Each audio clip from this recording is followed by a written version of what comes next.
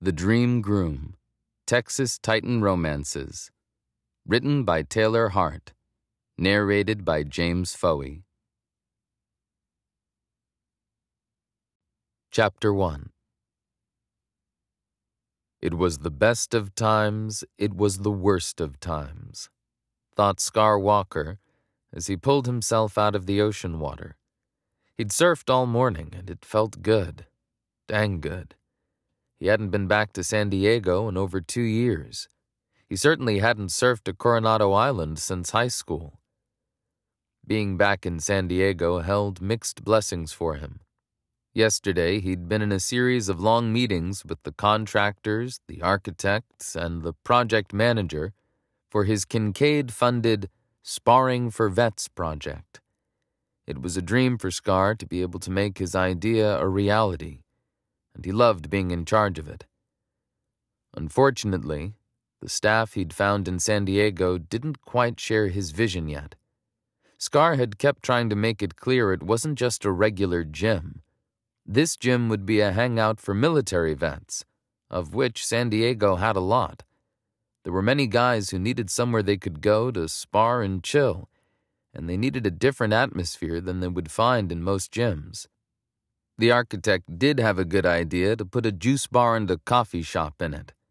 At first, Scar had balked at the idea. He didn't want the vets to feel like they had to buy something if they came in.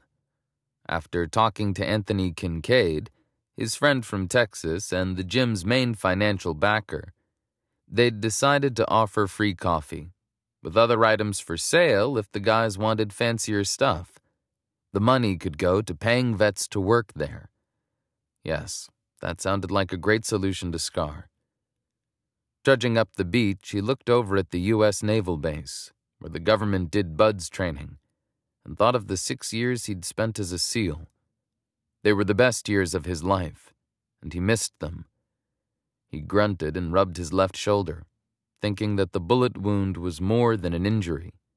It symbolized the end of being a SEAL. After the injury, he'd been given the boot they had all but said, Thank you for your service to our country. Now go figure out your own dang life. He lay back into the sand, feeling the rising sun start to heat his bodysuit. Surfing had been a solace for him his whole life.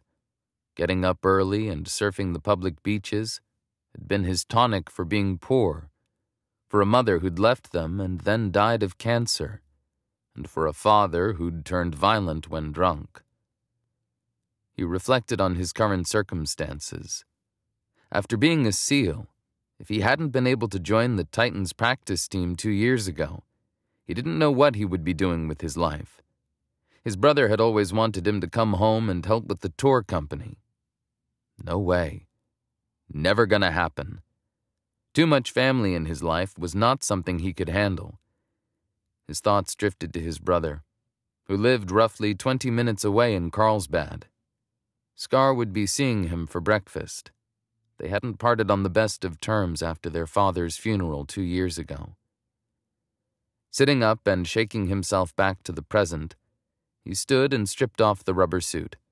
Staying in it too long after surfing was death to a newbie's skin. He reached for the gallon sized carton full of fresh water he'd brought with him and chugged it, then poured the remaining water on his head, down his arms, and over his whole body. He gathered up his board, put his suit over his arm, and slipped on his flip flops. He trudged back to the beat up 1969 Mustang he'd pulled out of the storage unit. His father had loved this car. Scar sighed and stopped short of the rack on the back, slipping the board in it. Without caring who was around, he began stripping down to nothing. The beach was pretty empty at the moment anyway. He took out another gallon of water and drenched himself. He put on a different pair of pants and a t shirt. There was a delicious bacon, eggs, and waffle place nearby. After dressing, Scar got the old car fired up and eased his way through the streets, taking his time. With the sun just barely up, it was perfect, bringing back memories of hanging out with his brother on the beach. Bonfires and volleyball. It had been fun. Then he remembered joining the Navy and his brother telling him he would hate him for the rest of his life. His brother had pretty much kept that promise. At their father's funeral, Scar had hoped they could mend things, but his brother had still been angry that he'd left him all those years ago. Scar roared into the little lot of an old mom and pop diner and shut off the car. His stomach growled, and he couldn't remember the last time he'd eaten.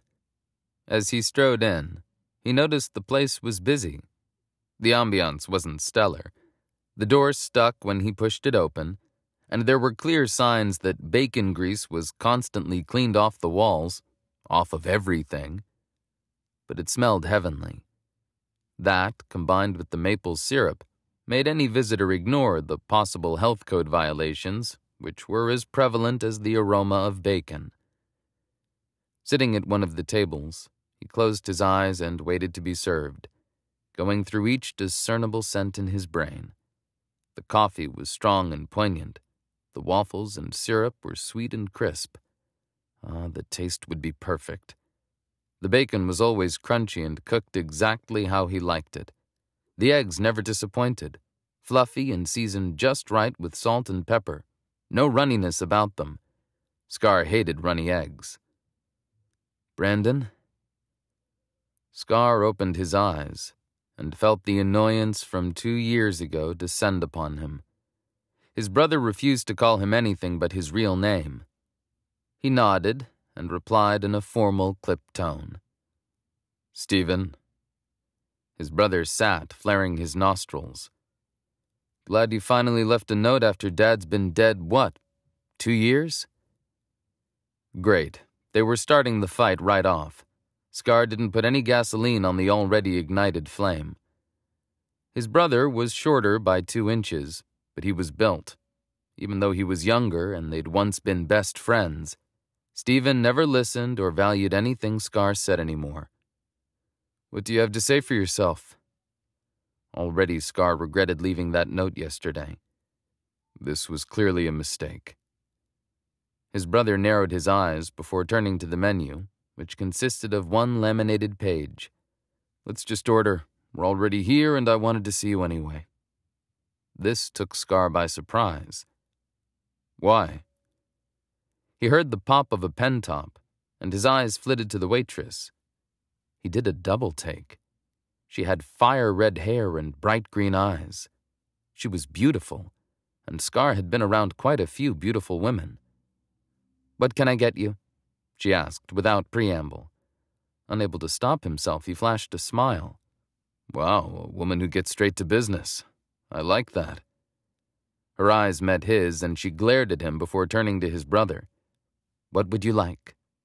Without missing a beat, Stephen rattled off his order eggs scrambled, toast, wheat, bacon, water.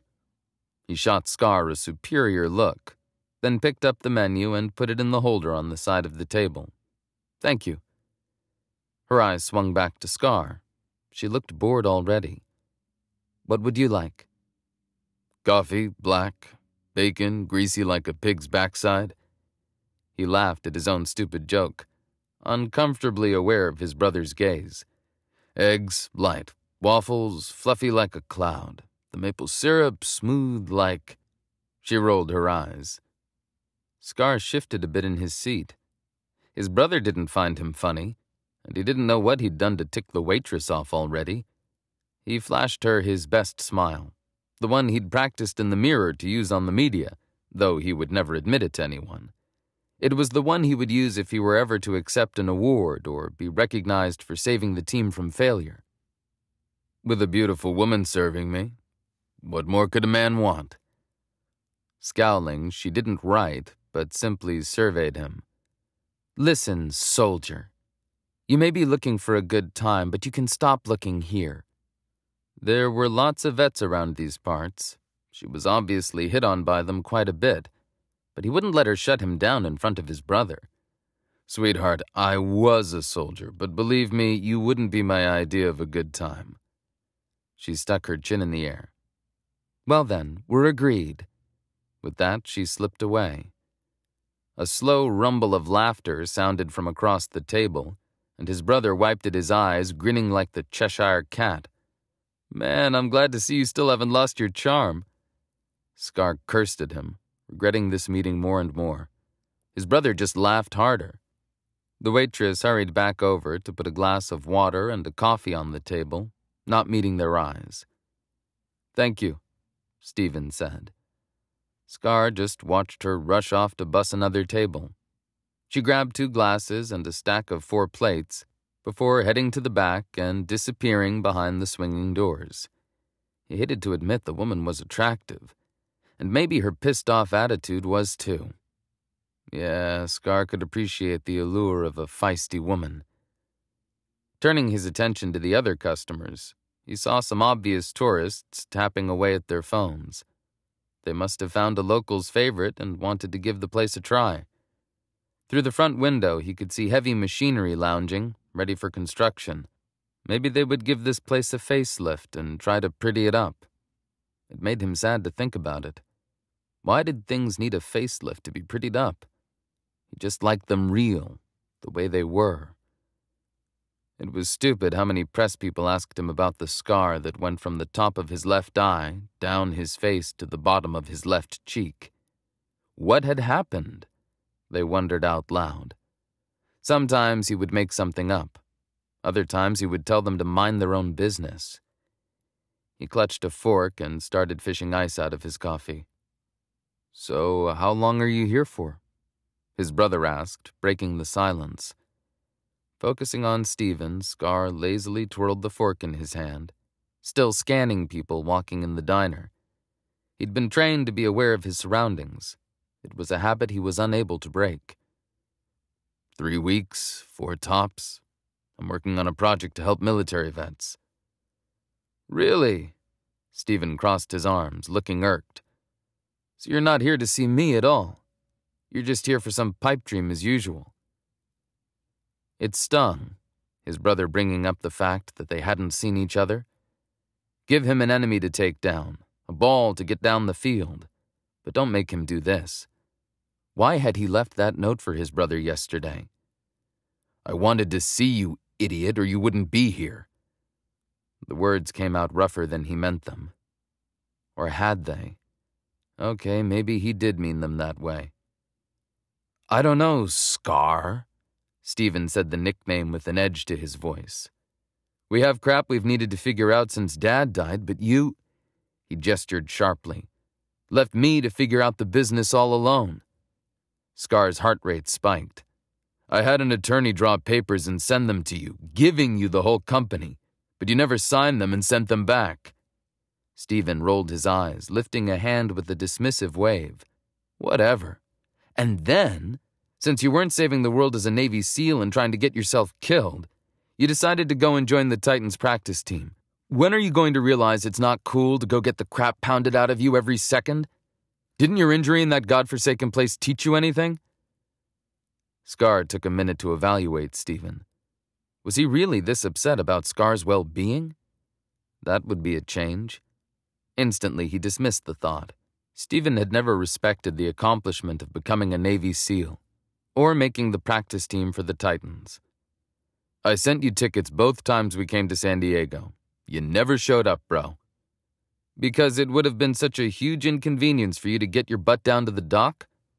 Not the point, Scar said, wishing again he'd never set up this appointment. It is exactly the point. Dad gave the company to both of us. Just at that moment, the waitress appeared with a couple of their plates. She didn't seem to be listening, even though he didn't know how she could not be listening. After situating it all, she held up a finger. I'll be back with the bacon. She rushed off. He and his brother held each other's eyes for a brief moment, and he watched as his brother pulled in a long breath. You have to keep your voice down, Scar said, trying not to sound patronizing. Stephen reddened. This was exactly what he'd always done stuff his anger. He picked up a fork. San Diego is your home.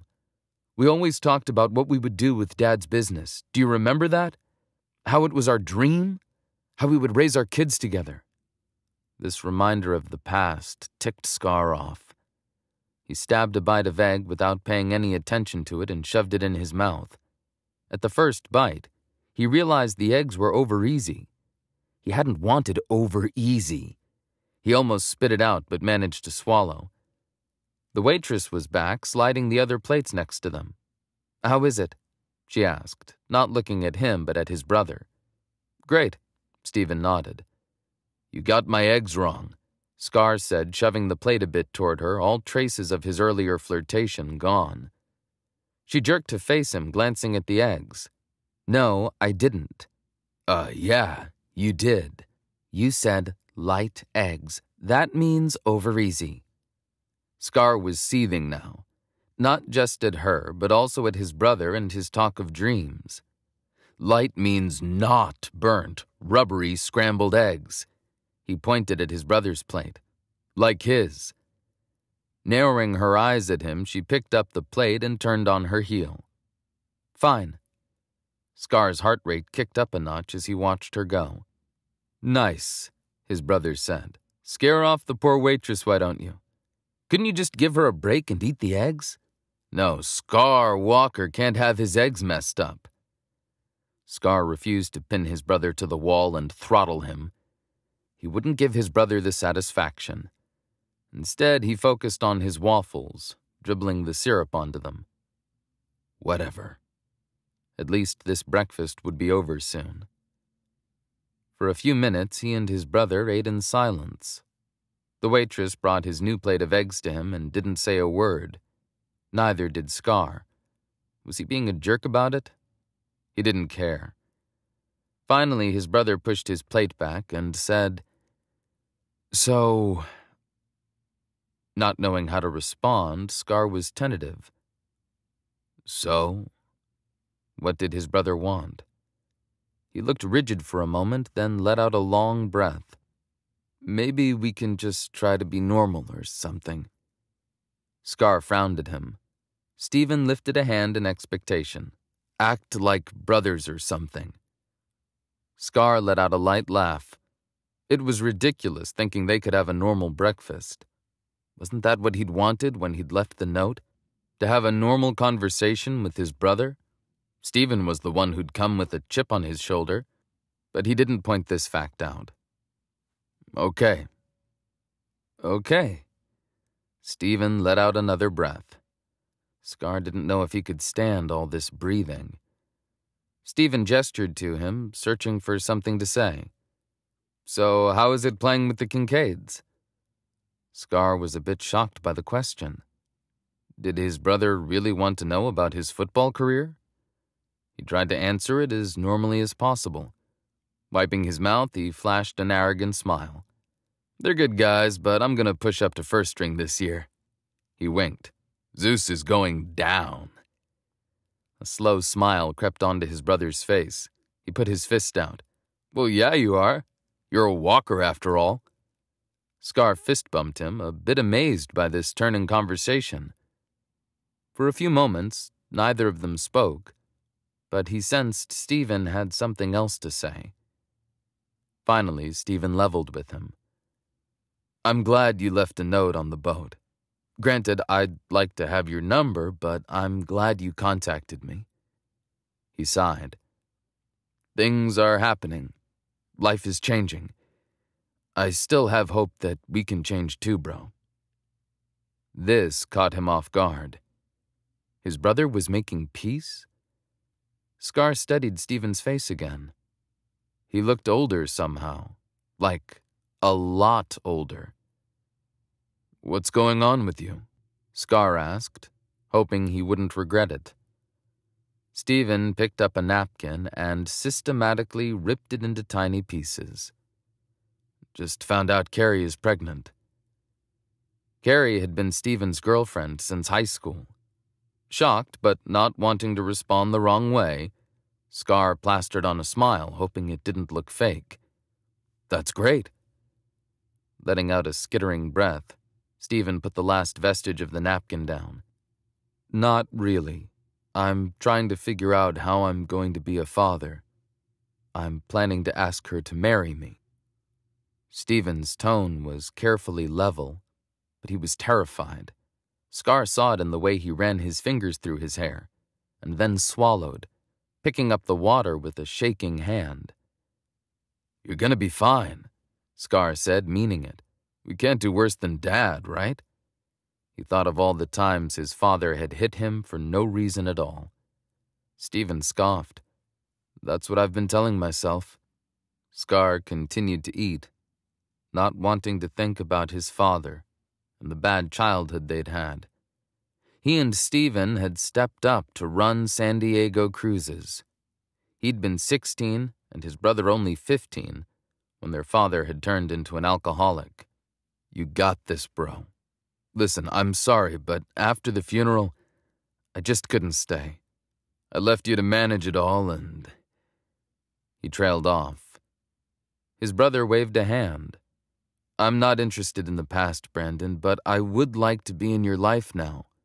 I know it might not be in San Diego, but you could come by and go out on a tour with me while you're here. Tell me about your project.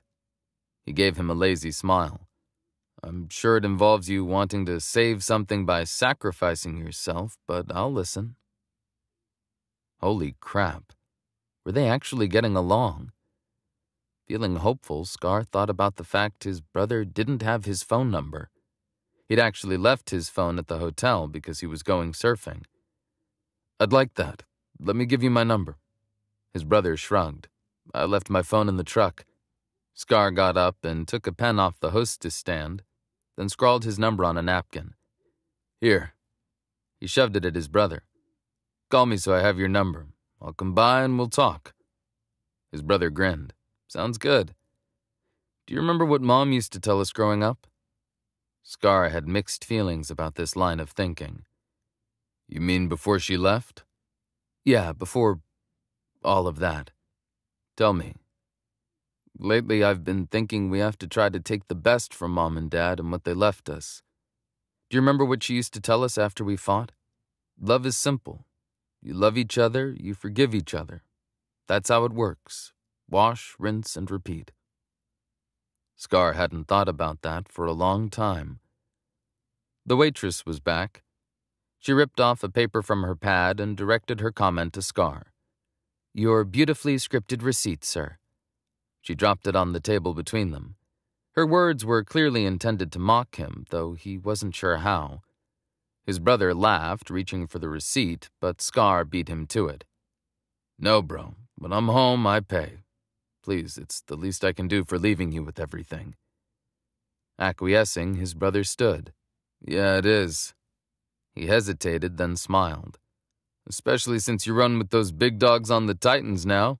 Woot! He made a fist circling motion. Unable to hide his delight, Scar grinned, standing and high fiving his brother. I have a tour, so I'll catch you later. Great. Scar watched him go and decided maybe things could be different. Later that night, Scar's phone rang. He didn't recognize the number, so he didn't answer it. Only naive or lonely people answered phone calls from unknown phone numbers, right? Whoever it was didn't leave a message, and after a bit, an uneasy feeling settled over him. He couldn't get the number out of his mind. Even as he watched SportsCenter on the hotel TV, he kept wondering who would have called. On the SEAL Force, he was known for his intuition. These days, it was what made him good at being a quarterback. He had intuition about more things than a human could concentrate on at a time, and it made it possible for him to get the ball down the field, while avoiding 11 elite athletes doing everything possible to rip his head off. A thought popped into his mind as he was getting ready for bed. Maybe it was Stephen. Duh, yes, of course. He picked up his phone and called the number. After two rings, a woman answered. Hello? Her voice scattered his thoughts. H hello? Who is this? she demanded. Who is this? Scar asked with a bit of military snark in his tone. You called me a half hour ago. He kept his voice stern. She hesitated. Is this that jerk from this morning? What, did you get my personal number to call and give me crap about your eggs? The feisty red-headed waitress's face popped into his brain. Is this? Are you that waitress? He scoffed. You called me first. No, I didn't. Yeah, you did. I'm calling you back. I did not call you. With that, she clicked off. Chapter 2 Shayla eyed the soldier from yesterday when he walked into the diner, the one she'd accidentally called last night. She didn't know how his number had gotten into her apron, but it was annoying. Even better, he was seated in her section at the moment. What can I get you to eat? Her voice was canned, the one she used for all of her customers. Hey. He said it in a tone reserved for closeness or friendship. Allowing herself to meet his eyes, she pushed away the fact he was hot. Way hot. She tried not to sink into those blue eyes, like the ocean sky in the morning when it was clear at Hotel del Coronado. She loved the ocean by the resort. When she was 17, that ocean had inspired her promise to herself that she would find a way to live in San Diego on Coronado Island. And she had. She managed a polite smile. Good morning. The side of his lip tugged up, and she wondered if he would say anything about the phone call and argument last night. He passed the menu to her. Eggs, bacon, and water. Please. She lifted her eyebrows, surprised at the please. He hadn't even made a crack about the eggs. Walking away, she tried to deny the fact that the man was handsome. It had been a rough three years after high school, working a full time job at the coal mine and waitressing on the side, but she'd saved enough money to cover her first two years at San Diego State. Not only that, but enough to live on Coronado Island. Granted, she lived in a dump, but it was worth it if she got to be near the ocean, to walk on the beach every day if she wanted. Too bad she was already a month into her time in California and hadn't gotten to do any of the things she wanted to do. The summer class she'd started ate up a lot of her time, and what little was left went to work. Still worth it. It didn't even matter anymore that her boyfriend Jason had dumped her the day before she'd moved here, so she'd had to come by herself. Sure, the breakup and last minute change of plans had been hell. She was still figuring it out, and she was proud of herself. Living her dream meant everything to her, and she was doing it. So what if she was a bit lonely? So what if her parents and family in Kansas thought she was crazy? So what if it would take forever to save the money to do all the things she wanted to do around San Diego because her car had broken down on the way here and she'd had to blow most of her money to fix it? She didn't care. She would figure it out. Rushing to the computer next to the kitchen, she put in his order and wondered why she was even thinking of her parents or Jason or any of that garbage. She greeted two other tables filled with families, then dropped a water with lemon on the soldier's table and once again tried not to notice what he was doing, staring out the window at the ocean. Even though she flew around the restaurant, her attention remained on this guy. He was older, definitely not a new soldier. There wasn't a bright and shiny look to him. His jawline was hard, his features chiseled. That scar down the side of his face was interesting, something he wore with pride, a battle wound. He wasn't trying to hide anything, and she could respect that. Sure, he had a bit of anger to him, and he was kind of a jerk, but she couldn't imagine what he'd probably gone through in his life. It was clear that he could tick her off in an instant, but today, he looked different somehow than he had yesterday. Delivering food to another table, she saw the soldier's food was up. She steeled herself for the inevitable confrontation, then picked his meal up and took it to his table. Thanks, he said, but he didn't look at the food. So, did you ever figure out how you got my number? She pulled the napkin out and put it on the table. I guess it got mixed into my receipts and ordering papers. She didn't apologize or admit she was wrong. There was something about his surly smile that wouldn't let her say it. With two fingers, he pushed the napkin back. You keep it. Embarrassed, she grabbed a pitcher on one of the side cupboards and filled his water. I don't need your number. You know, most girls would cry for that number. He took a bite of eggs. Apparently, these ones were more to his taste. Just looking at his cocky expression made her temper flare up. Well, then, I guess you can sell it and make some money. Or better yet, give it away for free and see all the tears of joy. Of course, she noticed the way his t shirt stretched over his muscles, and the way every part of him seemed to be ripped, although he didn't need to know that. A boyish smile softened his face. True. Turning away from him, she focused on the other tables, checking one family out and then bussing some tables. She glanced back at him to see him watching her, much to her annoyance. Rather than deal with his scrutiny, she busied herself with getting the silverware out of the dishwasher and rolling them into napkins. When she came back, the first thing she noticed was the soldier was gone, and there was a fifty on the table. Guiltily, she looked around.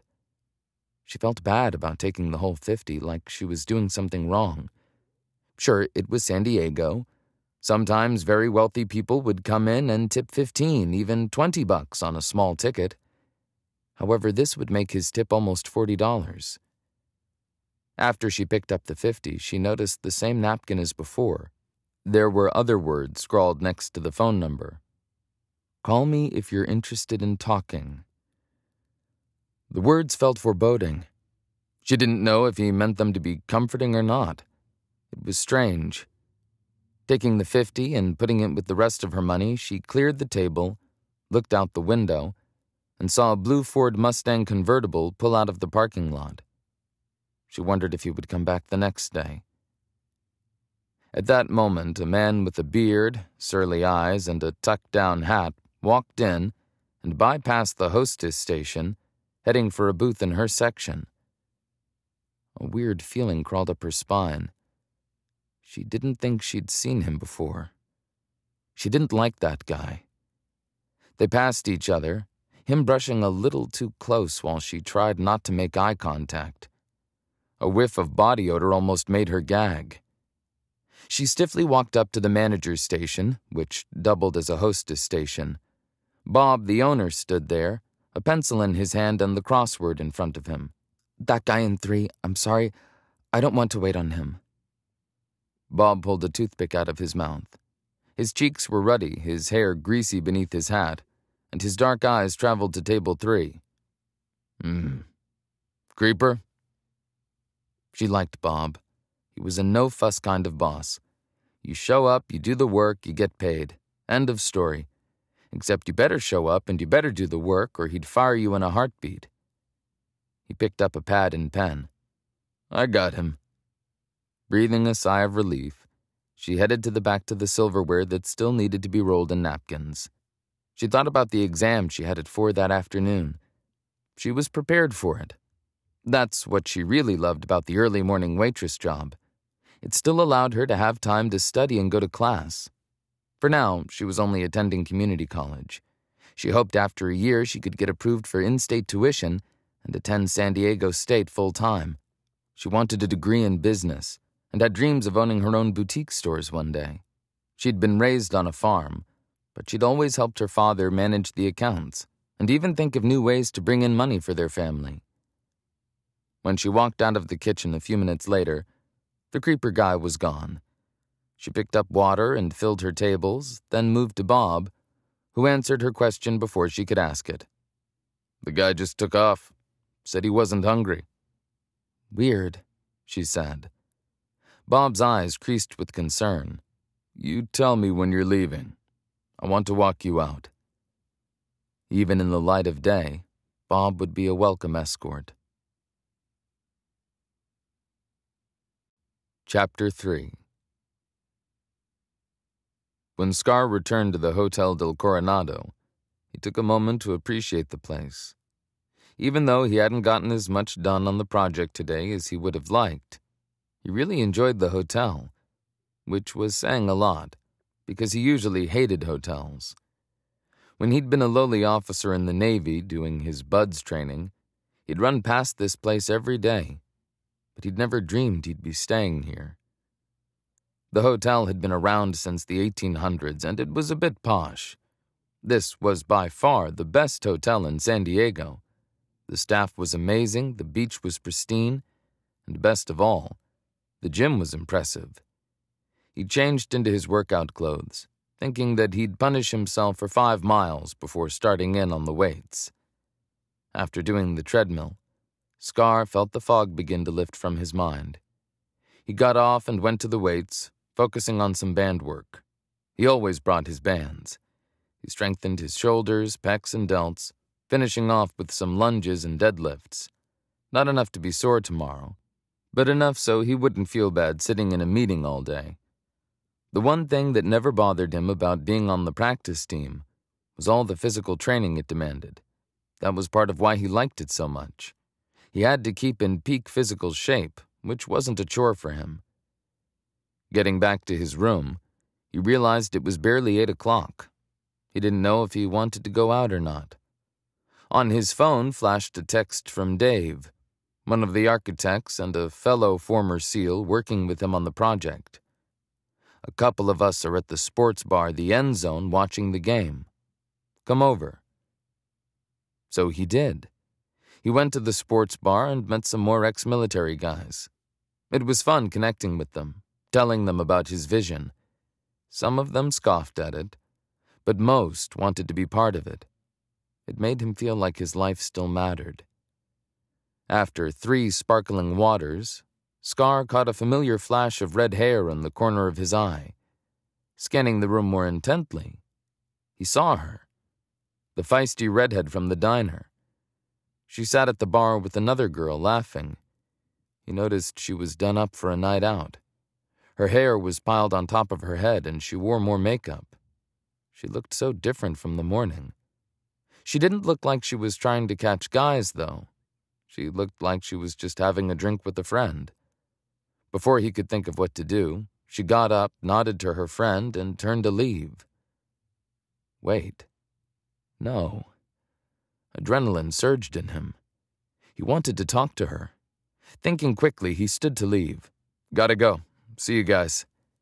The men shouted their disappointed goodbyes. He was out the door in no time, but he couldn't see where she was. Then he got a feeling. That gut feeling again. The same sense he'd felt last night after that unidentified phone call. The one that told him something was about to happen. He heard what sounded like a muffled yell and took off in that direction. As he turned the corner, he couldn't believe what he was seeing at first. It was the redhead struggling against a guy as he pushed her roughly up against the wall, his hand over her mouth. Without thinking, Scar rushed forward and pulled the guy off of her, lifting him off his feet and throwing him to the ground. He turned to her. You okay? Looking very not okay, she nodded. The guy on the ground started moving like he would get up and run, but that would not stand. Scar seized him by the scruff of his shirt and held him up. What were you doing? Let me go. The guy struggled to free himself, kicking out and scratching. Scar slammed a fist into his face. Before he could land a second punch, he paused, noticing that the redhead was running away, and called after her. Taking advantage of the distraction, the guy scrambled away from him, running toward the beach. Scar was torn between wanting to finish kicking this guy's butt and wanting to check on the girl. He made a command decision to chase the girl and sprinted after her. A gray car swerved around the corner ahead, prompting Scar to jump out of the way. He saw the girl at the wheel and their eyes connected, but she didn't slow as she peeled out of the parking lot. He watched her go and sucked in a breath. What had just happened? Why hadn't she stayed and explained or even anything? The look in her eyes and the feeling in his gut said something was very wrong. His gut was never wrong. His Navy brothers used to tease him that he was the trouble whisperer. It hadn't been a name he appreciated, especially when they called him Wisp for short, until he'd gotten the nickname Scar. There was something about trouble that seemed to find him, or rather, he seemed to find it. Frowning, he muttered a quick prayer for the woman and headed back to the hotel. Chapter 4 Later that night, Shayla sat on her bed, gazing through the window at the ocean. She thought about the guy who'd saved her. She probably should have stayed, filed a police report, something. She had fled instead. She was too shaken up. It had been the BO guy from the diner. Starting to shake, she closed her eyes and tucked her legs up beneath her. If her parents got a whiff of this, they would want her to come home. This had been a concern of theirs. She was going off to the big city, and heaven knows what would happen to her. It had been a serious topic of a lot of conversations when they were trying to decide if they would let her go. Many times she had reminded them she was nearly 21 and they didn't have a say. Now she was a bit freaked out. Why was the weirdo guy after her? Wishing for the millionth time that her ex boyfriend Jason would have come with her to San Diego, she imagined what it would be like if he just showed up tonight. She barked a laugh at the thought. He wouldn't show up. After all, he'd made it pretty clear he wanted to stay in Kansas. Somehow that didn't seem to matter. Old habits died hard, and she wanted to call him. For comfort. With a sharp breath, she pressed his number. It rang three times before going to voicemail, which meant he'd declined her call. Rejection and sadness squeezed her heart as pain came back all over again. Jason had been her best friend since they were little. He lived on the adjacent farm, and they had ridden the bus together every day. Over the years, it had naturally blossomed into a first love. She had been sure she would marry him. She'd been wrong. Staring at her phone on the bedside table, she thought of the soldier guy. A swarm of questions buzzed in her mind, so she did something she never thought she would do. She called him. Not knowing what to expect, she was surprised when he answered on the first ring. Hello. His voice was soft, and she wondered if he'd been asleep. He didn't sound like he'd been asleep, though. She felt like she was at one of those fast food Mexican places where, when you get to the front of the line, it doesn't matter if you know what you want or not, because suddenly you're put on the spot and discombobulated. Hey, she said. For a moment, he didn't answer. Then he let out a breath. Are you okay? It was weird to hear a near stranger ask that question. Still, he deserved to ask. He'd saved her. Yeah, I think so. Good, he said gruffly, almost matter of fact. It was like, okay, you're fine, so now the conversation is over. At least that's how she felt. What if he had a girlfriend or a wife? So what if he had given her an outrageous tip? At least he didn't seem to be with anyone else. He wouldn't be glad she called if he was, right? I had to, well, thank you. You're welcome, he sighed. Why didn't you stay and file a report? She should have known he would ask that. After all, he looked like a vet, and she had figured him for a straight laced type, though he looked rather dangerous. Look, she didn't owe him an explanation. I need to get some sleep. I just wanted to make sure I. What did she want to make sure of? This wasn't just a polite call, no matter what she said. Are you really okay?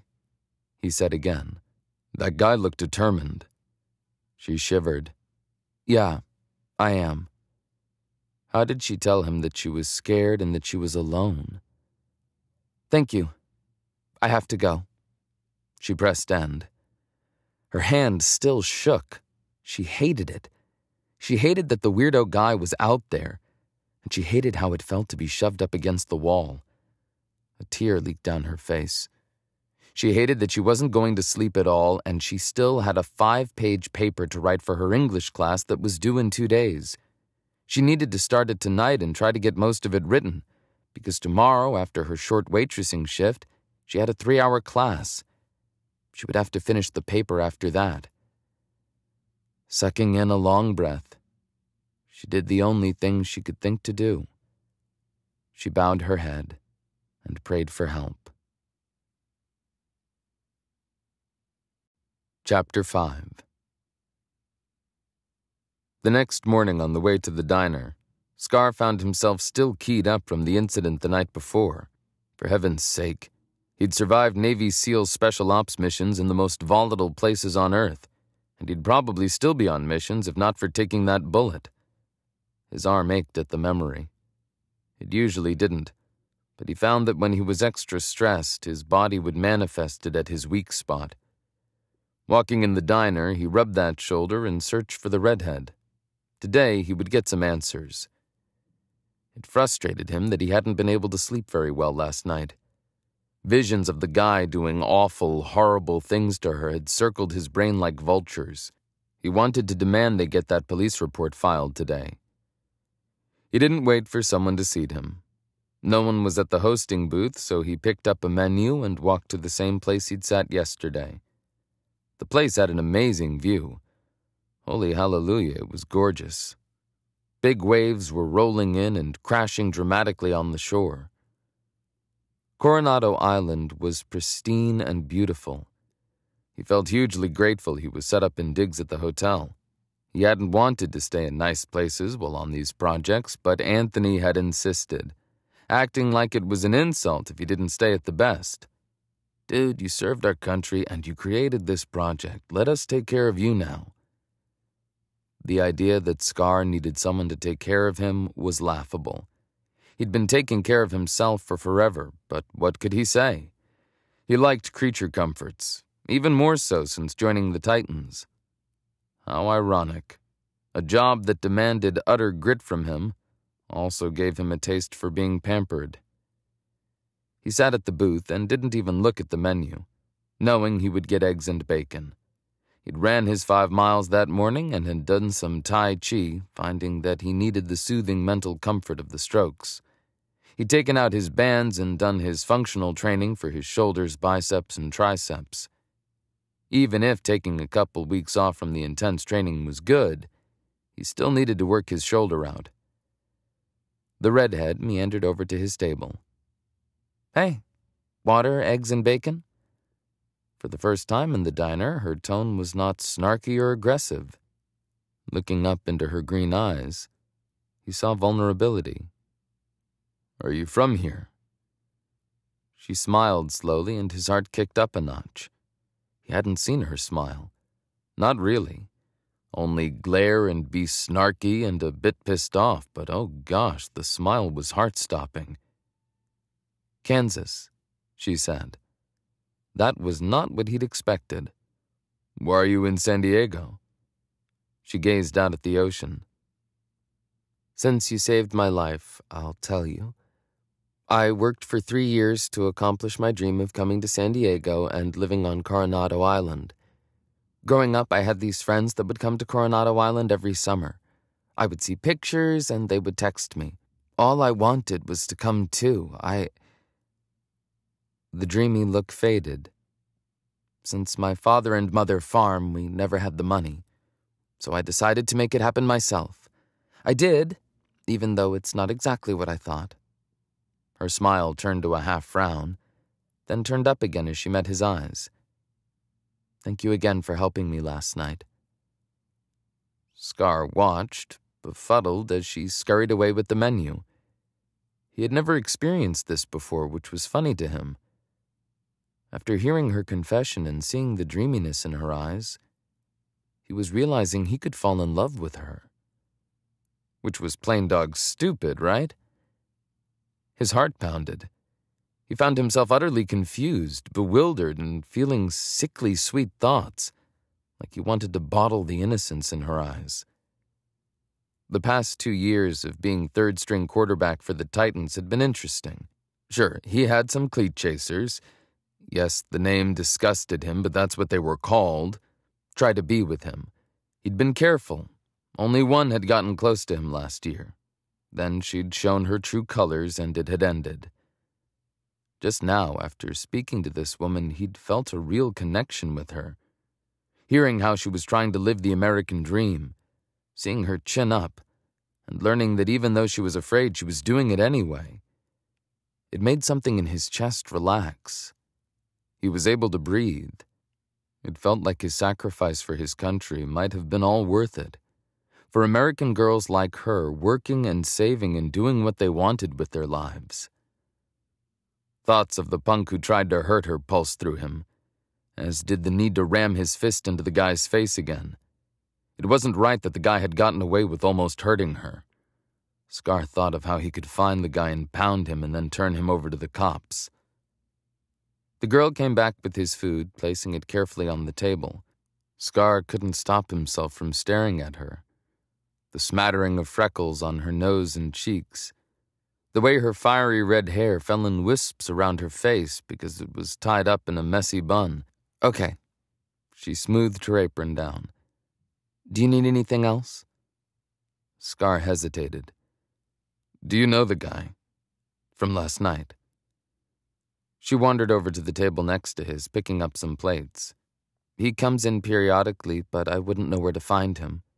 I think he's homeless. Scar looked around. He hadn't noticed anyone suspicious. When she looked at him, he saw the fear in her eyes. I told Bob about last night. He's the manager. He says if he comes in, we call the cops. No questions. The news bolstered his confidence just a little. Good. She shook her head. Please, just. Let's just let this be, okay? Clutching the fork in his hand, he stuffed a bite of eggs into his mouth and pointed the fork at her. You don't let sleazeballs like him run unchecked. It doesn't help anyone. She hesitated by his table, looking vulnerable and nervous. Look, I don't need a bunch of cops involved and reports. I just need to finish a paper for my summer class. Seriously, he's just a sleazeball. It's part of the job. No, it's not. He leveled her with a stare. If he shows up anywhere, you call me. Scar wanted to lecture her more, wanted to ask her a million questions, but she rushed off, picking up more plates and carting them into the kitchen. Chapter 6 It had been a crazy day. Her summer class moved at a fast pace. At the moment, Shayla wanted to know who the heck cared about Romeo and Juliet and tragic love. Shayla flopped face down on her bed. It was almost 10:30, and she'd been up since 5.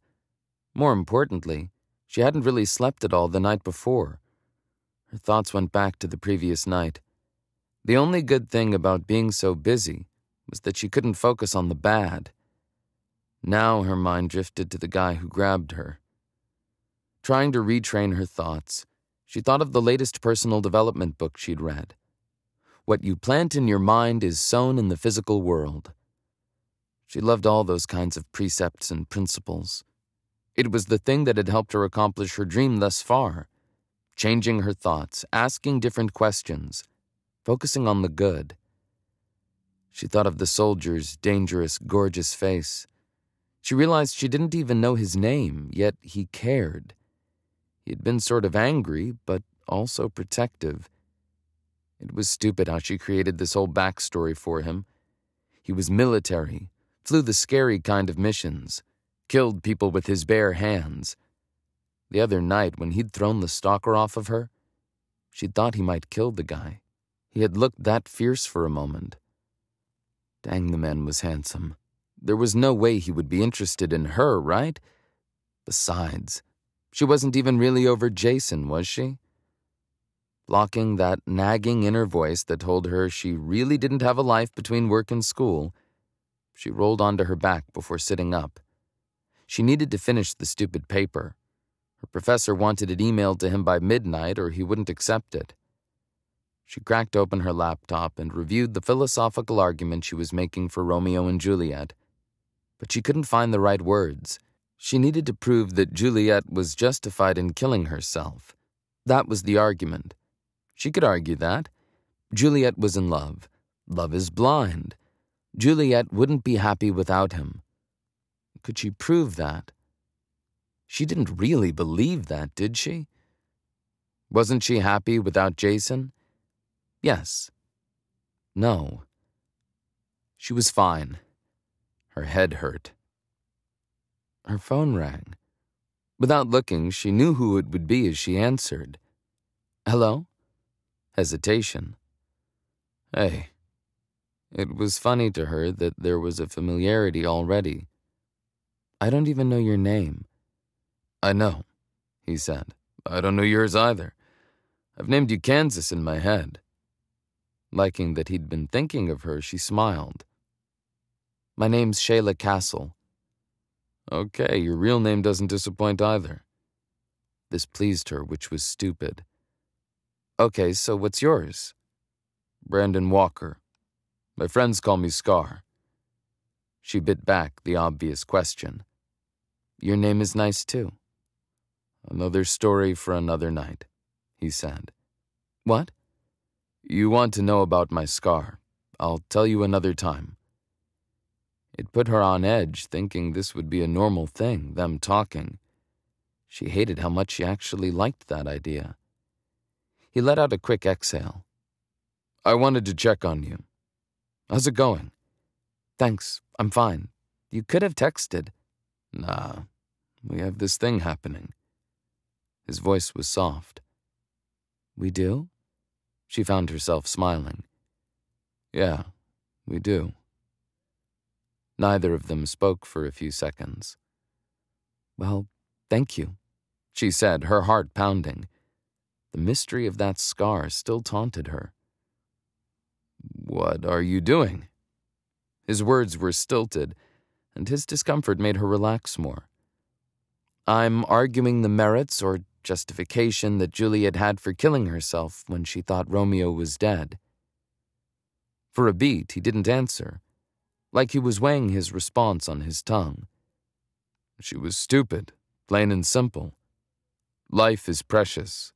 Killing herself was a huge waste. Shayla disagreed. She was in love. She was heartbroken. He barked out a laugh. Life is worth more than love. She was reckless. She was too young to be messing around with a thug like Romeo. He shouldn't have married her in the middle of the night. He would have gotten his throat cut if her father had known. That's why he did it in the cloak of darkness. That was a valid argument, actually. She smiled. Cloak of darkness, really? Should I put that in my paper? Hey, I won't complain if you feel the need to quote me. His voice had gone husky. Intrigued, she pushed aside her laptop and leaned against the back of her bed, thinking how this was getting interesting. Why can't you tell me about the scar now? He sighed. You have no filter, do you, Kansas? The way he said Kansas sounded so good. Feeling a bit bad, she shook her head. I'm sorry. It's fine. Seriously, another night. Let's talk about your paper. Sure. She went back to the topic, even though she really wanted to know now. Juliet had pledged her dying love to Romeo. Juliet trusted Romeo. Still stupid and childish. Was it? Because by Romeo's actions, we see that Romeo loved and trusted Juliet. He didn't let it stand. She didn't die by herself. He died too. He grunted. So sacrifice for love is always worth it?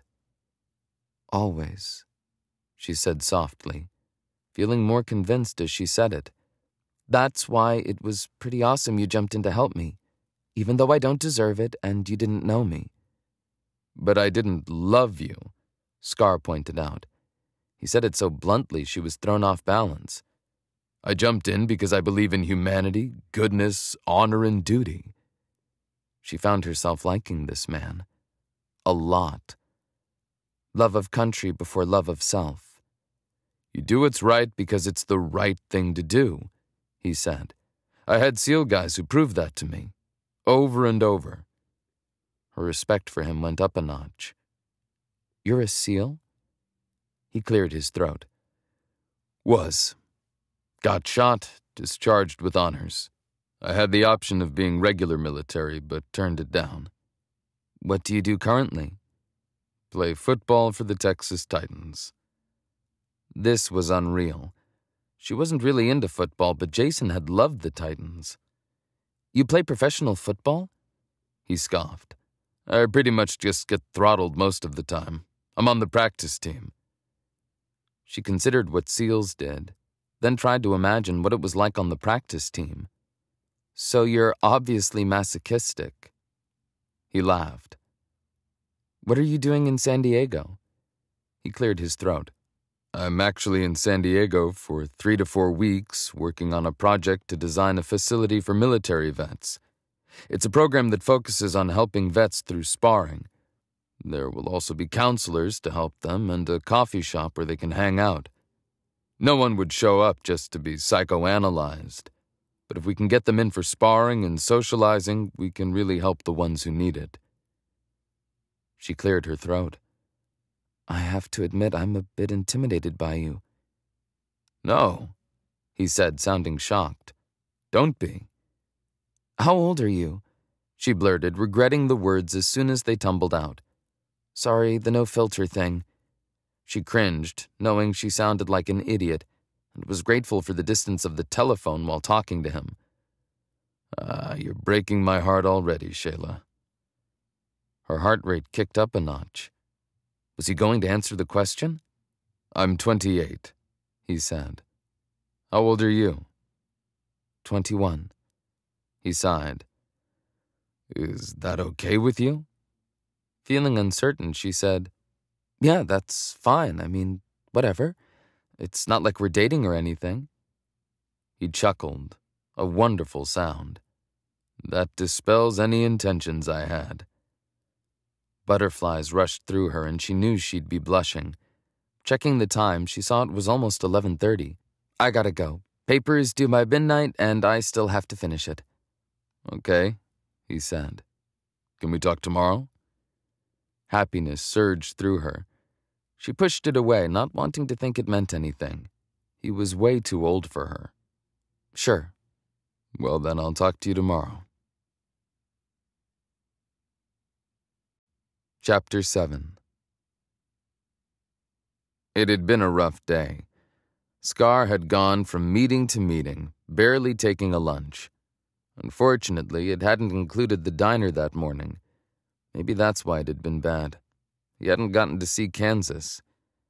When Scar finally staggered into his room at the Hotel del Coronado, all he wanted to do was go for another run, get some food, fall on his bed, and find something on TV to fall asleep to.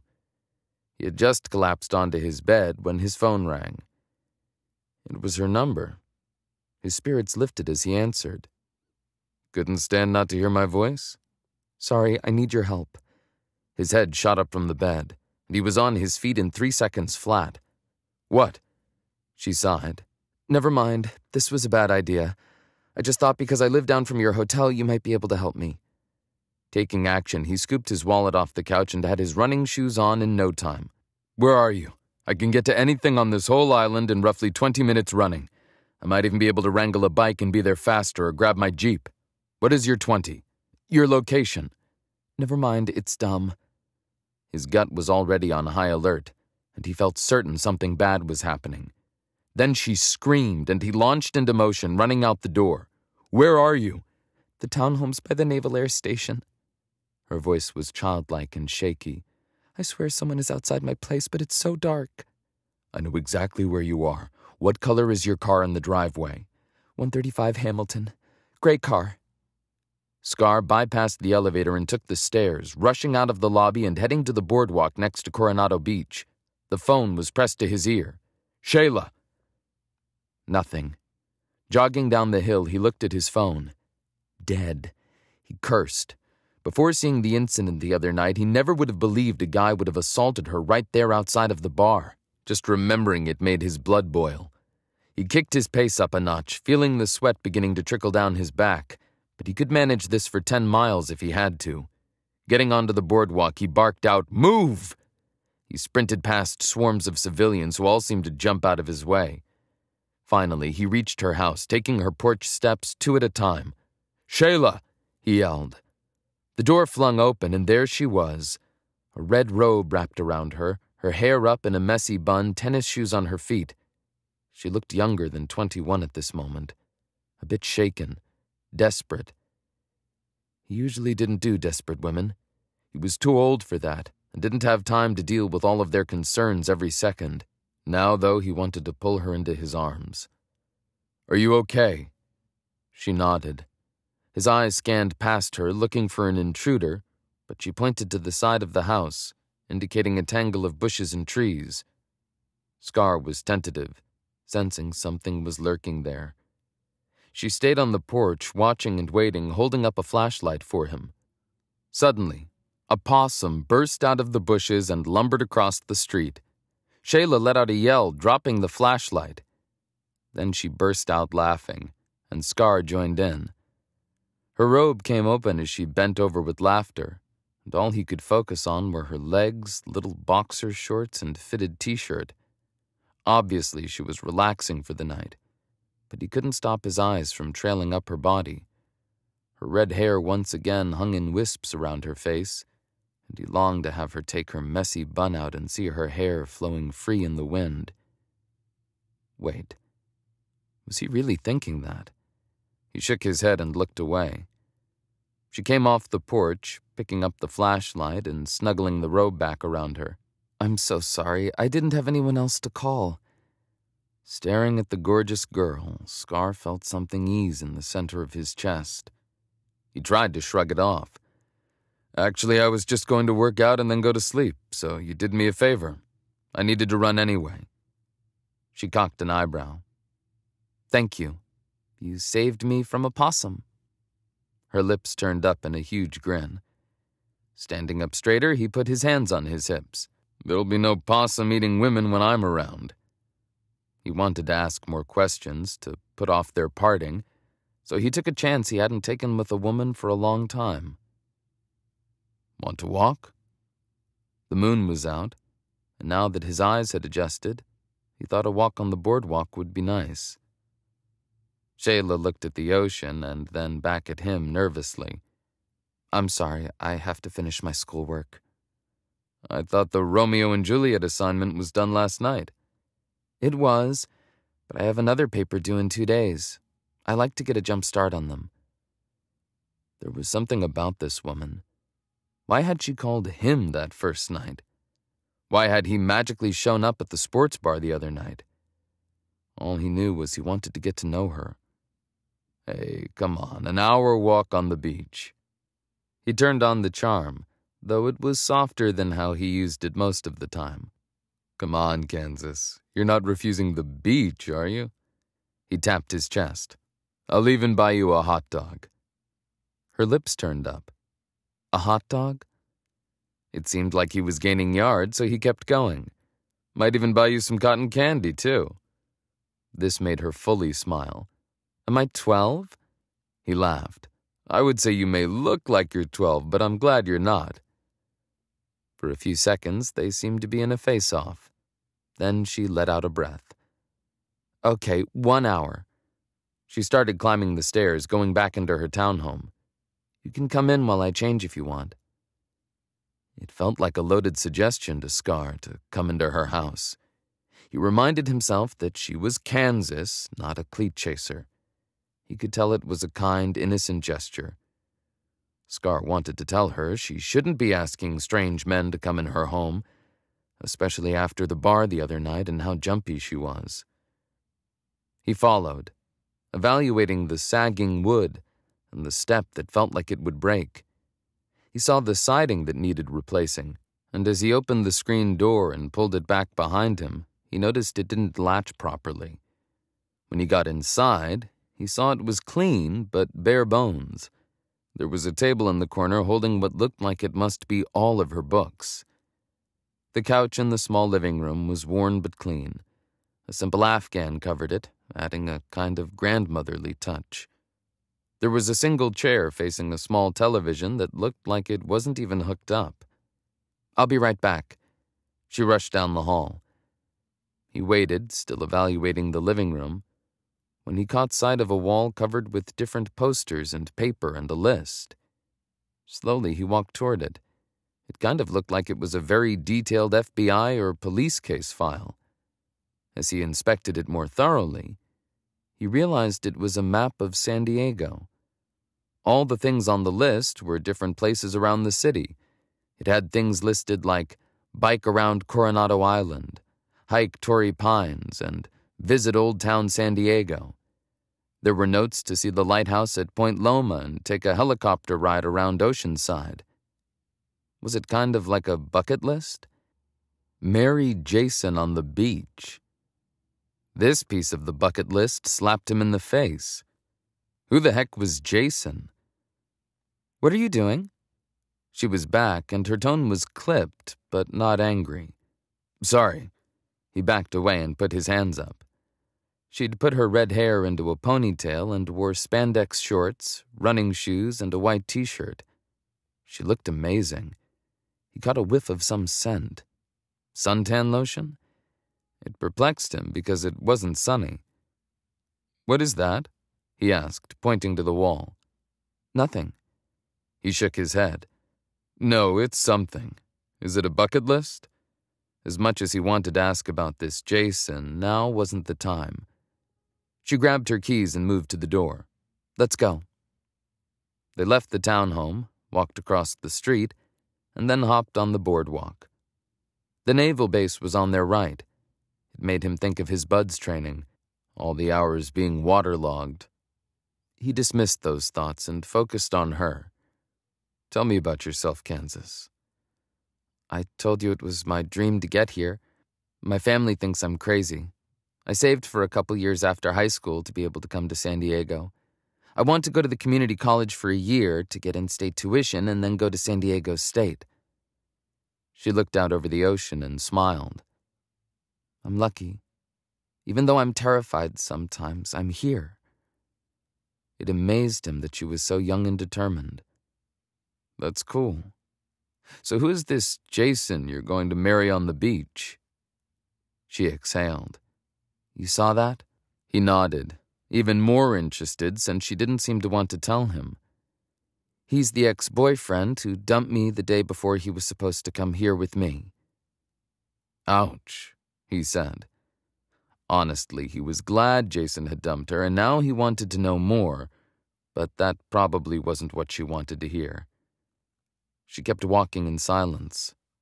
He took the break in conversation in stride, mulling over the other things on her bucket list. You got quiet, soldier. Her voice was quiet. He smiled. I want to hear more about you. They walked for a while, and it wasn't long until they arrived at the Del Coronado. She stopped and moved a few steps away from the path, staring at the hotel. I told you how my friends always came here. Well, she was my best friend, Charlotte. Charlotte and her brother were twins. They lived next door. Every summer, they would come visit San Diego since their grandmother had a small house here. Her parents would always stay a couple of nights at this hotel. She would come back with pictures and stories about it. She would build these amazing sandcastles. She would bike around the boardwalk here they would swim in the ocean and always bring back these amazing sand dollars. As he watched her tell this story, something in his chest loosened and relaxed, and he connected to this woman. She looked beautiful as she shared her childhood memories. Charlotte and Dane, that's her twin brother, would come home and show me their pictures. All I wanted was to come to San Diego and see the beach and go on those bike rides around the island, and build those sandcastles. She sighed and lifted her shoulder, a rueful smile on her face. The vacation my family did each year was the fair. His heart skipped a beat at the thought of the little girl yearning for the beach and getting dragged to the fair instead. In my senior year of high school, Charlotte's parents asked if I could go. Dane had some track camp and couldn't make it that year. After much cajoling and promising to do extra chores, my parents finally agreed. Her eyes lit up at the memory. I came to Coronado Island and I biked it. We built sandcastles there. She pointed out to the shore. Right over there. We played in the water and picked up sand dollars. It was perfect. Just perfect.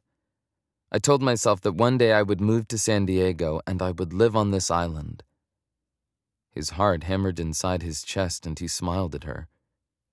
And you did it. I did it. There was fire in her eyes, a fierce pride. Then her lips turned down. But it's not Kansas. There are times, like the other night, when I don't love it. Sometimes I wish I had my family. Stupid, right? He caught up to her, his mind going through many options. You need to learn fighting skills. She smirked, probably thinking he was joking. Really? Yeah, fighting skills. Maybe. I just. She turned and searched the ocean. I thought it would be different. It's still good, I just thought it would be more like the vacation. But like all grown ups do, I discovered between school and work and studies, I can't just play at the beach all day. Plus, on the way out here, my car broke down, so I don't have money for fun right now. Do you need money? It was strange he was asking her this, because he wasn't the type to just give money away. She waved a dismissive hand through the air. No, I have savings that I've stashed away for San Diego State. She held up two fingers. I work two jobs and scrimped like crazy, so that money cannot be used for anything else. I'll finish this summer class, work the next couple of months until August, spend another year at the community college, and apply for in state enrollment status. He grinned, liking her work ethic and determination more and more. That's efficient of you. How come it sounds like you're taunting me? Because I am, but in a good way. You have learned discipline. That's admirable. She laughed. Well, I don't think I have the kind of discipline you have being a SEAL. He imagined her younger self coming to San Diego, being free, loving it. I guess we both have good discipline. They passed a bike rental place, and he asked, So you haven't biked the island since you've moved here? She looked caught. I don't have a bike. An idea took shape in his mind. He pulled his wallet out. Let's do it now. What? No. She walked faster. Why not? He caught up to her. I'll have you know I've never biked it either, and I grew up in San Diego. She frowned at him. Are you serious? He chuckled. It's crazy, but biking this island has never been on my bucket list, yet it kinda sounds fun. No, I couldn't. I don't have my money with me. He was already jogging over to the place. Your company is your payment for my security services tonight. She followed him reluctantly. My company is my payment? Yep. He paid and they got the bikes out. So let me get this straight. You come help me and you pay for the bike ride, yet this is somehow a payment to you? He winked at her. Come on, Kansas. Don't overthink it. Chapter 8 It had been crazy to call him, but she had been scared and she didn't know who else to call. After he'd arrived and it had only been that possum, she'd felt stupid. As she watched him pull his wallet out and sign the form, then gesture for her to come get the bike, she was elated that she was going to ride around the island. Truth be told, she was also excited that she was doing it with him. This man was seven years older than her. He'd been a SEAL. He was working on a project that would change the lives of American heroes, and he was also a professional football player. Yes, he was more than a bit intimidating. The scar on his face actually made him more attractive. She wanted to know the whole story, but chastised herself. She shouldn't even be thinking things like this. The guy wouldn't be into her, would he? She hadn't had the money to buy a bike, and she hadn't wanted to pay for a rental. She didn't need money to walk it. Almost every day she'd walk different parts of the island. So now she took off confidently, but when she turned back, he was right with her, a large grin on his face. Ain't gonna outbike me. She laughed, pedaling faster, relishing the air on her face. She had to yell ahead to have people on the boardwalk get out of her way. She maneuvered in and out of them, then took a sharp right up to the road that led to the bike path in the middle of the Coronado. Every time she glanced back, he was right on pace, grinning at her. They got to a crosswalk where they had to walk across and wait on the light. She got off and pushed the button. There were so many things she noticed about him. Yes, he had the scar that went from nearly his eyebrow down the side of his cheek, but he also had a dimple when he smiled. From the other night, she knew he could look fiercer than she would have thought possible, but at this moment, his expression looked as free as she felt. He stood next to her. This is nice. She grinned. Thank you. What can I say? I like people who dream. Before she could stop the words, she asked, I know you're building that facility to help vets. Is that your dream? The light turned and they both walked across the street. Once on the other side, he hopped on the bike and stared at her with a goofy grin. Yeah, it's one of them. He cocked an eyebrow. Maybe another one is you.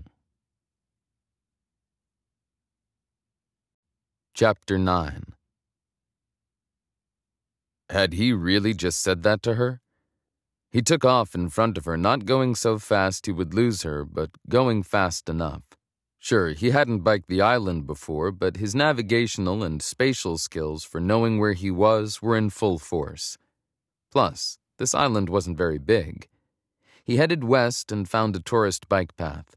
Hopping on, he waited for her, meeting her eyes with a challenging smile despite his nervousness. There was still time to deny what he'd said. Tell her he was messing with her. Something. When they stopped at the next stoplight, she grinned widely as she pointed to a tree. Look! Scar peered at its branches. What? She laughed. The light turned and she got on and kept going. A lemon tree.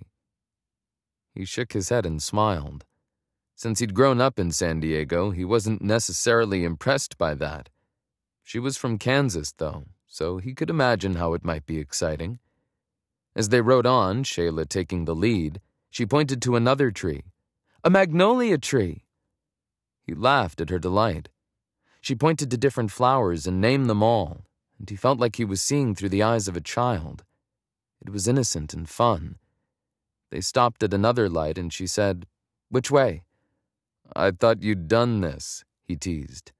Her face reddened. I'm not very good at navigating. Let's hit the beach this way. He pointed to the right.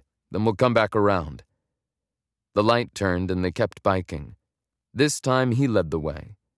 Out of the blue, he found he liked pointing things out to her, so he showed her a bird of prey flower, a salvia pozo blue that attracts hummingbirds.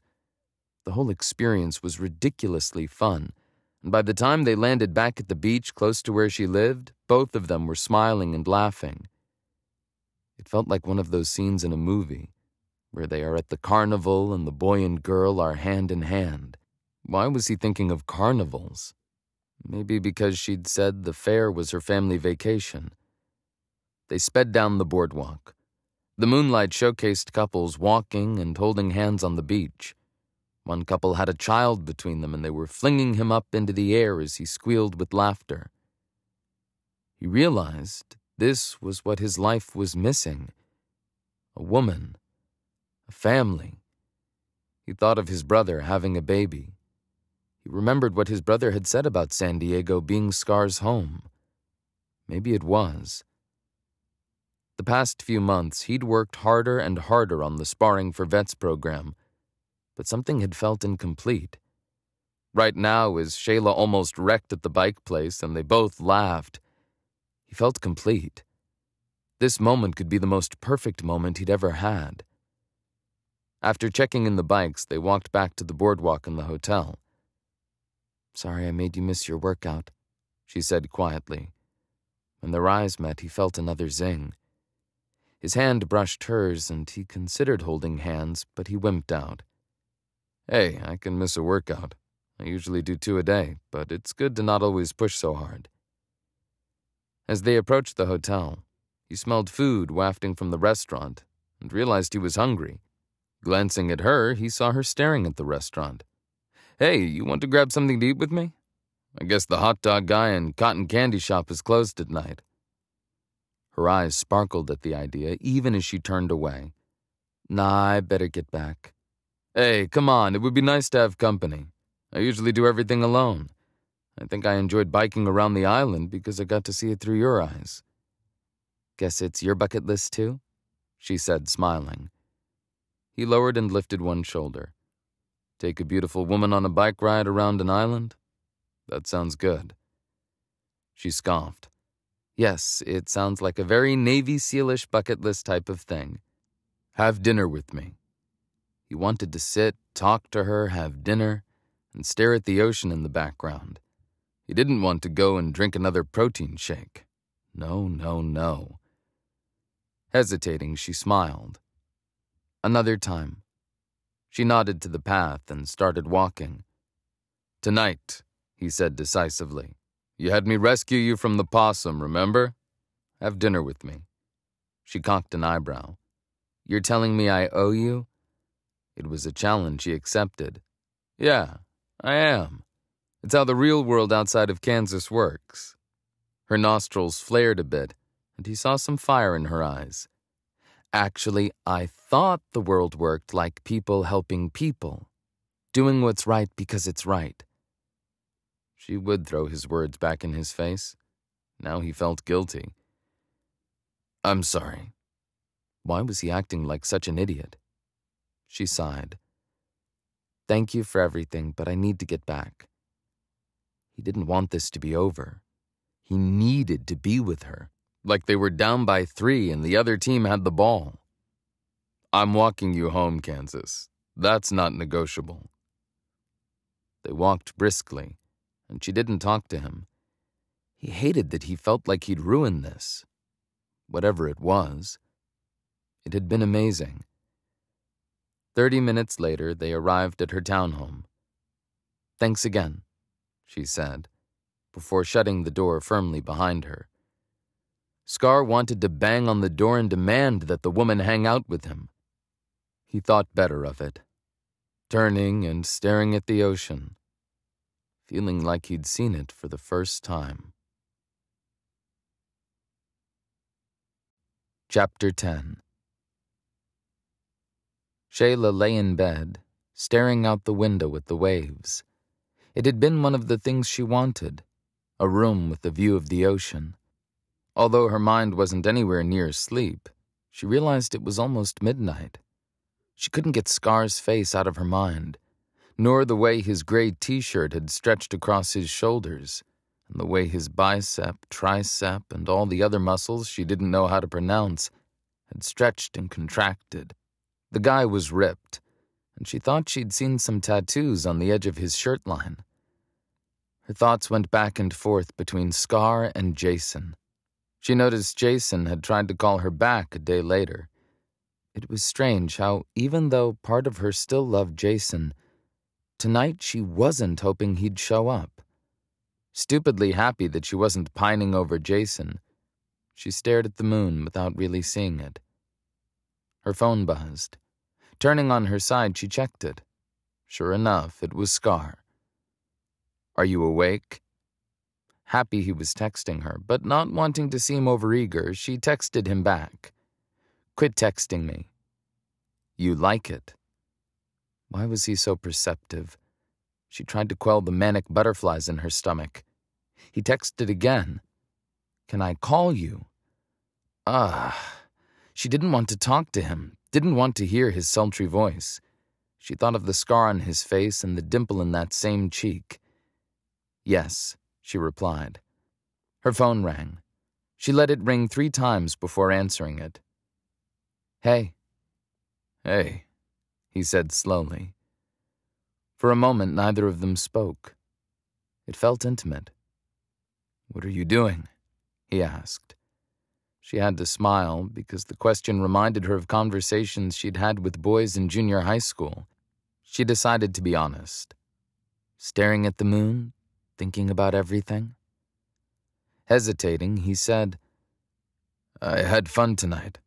Thanks for going on the bike ride. She felt bad because he'd paid for it, but they had both enjoyed themselves.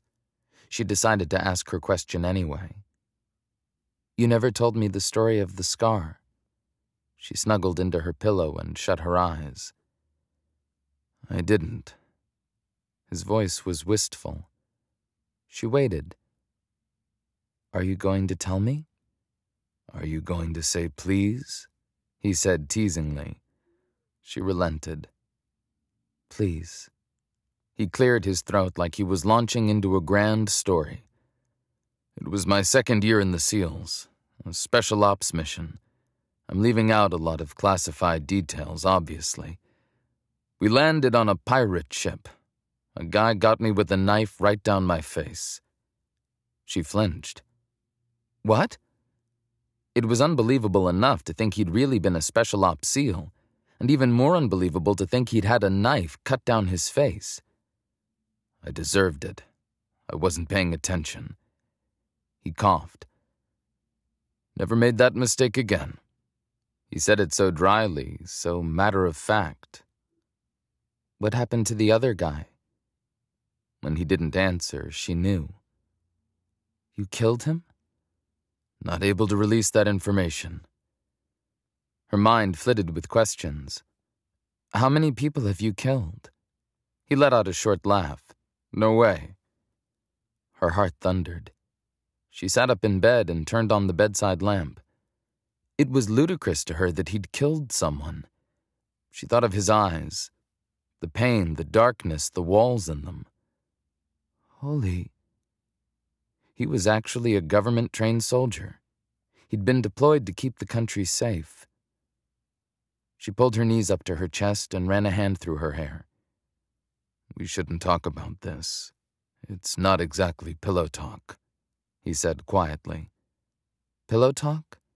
You know, nighttime talk between couples. There's an old Rock Hudson and Doris Day movie about two people who meet because they share a party line. They bug each other and end up talking on the phone at night to each other. She frowned. You watch old movies? I can't watch an old movie? He sputtered. No, of course you can. I'm just trying to put you together. This guy, she said, rambling, who gets in a fight with the waitress over how much his eggs are cooked, who scares off a creeper at the sports bar, and who rushes over to save me from a wild possum. He sighed, but she could hear the smile in his voice. Well, we didn't know it was a possum. This same guy insists he pays for the bike ride around the island and watches old movies. The same guy also orders me to have dinner with him as if he couldn't get a million dates. Oops. The words were out before her brain could catch up. A million might be high, but at least 500,000. Okay, she'd asked for that. Who is annoying and cocky, too. Kidding, sheesh, maybe just a couple of hundred. She laughed. Exactly. This is the same man who watches movies with the name Pillow Talk? She wondered where he was. Was he in bed? Sitting, standing, inside, outside? Completely distracted, she wondered if he had a shirt on, which was stupid. Why was she even thinking about that? My mother liked old movies. We watched a lot of them before my parents divorced. Again, she couldn't stop herself from prying. Is your mother in San Diego? Nope, he said quickly. She's dead. This was like a punch to the gut. I'm so sorry. It's fine. It was a long time ago. She didn't know what to say, but now she wondered what other problems he might have that she hadn't even imagined. Guess that was a conversation killer. He sighed again. It's what I do with women. Always know how to end the convo. I'm really good at that. It was funny to her that he sounded so military all of the time. It was also interesting to hear him sound vulnerable about women. She wasn't going to make fun of him for it at this moment. She wanted to ask something else. So, how many conversations have you ended? Oh. Part of her wished they were in person right now so she could judge his body language. Part of her worried that maybe he was a player type. He did play professional football after all. I had a girl who broke my heart after high school. She dear Johned me after my first year in the SEALs. Said she found someone else. Ouch. Yeah. I also had a woman I dated for about six months last year who told me she wouldn't stay with me if I didn't get rid of the scar. No! He let out what sounded like an awkward laugh. Maybe you don't want to date a Scarface either. No, she said quickly. I mean, I never said I would date you. Her heart raced. Did this fabulous looking, older, slightly intimidating guy really want to date her? But that has nothing to do with the scar. He roared with laughter. Before she could fully recover and figure out what to say, he asked, So what's the deal with you, Kansas girl? She turned off the light and lay back down, wondering why the nickname was growing on her. Hold on. She snuggled and lay back in bed, pulling the covers up. Are you getting comfy? His tone had turned softer. Yeah, I'm lying in bed pulling the covers up. That sounds nice. Where are you? In bed on top of the covers. Don't ask what I'm wearing. Rolling her eyes, she laughed. Ha ha. Now all she could think about was what he was wearing. She wanted to ask if he had a shirt on, but she wouldn't. I don't have my shirt on. She giggled. Why would you say that? He laughed. Because you were wondering. No, I wasn't. She denied it, glad they weren't face to face, so he didn't have to see her turning red. Gym shorts.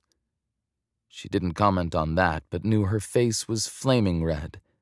It was weird he'd said it like he was responding to her thoughts. She shook herself.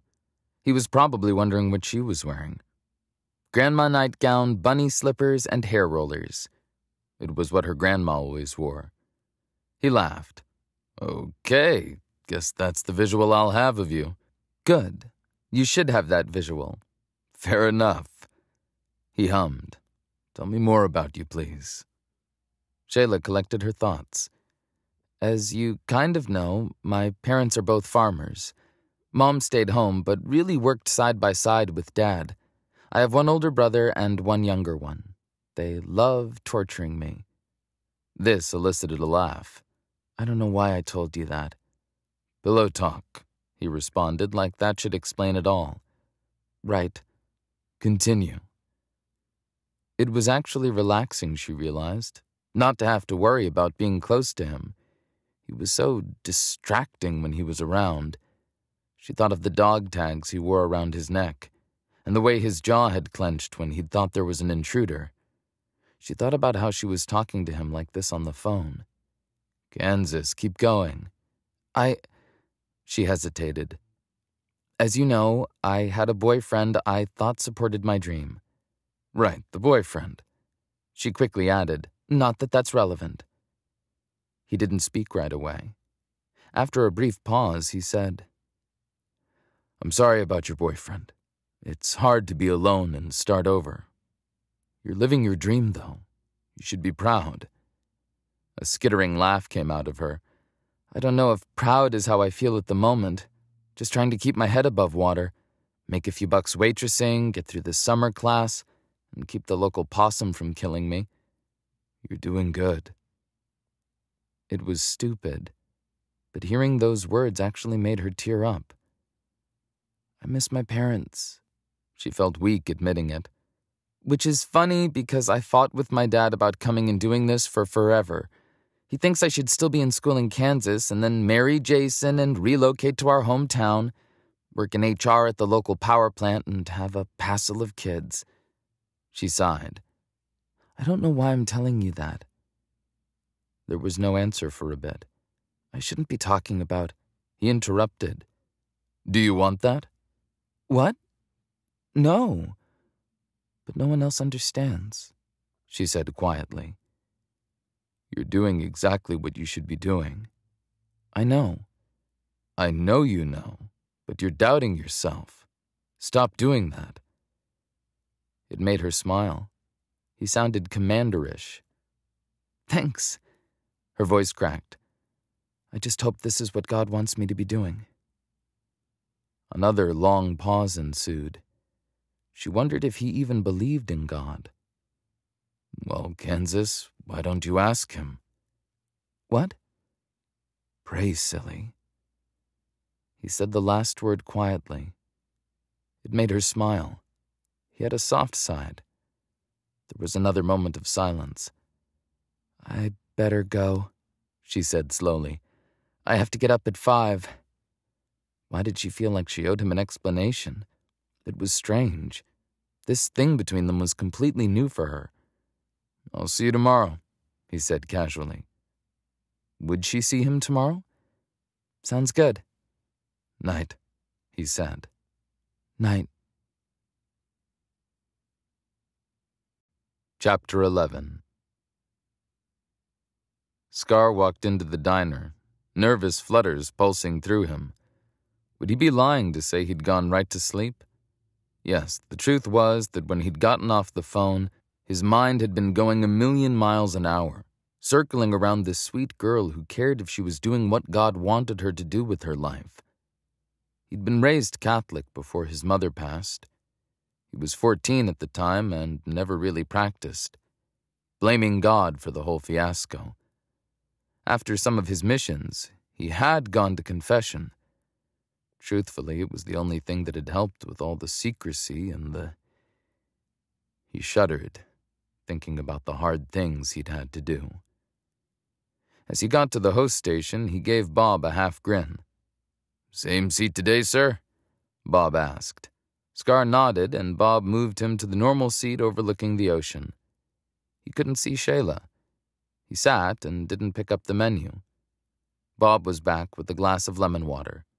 The usual? Scar looked around. Where's Shayla? The manager grinned. She had car trouble today, so she had to deal with that. Scar hesitated only briefly, then stood. When did she call in? He hit Bob with one of his tell me or die looks. Bob put his hands up. About 5:30. It was 7.30 now, and Scar knew she had a class she couldn't miss. He moved past Bob. Rain check, Bob. I'll be back tomorrow. Scar pulled up to her townhome and saw her beneath the car, a jack holding it up. It all looked very precarious, and like the car would tumble down on top of her in one crushing blow. Parking, he bolted from his car and jogged to her. Kansas, what are you doing? he asked, bending to try to see. Her feet stuck out from below the car. What are you doing here? she hollered. He dropped down into a push up position and stared at her. I'm here to help you. She made a face. I got it handled. He could see the oil pan was about to drop right on her. Forgetting about keeping himself clean, he edged his way beneath the car, catching the oil pan right as it started falling. She looked at him, with oil smudged on her face, and let out a little amazed giggle. You totally just saved me. Again. Liking the way she said saved more than he wanted to, he waved her away. I thought you had a flat tire out. Why are you doing the oil? I fixed the tire. Then I thought I should change the oil filter while I was under here. He sighed. Farm girls. It was great that she wanted to do it by herself, but it was obvious she needed help. Move, Kansas. At first, she glared at him, but then she sighed. Are you sure? I can't pay you. Don't you know that God helps good people? She gave him a quizzical look. Like you. With a furrowed brow, she scooted herself out. You say it so angrily. Quickly, he finished changing the oil filter. It had been a long time since he'd done mechanical work on his cars but he'd grown up fixing everything mechanical, so it came back fast. When he came out, she looked him up and down, frowning. How did you not get any on you? She asked like he'd performed a rare magic trick. Talent, Kansas. Talent. He flashed her a grin. Thank you, she said softly, sincerely. He couldn't explain what it meant to him to have a woman truly appreciate such a simple thing he'd done. Just one look into her gorgeous green eyes told him this woman cared about whether or not God liked what she was doing with her life. She was heartbroken from being broken up with by her boyfriend. She was stunningly beautiful, even when she clearly had no makeup on. At that moment, he wanted to pull her in and kiss her. Sorry, she said awkwardly, and he realized her eyes were on his bicep. He did the only thing he could think of to take the awkwardness away. He flexed. Check me out, no problem. Letting out a nervous laugh, she gave him a little push. Please. We'll see if you can push me around. He mock stormed over to her and picked her up, putting her over his shoulder. She giggled and fought him. Stop! Thought you said you had brothers who tortured you. I guess they didn't do it right if you can't get out of this. She laughed harder and flailed. He was having too much fun, even though he kind of felt like an idiot. Seriously, put me down. He had another idea. With her hoisted over his shoulder, he took off, heading toward the beach. Let's wash this oil off. She shrieked and laughed. No, stop! He went in like he was running the field for a touchdown, taking her all the way into the ocean and then thrusting her off of him. She yelled and splashed in the water. Coming up, she glared at him, but couldn't cover the laugh bubbling from her lips. Dang, she was glorious with all the water dripping off of her. She shoved him, which didn't matter.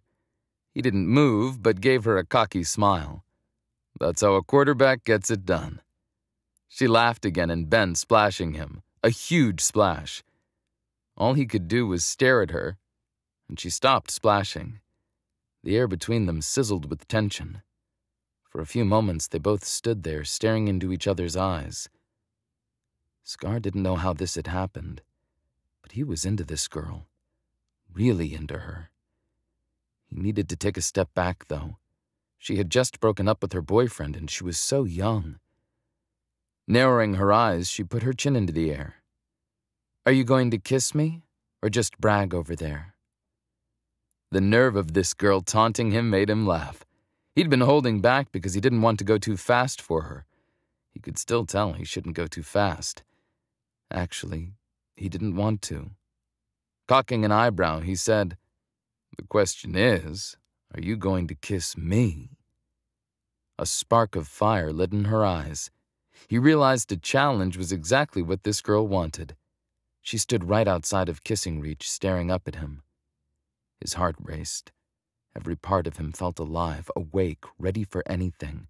He could smell something fruity wafting off her. A lemon scent, probably. She closed the gap between them and gently put a hand on his face, leaning up. Unable to not do anything else, he gave in to this snaking an arm around her waist and pulled her closer. But he didn't kiss her. He waited. Moving her hand behind his head, she gently brought his face down to hers. Their lips met. Hers were soft and tasted like mint gum. Her other hand gripped his t shirt. Every part of him reacted to her. He had to force himself to keep the kiss sweet and tender because she was like sweet sorbet ice cream on a hot day that you tasted and then shoved the whole thing inside your mouth. The brain freeze wasn't worth it, though. No, he didn't want any sort of brain freeze with this woman. She tugged back and her face clouded. Oh my gosh, I can't believe I did that. He wasn't letting her off the hook. I can. He pulled her closer, kissing her again, wanting to claim her. She gave in, and he felt his world shift. Yes, he was being that cheesy. The feel of her body against his was incredible, like the perfect mission completed, like the perfect pass to the end zone. Finally, she pulled back, staring into his eyes. Her breath tickled his throat. You're leaving, and I'm staying. It was funny at this moment that Scar wanted to blurt, I'll stay. Just like that. Of course he didn't, because she was right. He was just here temporarily. You're right. I'm leaving.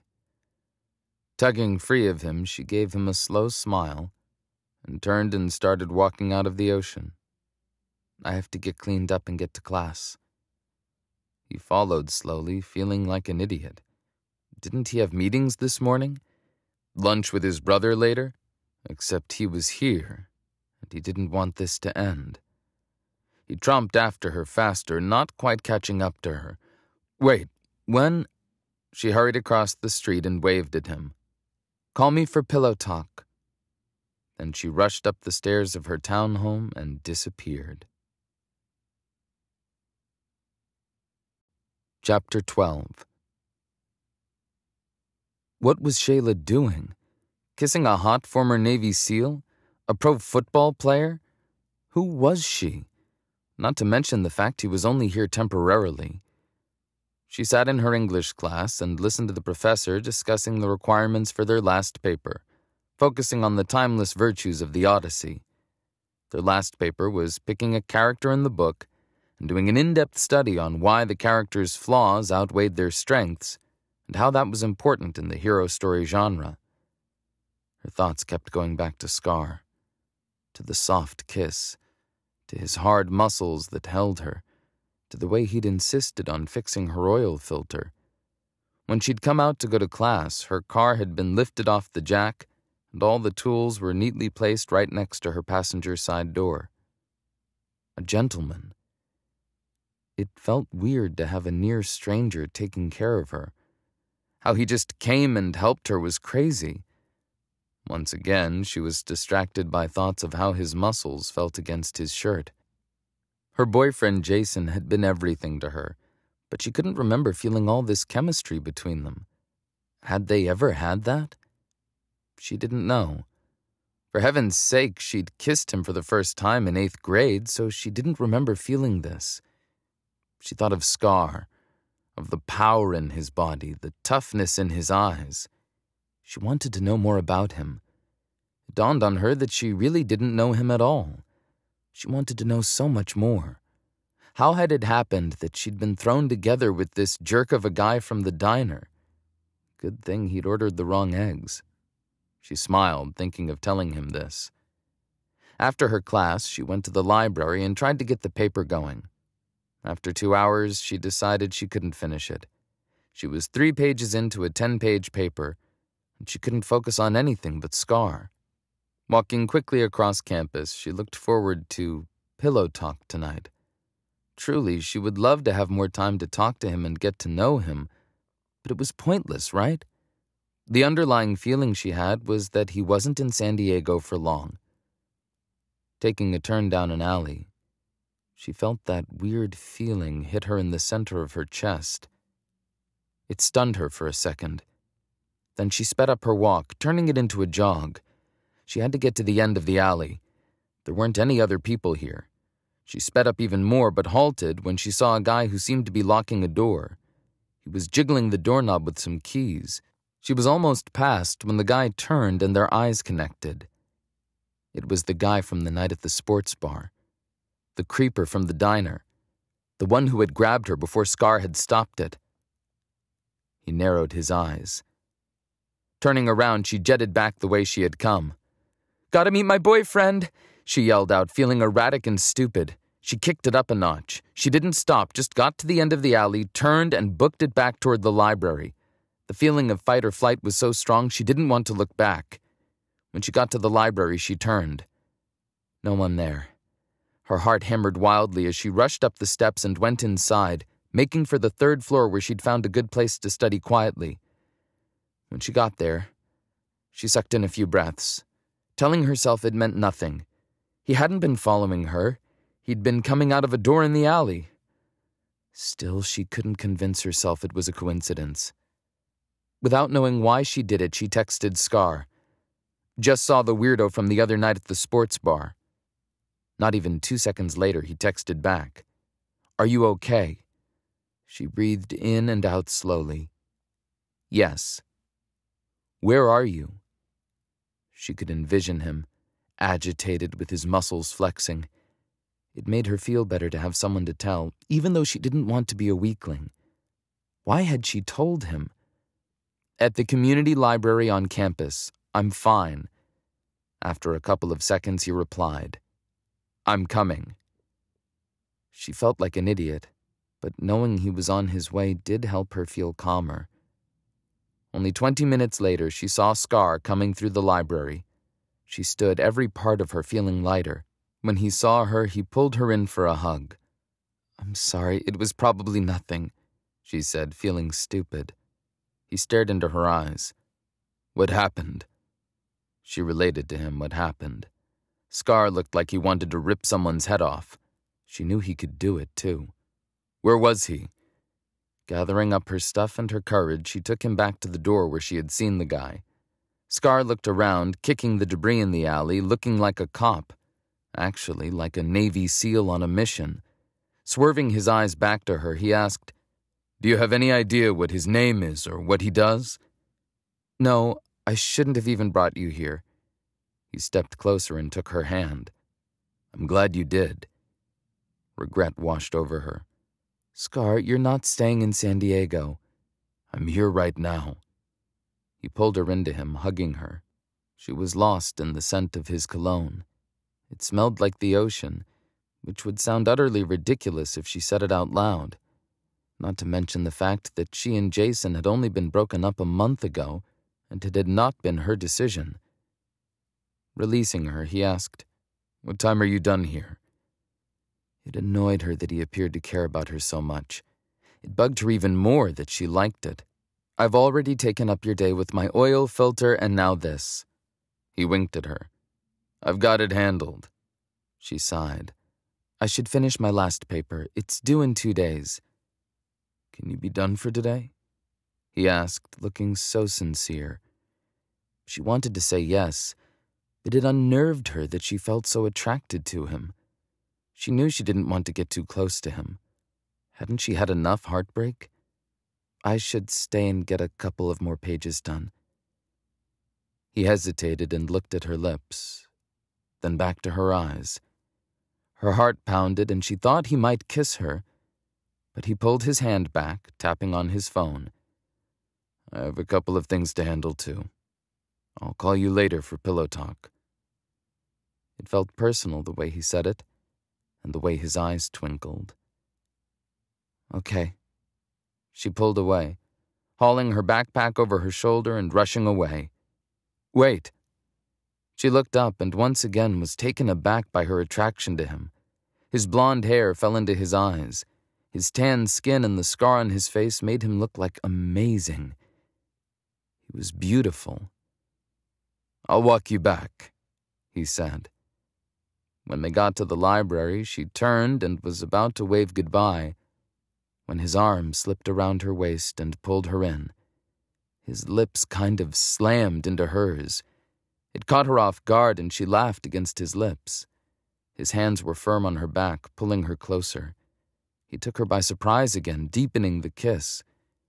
It was like one of those moments in a movie when the girl goes weak in the knees and puts up her foot in complete. What? Bliss? All sorts of warmth rushed through her at the way this man held her like he already owned her. Just as quickly, he pulled back and gave her a peck on the cheek, his sharp eyes already evaluating her reaction. Shayla couldn't help but laugh. I told you we can't do this. I heard you. He smirked. She shook her head, unable to deny the power of this attraction between them. Scar sighed. Are you going to eat at some point tonight? Can I take you out? She didn't know what to do. No, I don't. She trailed off. He kept her hand inside of his. Look, the truth is that I'm dying for a home cooked meal. Would you mind if I bought a couple of things and made dinner for us at your house? What? She was confused. He wanted to cook for her. I try to eat clean, and it's hard when you're going out every meal, so it would be a favor to me. His puppy eyes blinked dramatically. She laughed, unable to say no. Picking up her keys, she pulled the house one off. Fine, cook, but I'm doing the dishes. Don't even try to argue. He didn't respond right away. She thought he might kiss her again, but he only cocked an eyebrow as he took her key. Can you be home at seven? Okay. She put up a hand. I don't have a lot of food, sorry. A grin spread across his face. No problem. See you in a bit. Chapter 13 Scar stood in Shayla's townhome, breathing in the smell of scallop sautéing. The protein noodles were warm and ready, waiting with the broccoli he'd cut and cooked. It was one of the easy dinners he would serve with a low carb sauce. It was delicious, if he did say so himself. After leaving Shayla at the school, he'd concocted a plan. Not only did he want to cook for her, but he wanted to show her San Diego she said her class was done in two days. If she had a couple of days free, he'd fill them to the brim with her bucket list. His mind flitted to kissing Shayla. How amazing it felt holding her in his arms. He wouldn't deny the fact he liked that she'd texted him when she was afraid. It made him feel needed. It was in his nature to help people. When they acknowledged they wanted him to help, it was deeply satisfying. He thought about how he could possibly stay in San Diego. What if he stayed to run the new gym? There were a lot of vets between the naval bases in the area. The vets were here in droves because of the beach. Could he stay? Run this program full time? Supervise the others? Granted, he would have to float the idea by the Kincaids, but it could work. There was also football to consider. Could he quit? If someone would have told him a week ago that he would be thinking about quitting, he would have told them no way.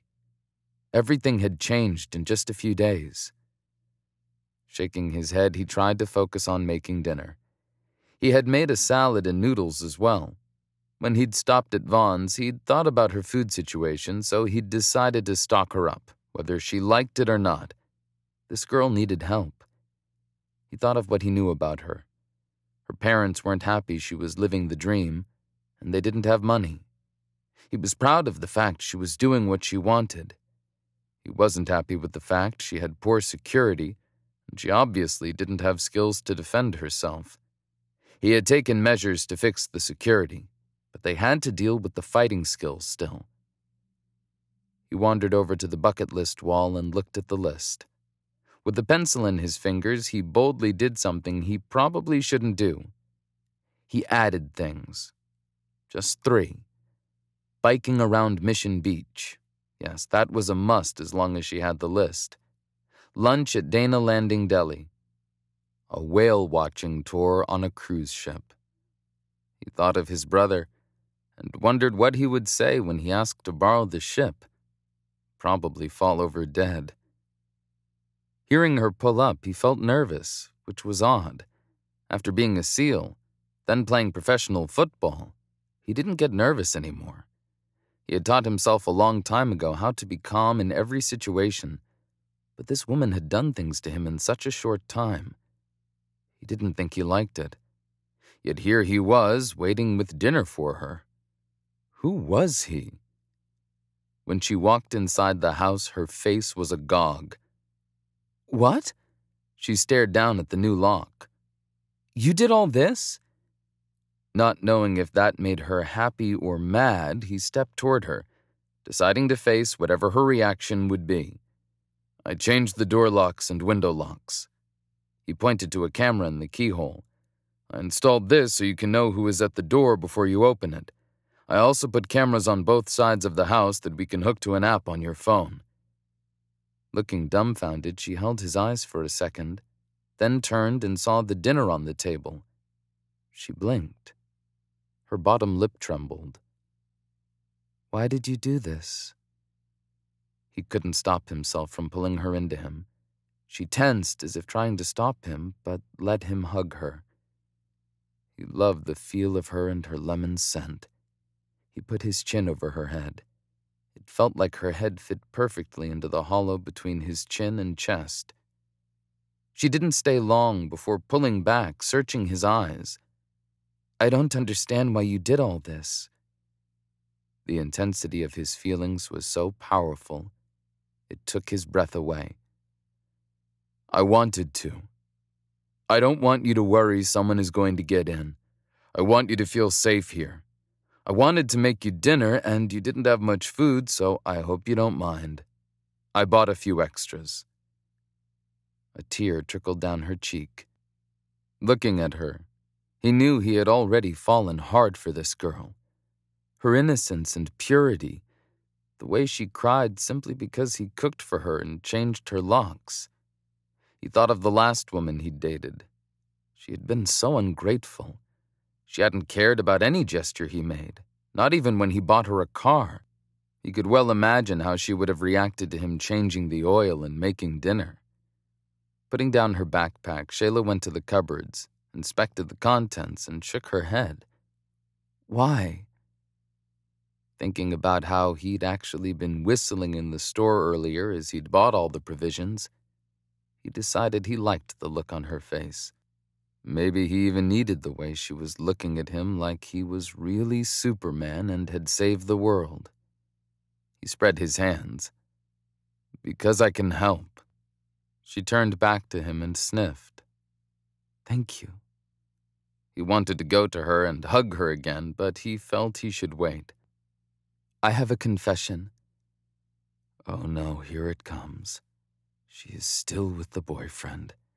Please, no. I asked God the morning I met you to help me, to help me get money for food and to make a friend. She sniffed. I guess he never fails us. He was torn. On one hand, he liked the idea of being the answer to her prayers. On the other, he really didn't like the word friend, not after the kisses they'd shared. But he would be patient. It wasn't his shtick to be patient, but he guessed God seemed to be teaching him patience time and again. He thought of his injury in the Navy, and then of getting picked up by the Titans as practice quarterback. He was almost there, but not quite. He didn't want the almost anymore. He grinned. Should we eat? Letting out a light laugh, she nodded and then wiped beneath her eyes. It smells great. After saying grace and dishing up, she looked at him and smiled, not eating. He held a bite of scallops almost to his lips.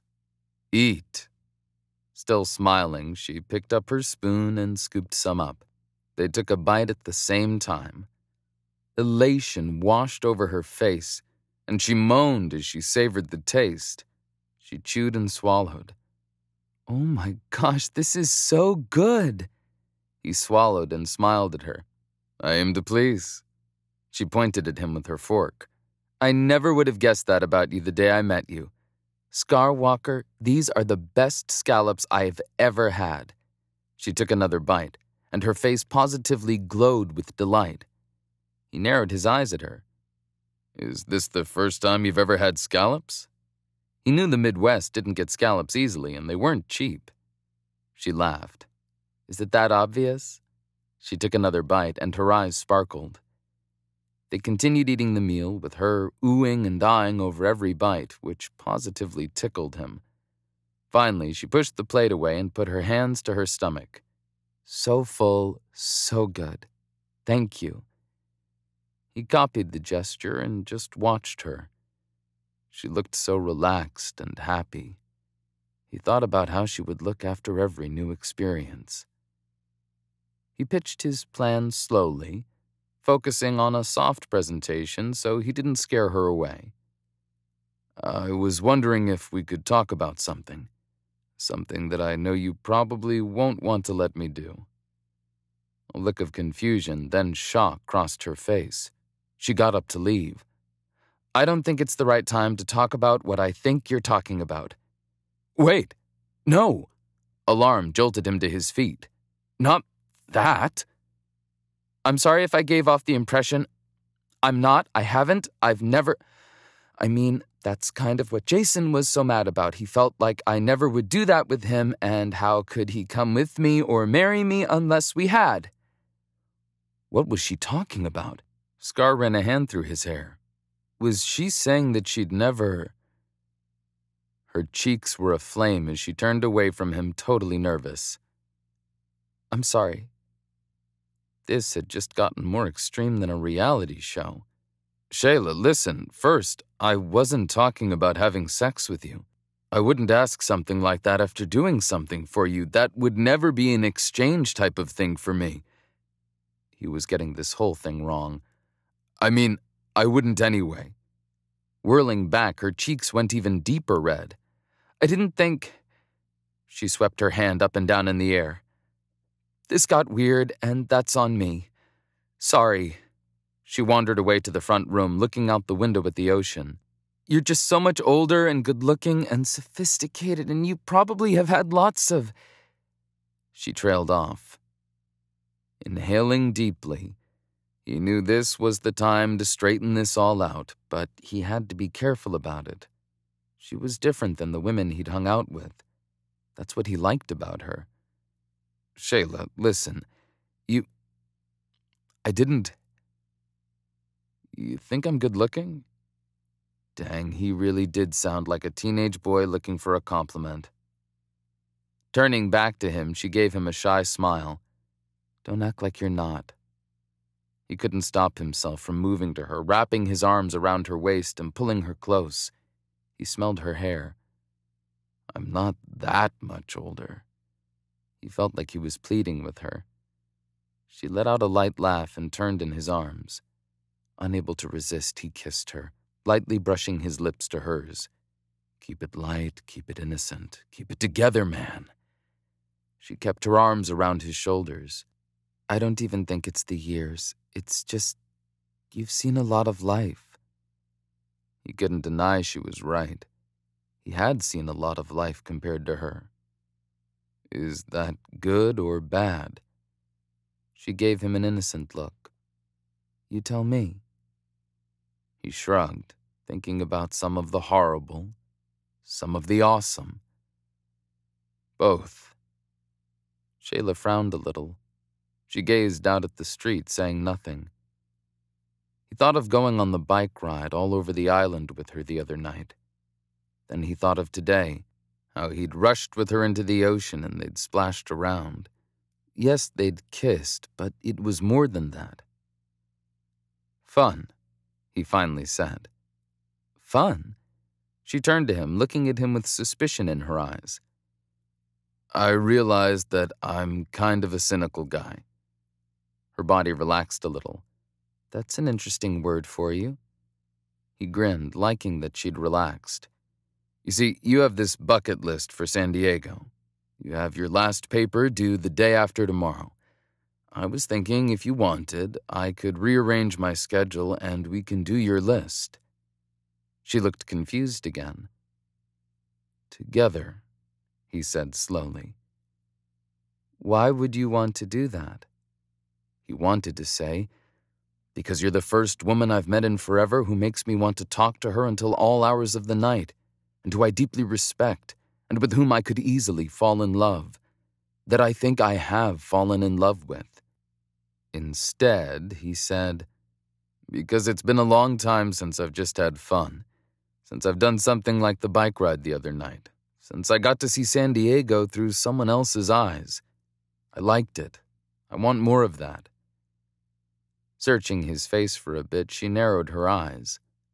Scar, I told you I just got out of a relationship, and I admit I Googled you.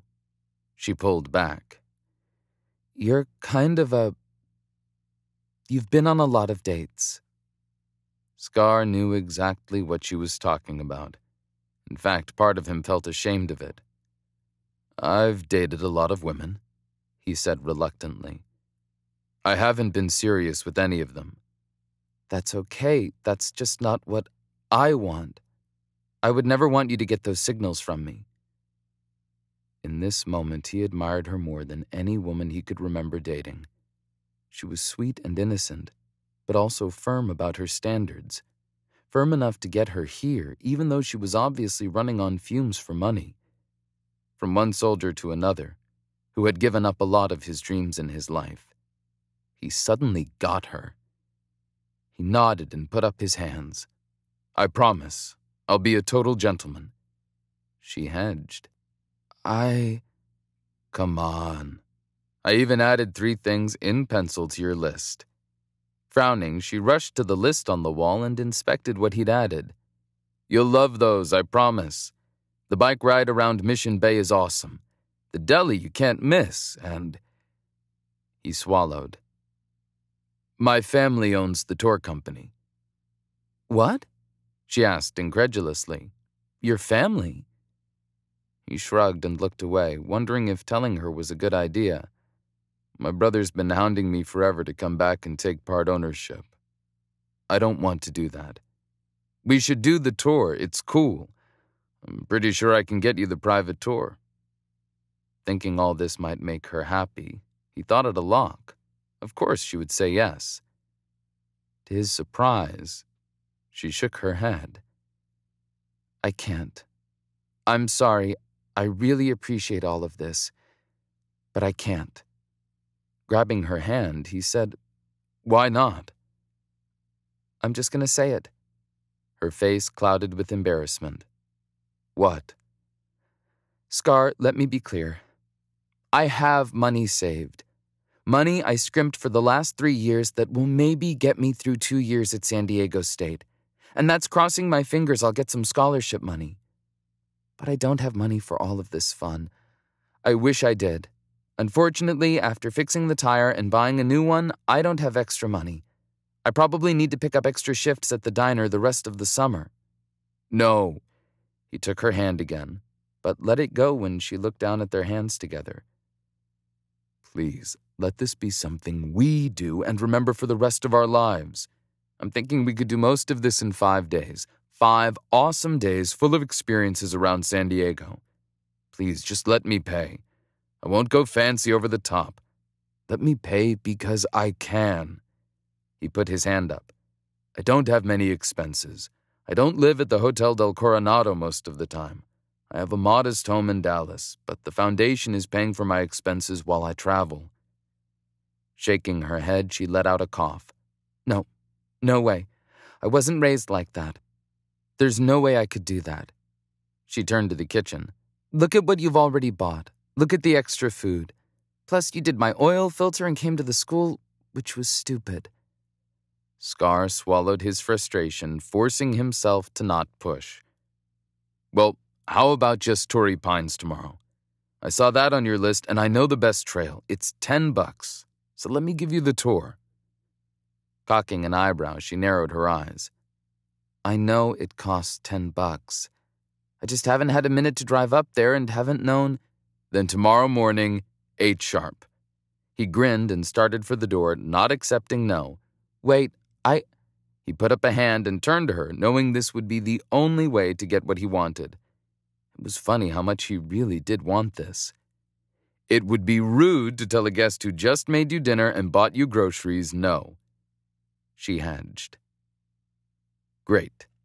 Wait, she said, making him pause with his hand on the doorknob. I actually just realized I don't have to work in the morning, but I'll only go if you agree this isn't a date. I can't be kissing you. I'm not that girl. I mean, what's wrong with kissing me? She blushed. Nothing. I just don't want this to be some fling. The way she said it, like he was Dracula and she was some innocent he would suck the blood out of and toss away, made him wince. I don't think of you that way. She sighed, running a hand through her hair. I just feel a bit like my head is spinning at the moment. Weighing his options, he relented. Friends, then, he said and kept the door open, knowing full well he didn't want just friendship with this woman. He put on a flashy smile, the kind he wore for the media. Eight? A small smile crept onto her lips. Eight, but I have to be back by three so I can finish the paper tomorrow evening. See you then. They said goodnight, and he rushed down the steps of the townhome and put both fists into the air like the Titans had just driven a fourth quarter touchdown through the Denver storm. Yeah! He heard the crowds yelling in his mind. Chapter 14 Shayla lay in her bed, once again not sleeping, just looking at the ocean. After Scar had left, she just stood there. It was funny how he'd gone down her steps and thrown his hands up in the air and acted like he'd won the championship game or something. It made her stomach flip flop. Scar seemed so much older than her, so grown up. Not at all like Jason, who had looked so young when he told her he couldn't move away from their small town. Her phone buzzed, and her stomach flipped again, thinking it would be Scar. It was only 10:30 though, kind of early for him. When she turned her phone over, she paused upon seeing the text from Jason. Hey. Her heart thumped. She thought about how she didn't even want to talk to him, which was weird. He'd always been her safe place. How long had she waited and waited and waited for him to call or text or something? How many nights had she wished he was here? She'd loved him, trusted him. Once again, she weighed how she felt around Jason and how she felt around Scar. There was no comparison. The thing was, As she'd retraced the details of the months leading up to moving, she realized he'd never been planning on going. He'd never worried about where they would live or what job he would get. Why hadn't she seen it? He texted her again. Shay, talk to me. The very center of her being hurt just thinking of him. At least it wasn't as bad as before. Before, she'd cried and cried and cried, barely able to go through with it all. The silver lining was that she'd made all the plans. She hadn't had to think about it. She'd just had to follow through. It had been hard enough leaving her family. They'd all distanced themselves from her a bit. She'd been alone. Wanting to think about something else, she texted Scar. Torrey Pines. She'd done a lot of research on the hiking paths there. It was kind of a ritzier part of San Diego by La Jolla, but open to the public. It would be busy this time of year, but she didn't care. He texted back. Pillow talk time? Warmth settled in her stomach as she pressed his number. He answered on the first ring. Torrey Pines, baby. It made her smile to hear him say it like an announcer. I'm excited, she admitted. He let out a soft laugh. Obviously, you're excited since you texted me and then actually called me. That's a big deal, Dream Girl. Dream Girl? He sighed, and she heard a rustle over the phone. It sounded like he was getting into bed. I decided you needed a nickname other than Kansas, and I think it's appropriate.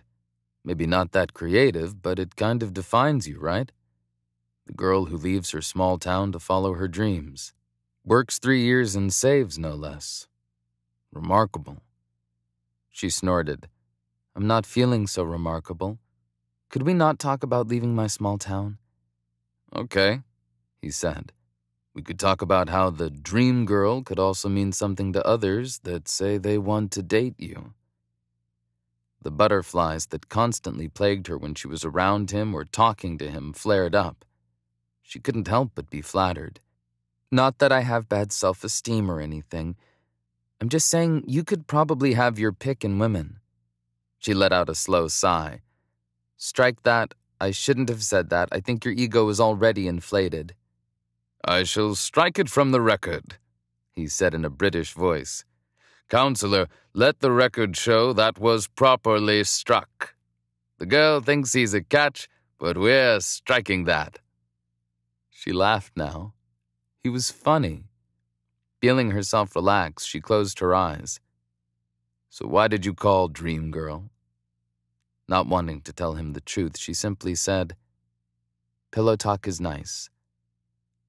Ah. She could hear him take in a deep breath. Yes, it is. Then she had a thought. Did you pillow talk with lots of women? As soon as she blurted it out, she wanted to take the question back. He hesitated. No. Well, like I mentioned, I had a girlfriend for six months recently, but she wasn't a pillow talk kind of girl. This took her by surprise. She wanted to ask for more details. Had he lived with her? Had he loved her? No, we didn't live together. Yes, there were other things happening. Again, it was like he could read her thoughts. She squirmed, embarrassed. Obviously, he wasn't a virgin. I wanted to marry her, but I told you about how she didn't like my face. He said it bluntly. The woman you dated was stupid. I really like your face. He roared out a laugh. I will keep that on the record. Thank you. He sighed. It's fine because life sucks, then you die. That's what my dad used to say. That statement sucks, she said, hating it but recognizing its truth. For the past month, she'd been feeling bad for herself, thinking that pain was only in her life, no one else's. Yeah, it does. She thought about his life. Once again, she found herself wanting to know more about him. Good night, dream girl. Even though she didn't like the name, she didn't want to fight it. Good night, seal guy. He let out a light laugh. Is that my nickname? I don't know. It didn't fit, but she'd picked it off the top of her head. Guess we can work that out tomorrow, too. Okay. Night. Okay. Neither of them hung up. At least, she didn't think he did. Shayla? Yeah? You're supposed to hang up. So are you. She closed her eyes, enjoying the sound of him breathing. Okay. He didn't speak for a bit. Should we just go to bed on the phone? Uh huh, she said without thinking about it. Then she turned on her side. Okay.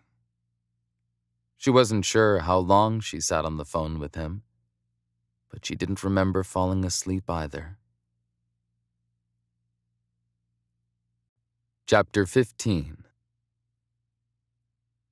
When they arrived at Torrey Pines, Scar turned to Shayla grinning and unbelievably happy that she let him bring her here. She was staring out over the parking lot, which gave a clear view of the ocean. It's so beautiful. Even though I live right by the ocean, this just feels so magnificent. The forest on one side, the ocean on the other. He watched her, then turned to look at the ocean through her eyes. It is magnificent. He'd forgotten to look at the beauty of San Diego. How many years ago? Granted, he didn't come to San Diego very often anymore. Wouldn't even be here if it wasn't for his project. But it was awesome. She stared out. The waves were crashing in hard. The tide sprang against the large rocks on the beach. There weren't too many people out yet, and he wanted to get up on the path before the crowds came. Come on. He opened his door and ran around to open hers. Smiling, she opened it at the same time that he arrived. Well, I guess you're a gentleman even though this isn't really a date, right? Friends?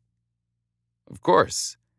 He shut the door and went to the back of the car to retrieve the backpack he'd packed for the day. I always open the door, just so we're clear. Plus, this was really a date. At least it was to him. They started up the path, pausing every few minutes when she said, Oh my gosh, I have to take a picture of this tree. Other times it was, look at the view from over here. Finally, they fell into an easy rhythm, and he started to do what she had done look at every little thing and admire it. He found himself loving her fresh perspective more and more. Thinking she would like the flowers ahead, he told her to give him her phone. You're going to want a picture of the magnolia tree up ahead. Her eyes widened. What? And so close! I can stand right next to it without trespassing onto someone's yard. She handed over her camera and ran to the tree, reaching up to let the leaves tickle her fingers. Don't pick anything. There's actually a fine for that in California. He waved a finger at her. Really? She stuck out her lower lip and focused on the magnolia leaves, looking totally, completely kissable at the moment. Boy, did he want to kiss her. After he took a picture of her, she asked, Will you be in a selfie with me? Pausing only for a second, he turned, hoping all the satisfaction he felt wouldn't show on his face and leave him transparent to her. Okay, let's get together. They positioned themselves in the camera and smiled. He found himself really liking this. He snapped the photo and gave the phone back, and they started up the rest of the path. It only took them about an hour to hike to the view he wanted to show her. Oh my gosh, she said again, sounding so very Midwestern and touristy. He stared at her, his heart expanding in his chest. He thought again how attractive those freckles on her nose were, how her red hair was beautiful. She'd worn a large hat and sunglasses. Her fairness and need to cover herself from the sun made him smile. What? She turned and observed him. He shook his head and stared at the view. Nothing. No, what were you thinking? Instead of baring his heart, he pushed a strand of hair out of her face. I was just thinking that you naive tourists are all the same. She scoffed. Really? You don't find this beautiful? Nope, he lied, gesturing to the ocean. Just nature. She shoved him, and he reflexively pulled her close. They were close enough to kiss again. For heaven's sake, he was a Navy SEAL. He was trained to resist all kinds of torture to prevent the leak of American secrets. He could resist this one girl. She stared at him. Tell me more about you. What? His thoughts scattered like Yahtzee dice. Tell me about Scar Walker, Navy SEAL and professional athlete. You grew up in San Diego. Tell me the San Diego part. She gave him a smile. Imagine I'm doing your autobiography. He was flattered. Okay, but first, are you hungry? I brought sandwiches. Letting out a sigh, she said, No, I didn't want you paying for anything. Calm yourself, self reliant master.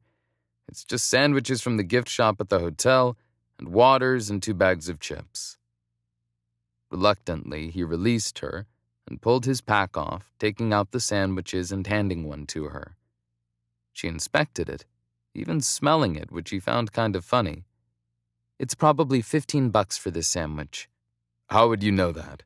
He frowned, reluctant to admit she was right on the money. She let out a light laugh. Hotel del Coronado has been. I sometimes take breaks and go meander through all of the shops and pretend I'm staying there. Obviously, I couldn't afford it, but it's fun to pretend. He grinned, loving and hating this moment because once again, he thought about how good she was, how she'd worked so hard to be here. She pointed at him. What are you thinking? Nothing. No, you were definitely upset or something. He laughed and found himself saying, I just feel guilty because I've been so cynical about being in San Diego. Sure, I like Hotel del Coronado, but this is. My dream, she filled in. Yeah. She grinned back at him. It felt so pure and real and so different than with any other woman he'd dated. She said, You're living a dream and you didn't even know it. Unable to resist, he said softly, Being with you today feels more like the dream. She was looking at the view, but she caught his eyes and he saw her blush. Scar, don't do that. Waving a hand, he focused.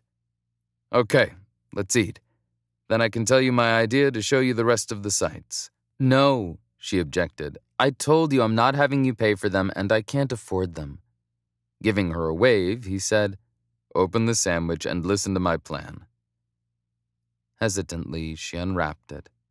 He was already wolfing his down. The protein shake he'd drunk before coming was not enough to fill him after his morning workout and the hike so far. Coyly, she took a bite of the sandwich. And he had an idea. He took out his phone and snapped her picture. No, she said, giggling. Yes, I must capture all of it, even the Coronado sandwich.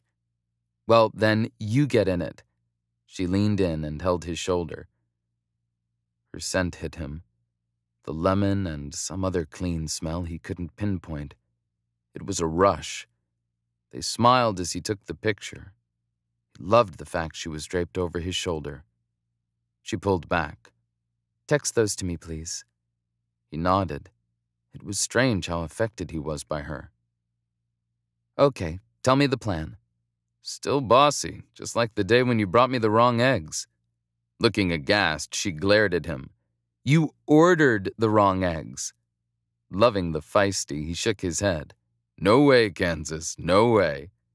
She pushed him, giving him the opening to pull her into his arms. Their breath mixed. Fire flashed in her eyes. Admit you ordered the wrong eggs. Cocking an eyebrow, he kept her close, and she didn't resist. I will for a kiss. You wish. He laughed, thinking it was worth a shot. He relented. If I did order the wrong eggs, I'm glad I did. Their eyes held. A small smile played at her lips. Get back to the plan. Okay. He sipped at his water, unable to contain his excitement. What if I kept my out of pocket under 50 bucks? Hmm? Come on, I know this place. Grew up here, surfed at the best places. Basically, took it all for granted, remember? He pointed to himself. I'm the cynical one.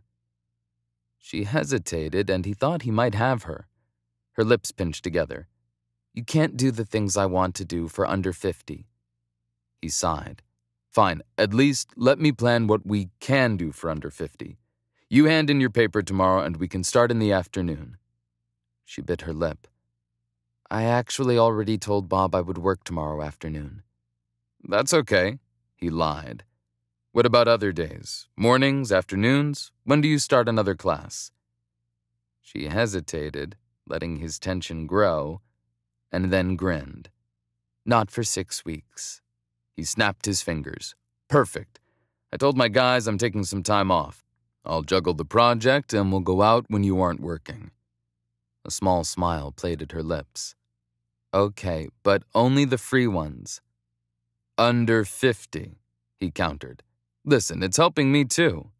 Oh, right, because it's always a favor to you. She winked at him. He laughed. Yeah, I told you, I like helping people. She looked closer to agreeing, but shook her head. Look, I. She broke off, exhaling. It's not that I don't have any money for it. I have a lot of money saved up. How much? He was sure he had a couple million in a portfolio right now, but she wasn't the kind of girl you bragged to. She met his eyes. Forty grand. He let out a low whistle, feeling impressed. Putting up her hands, she shrugged. I worked at a coal mine and waitressed on my days off. I wanted it for my dream. That's cool, he said, imagining how much she did have to work to earn that and he realized why she was telling him. And you don't think I should spend money on you when you have money? She looked caught. Clearing his throat, he looked around, pointing to the ocean line. Did you know if you weren't here, I wouldn't even really look at the ocean line? I wouldn't even be here hiking today. She sighed. So? Come on, I'm already less cynical just hanging out with you. She rolled her eyes. I have money. I'm not letting you spend yours on me. I have plenty of money. Look, this makes me happy. Would you deny me the dream of hanging out with you for a couple of days? She puffed out a breath and shook her head. He squeezed her hand gently. I mean it. She let out a long wail. Fine, you've worn me down. Happy? Elated, he punched the air. She laughed. He pointed at her. Okay, Miss Castle. Don't make plans for your off time because that time is mine. Grinning, she gave him a sideways look. How come you make that sound very intimidating? Whatever. Only if you tell me about where you grew up, she teased. That was easy. I grew up in Carlsbad. It's the not so ritzy part of San Diego. As you know, my mom left when I was 14, then died of cancer a year later. He shrugged, not liking to think about his mom. I'm sorry. He moved on.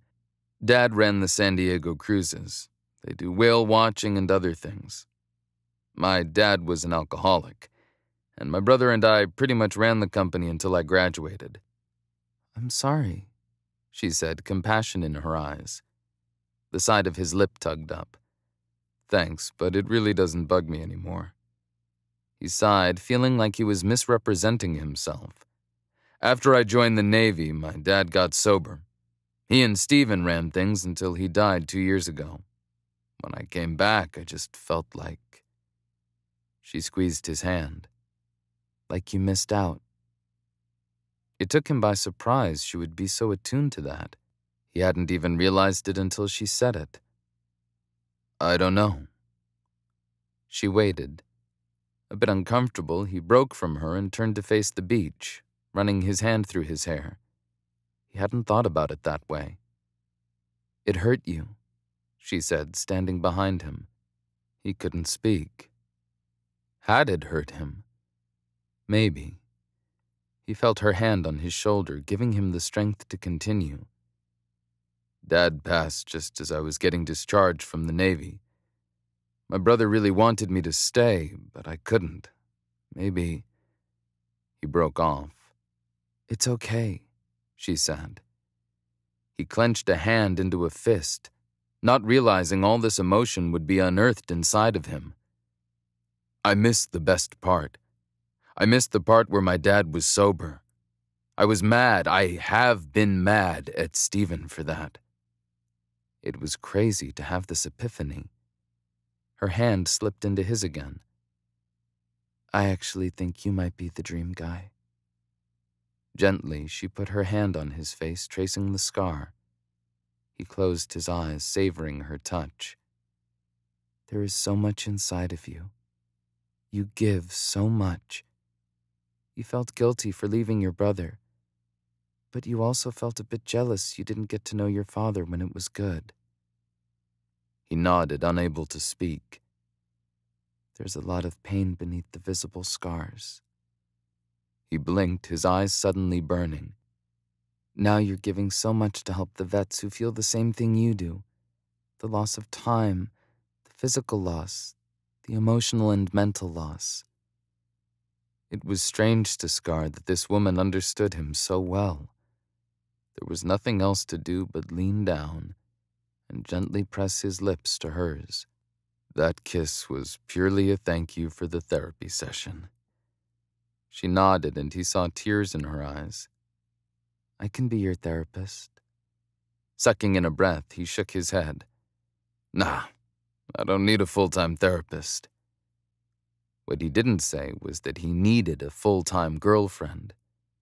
He kept her hand and took off onto the path. Enough gabbing.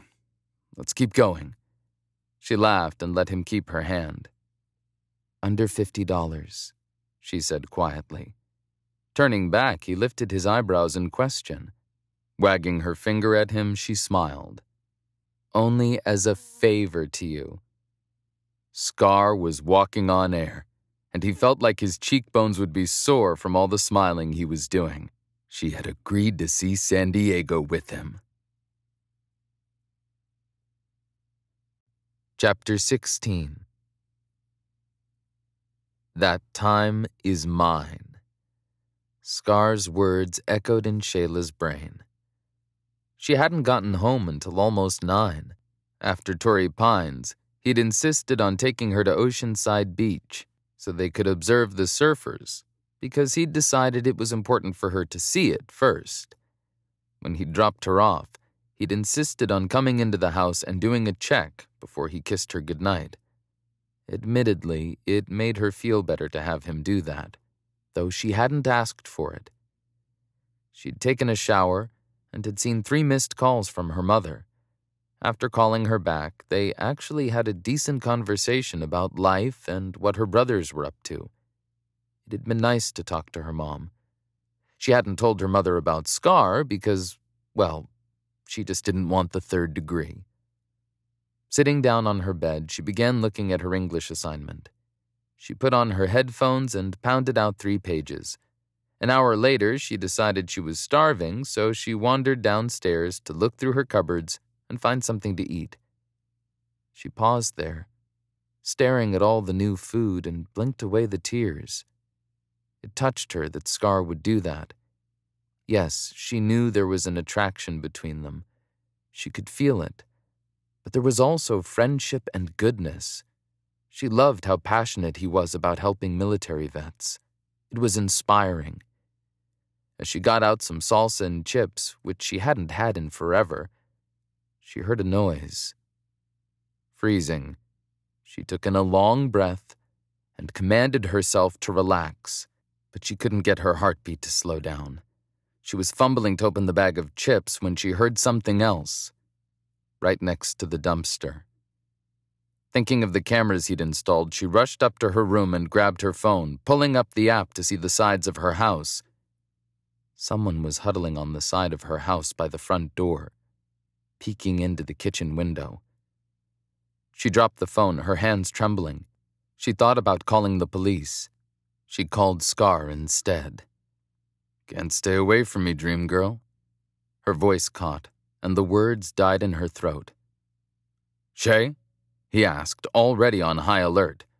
I heard something, and there's someone by the front of the house. He swore, and she heard things moving. I'm coming. Call the police. Hanging up with him, she dialed the number for the police. Scar arrived long before they did. Actually, he screamed up in his car about two minutes later. She'd gone down and made sure the door was locked. She sat on her stairs, halfway peeking out, and jumped when he knocked on the door. Shay, it's me. Running down the rest of the stairs, she flung the door open, but he wasn't looking at her. He was surveying the area like a trained seal. He took off sprinting for the side of the house. Stop! he yelled. Her heart jumped in her throat. She froze in terror. Hating herself, she peeked out to see if someone was knifing her gallant prince. Cop lights appeared, and she saw Scar walk over and talk to them, pointing down the beach. Another officer met her at the door, and she did her best to answer the questions and tell him what she'd seen on the side of the house. Scar walked over and listened, looking official. Then he added to her testimony, showing them where the cameras were and explaining he was a friend of hers and she'd been feeling like she'd been watched for. He paused to look at her. Since last Monday, she said, clasping her hands together to stop her shaking. Twenty minutes later, the police were finished with the reports. She and Scar watched from her small deck as they pulled away. Without a word, he pulled her into his arms.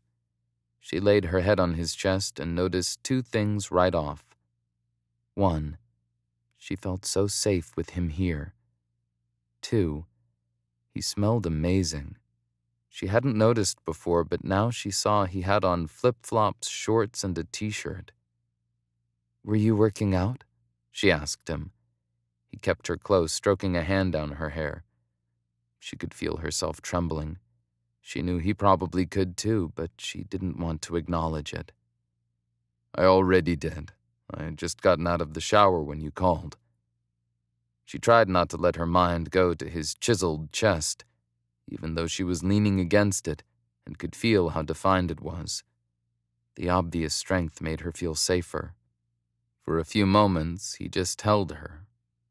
With the sound of the ocean in the background, she finally felt herself relax. The thought struck her that she felt a bit like a child vulnerable and scared. She felt like her parents had left her all alone and not told her where they were going, like what had happened when she was 12 and she'd come home from a friend's house to find everyone gone. Spill it. Ignoring the fact he was reading her mind, she said, Once when I was 12, I got home and realized my parents weren't there. I went to my parents' room. I got in their bed and I covered myself up to the chin in their blankets. Why didn't you call them? he asked, still holding her, now rubbing small circles into her back. I did. No one answered. The memory still left her with residual sadness, especially right now. Their phone was dead. He simply held her. I'm sorry. She clung to him, hating herself for it remembering all of those boundaries she'd set between them and feeling guilty. It's so stupid. Don't feel guilty. She pulled back incredulously. How do you do that? The side of his lip tugged up and his dimple creased. Because I'm kinda getting in your head. He looked so satisfied with himself it made her want to push him away. I'm fine, she protested. Well, maybe I'm not fine. The confession that he cared so much seeped into her. It was refreshing. How about you come sleep at my place tonight? He said quietly. I. I'll take the comfy pull out couch, he said, cutting off her objection. But I'm not going to get any sleep with you here all by yourself and someone out there. She thought about wanting to be independent and not be afraid, but the truth was, she was afraid. I can't. What about tomorrow night and the next night? She pulled away. This time he let her. Cocking an eyebrow, he didn't miss a beat. You stay at my place again. The beautiful seal is leaving, her mind screamed. She exhaled, realizing she also wanted to protect her heart from another break in. He took her hand. Just for tonight. You stay tonight, then we reassess tomorrow. He looked around her place. I can add more security measures, but I think both of us would sleep better if you came with me. Still shaken, she found herself letting him persuade her. Fine, just for tonight. Unlike before, when he'd fist bumped or acted like he'd gotten a touchdown, he simply nodded. Pack your stuff. His lip quirked up. You can check staying at Hotel del Coronado off your bucket list. The idea did excite her, even though it was hardly under the best of circumstances. Thank you, she said and felt her lip tremble. I don't know what I would have done if you weren't here. She thought about how she would be terrified and alone, and probably going home to Kansas. Hey. He shook his head and pulled her in. I'm glad I'm here too, but you're going to be okay, Dream Girl. You are. Chapter 17 would Scar be lying if he said he didn't like the fact that Shayla was lying on his bed at the hotel, staring out the window right now? Yes, he would be lying, and he didn't know if anyone could make him tell that lie, not even the U.S. government. As they walked into the hotel, it had amused him how awestruck she looked as they entered the old fashioned elevator. She'd grinned from ear to ear and all the worry and pain from earlier had evaporated. By the time they got to his room, she was acting normal. She'd done a pretty thorough job of inspecting it. After she looked at everything, she asked if she could use the bathroom. Treat my room as yours, he'd said, and tried to be silly about it. The truth was, what he wanted to do was go to the police station and grill them about every perp out there he wanted to get a pack of his SEAL buddies together and form a perimeter, twist arms and rip off heads until they found the loser who was doing this. Although him leaving right now would not help her. At the moment she needed him. He felt humbled by that. No one had needed him in a long time. Not like this. Of course, she wasn't the needy type, so it was hard for her. Which was so dang sexy. Holding up a glass of water, he held it out to her. I thought you might be thirsty. Thank you. She took a drink and gave it back. You don't have to treat me like a kid. I can get water for myself. He tisked his tongue and sat on the edge of the bed next to her, putting the water on the side table and trying to relax. What if I just want to be nice? In case you haven't heard, I'm a nice guy. She laughed and lay back into the pillows. You are a nice guy. I owe you so much. No, he didn't want her to feel that way. I'm really glad I can help in whatever small way is possible. Turning onto her side, she smiled up at him. I want to ask you something, but I know we're friends, and I know this may send mixed signals. Now he was definitely liking this. Whatever she thought, he couldn't help hoping for more so everything was a signal to him. What? She cringed. No, never mind. No tell. He touched her nose softly. Closing her eyes, she shook her head. No, you go in there and let's go to sleep. Not leaving. He crossed his arms. Out with it, Castle. Shayla sighed. Fine. Flicking open her eyes, she said, Would you stay in here, but not in the bed? Not waiting for her to continue, he ran back to the couch, grabbed a blanket and pillow, and threw himself and them on the floor. Done. She giggled and peered over the bed at him. No, sorry, I can sleep on the floor. Not gonna happen. She relented. Okay, but I have to make this up to you sometime. He hopped up, turned out all the lights, and went back thinking there was really nothing he'd rather be doing, which made him smile because he was about to sleep on the floor. They sat in silence as his eyes adjusted to the moonlight. He saw her edge to the end of the bed next to him and drop her arm, reaching out her hand. He scooted over and took it. Sorry, I just hate feeling so vulnerable. He smiled loving the feel of her soft hand in his. You're cold. He sat up, noting that she was beneath the blankets.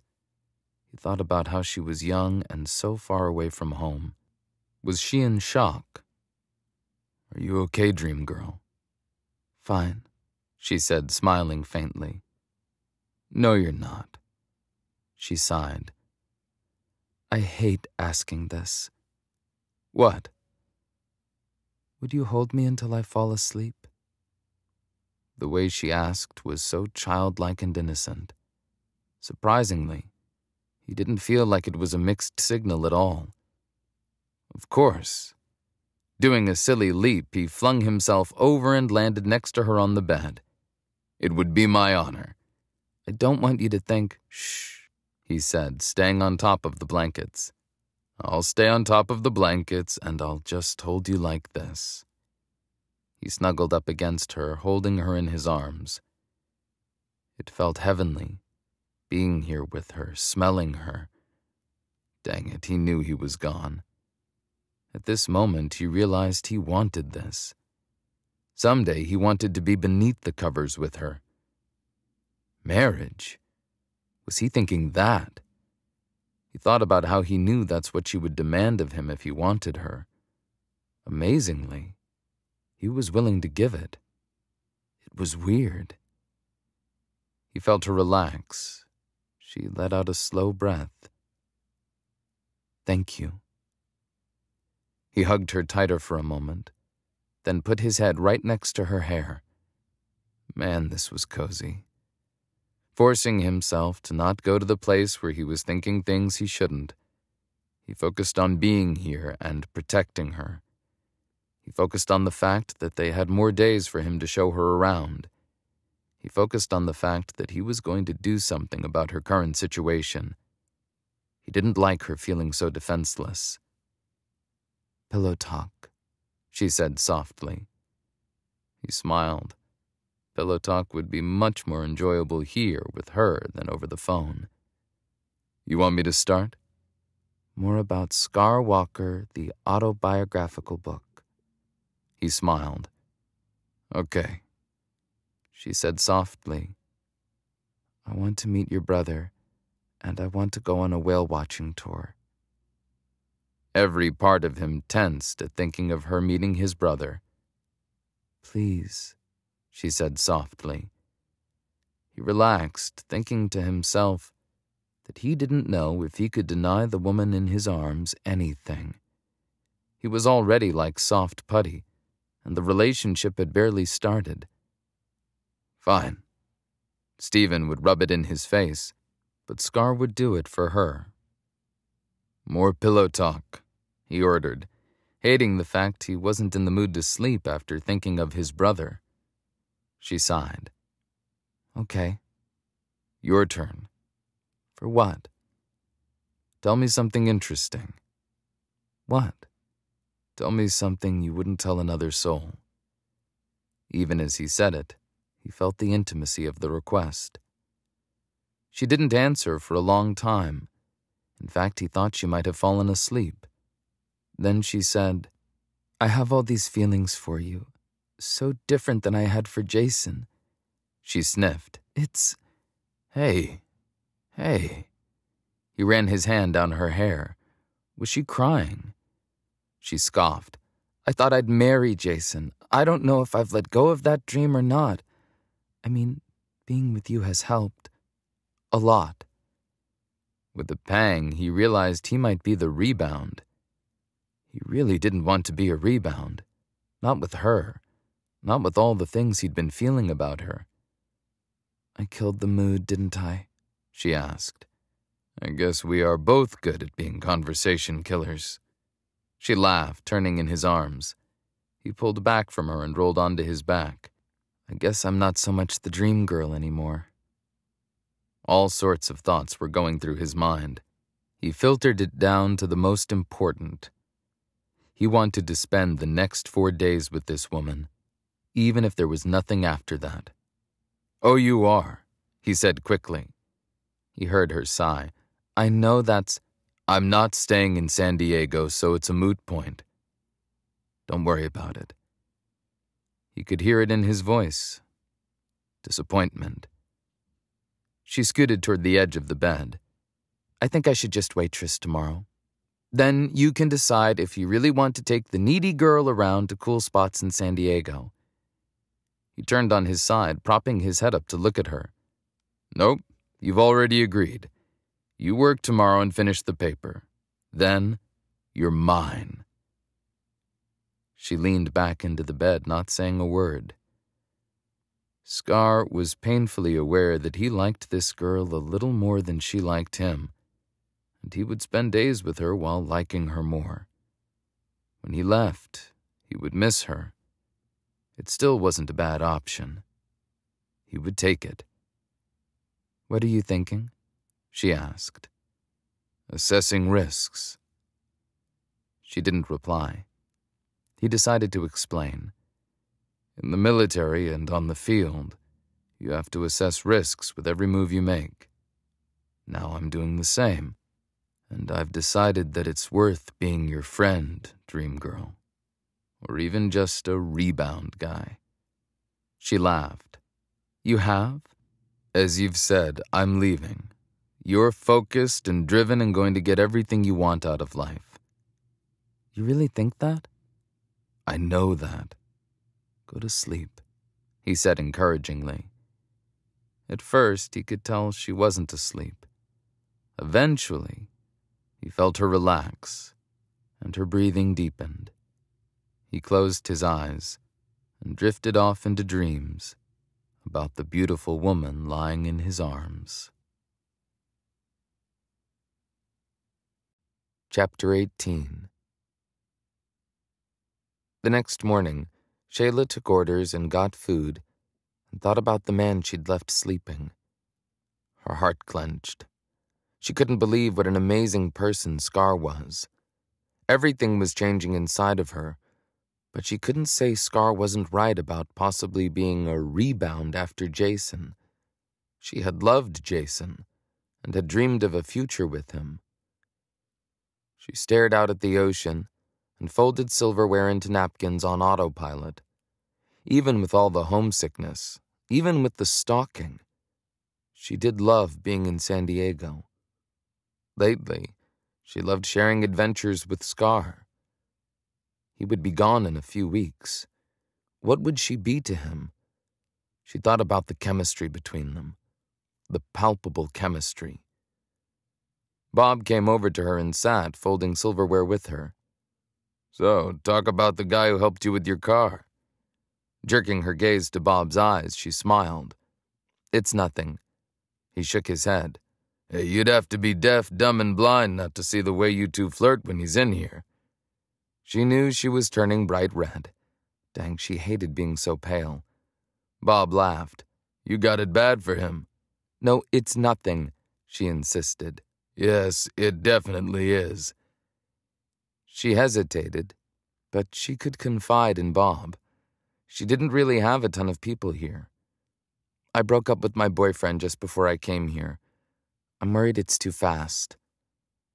Bob hesitated, put down the silverware, and turned to her. I'm almost 60. My wife and I moved here and started this business together, and it's been great. He cleared his throat. We moved from a small town in Nebraska. What? Bob pointed at her. Carpe diem. She frowned. The movie? That's right. Dead Poets Society. Seize the day. Seize the day. His eyes widened. Do what you want, what you love. Of course, be good, but you are. So have some fun. Go with the military guy and do exciting things. Have fun. Letting out a light laugh, she thought about his words. Carpe diem. Yes, she needed to do that. She was here. She was living the dream. She should enjoy it. For so long, she'd dreamt about Jason showing up unexpectedly and wanting her back. Now she could see a different future. About ten minutes before her shift would end at four, Scar walked in. Shayla's heart sped up. Their eyes met. A brilliant smile lit up his face. Hey. He got to her and shoved his hands in his jean pockets. He looked a bit awkward, which was funny because he would probably be the picture of cool if she had to put his picture by a word in the dictionary. Hey. She wondered if she sounded awkward too. After finishing up organizing the receipts, she took off her apron and put it by the cash register. I'm just getting off. He nodded, then tapped his forehead. Mind like a steel trap. She grinned and began walking out. He kept pace with her. I can't believe I slept through you leaving this morning. It's a skill I have. Growing up on a farm, you just tell your body when to wake up and you train your body to do it. You sound like a seal. She considered what she knew of SEAL training. No way. He laughed. So you need to finish the paper? Yeah, but I'm almost done. Would you mind changing into workout clothes before you go to the library? I'll pick you up after. The intensity in his eyes made her insides flutter nervously. Okay. You want to put me through sparring? I'm not too coordinated, just so you know. Scrunching up his face, he shook his head. Not exactly, but I do want you to meet some buddies of mine. Excitement and wonder filled her. She was starting to accept these feelings were a part of hanging out with Scar Walker. It was kind of like that all the time. Okay. He opened the door for her and held it. Great. Oh, pack a change of clothes for dinner, too. We'll be at a gym so you can change there. Before she could protest, he added, This dinner doesn't cost anything, so don't worry about it.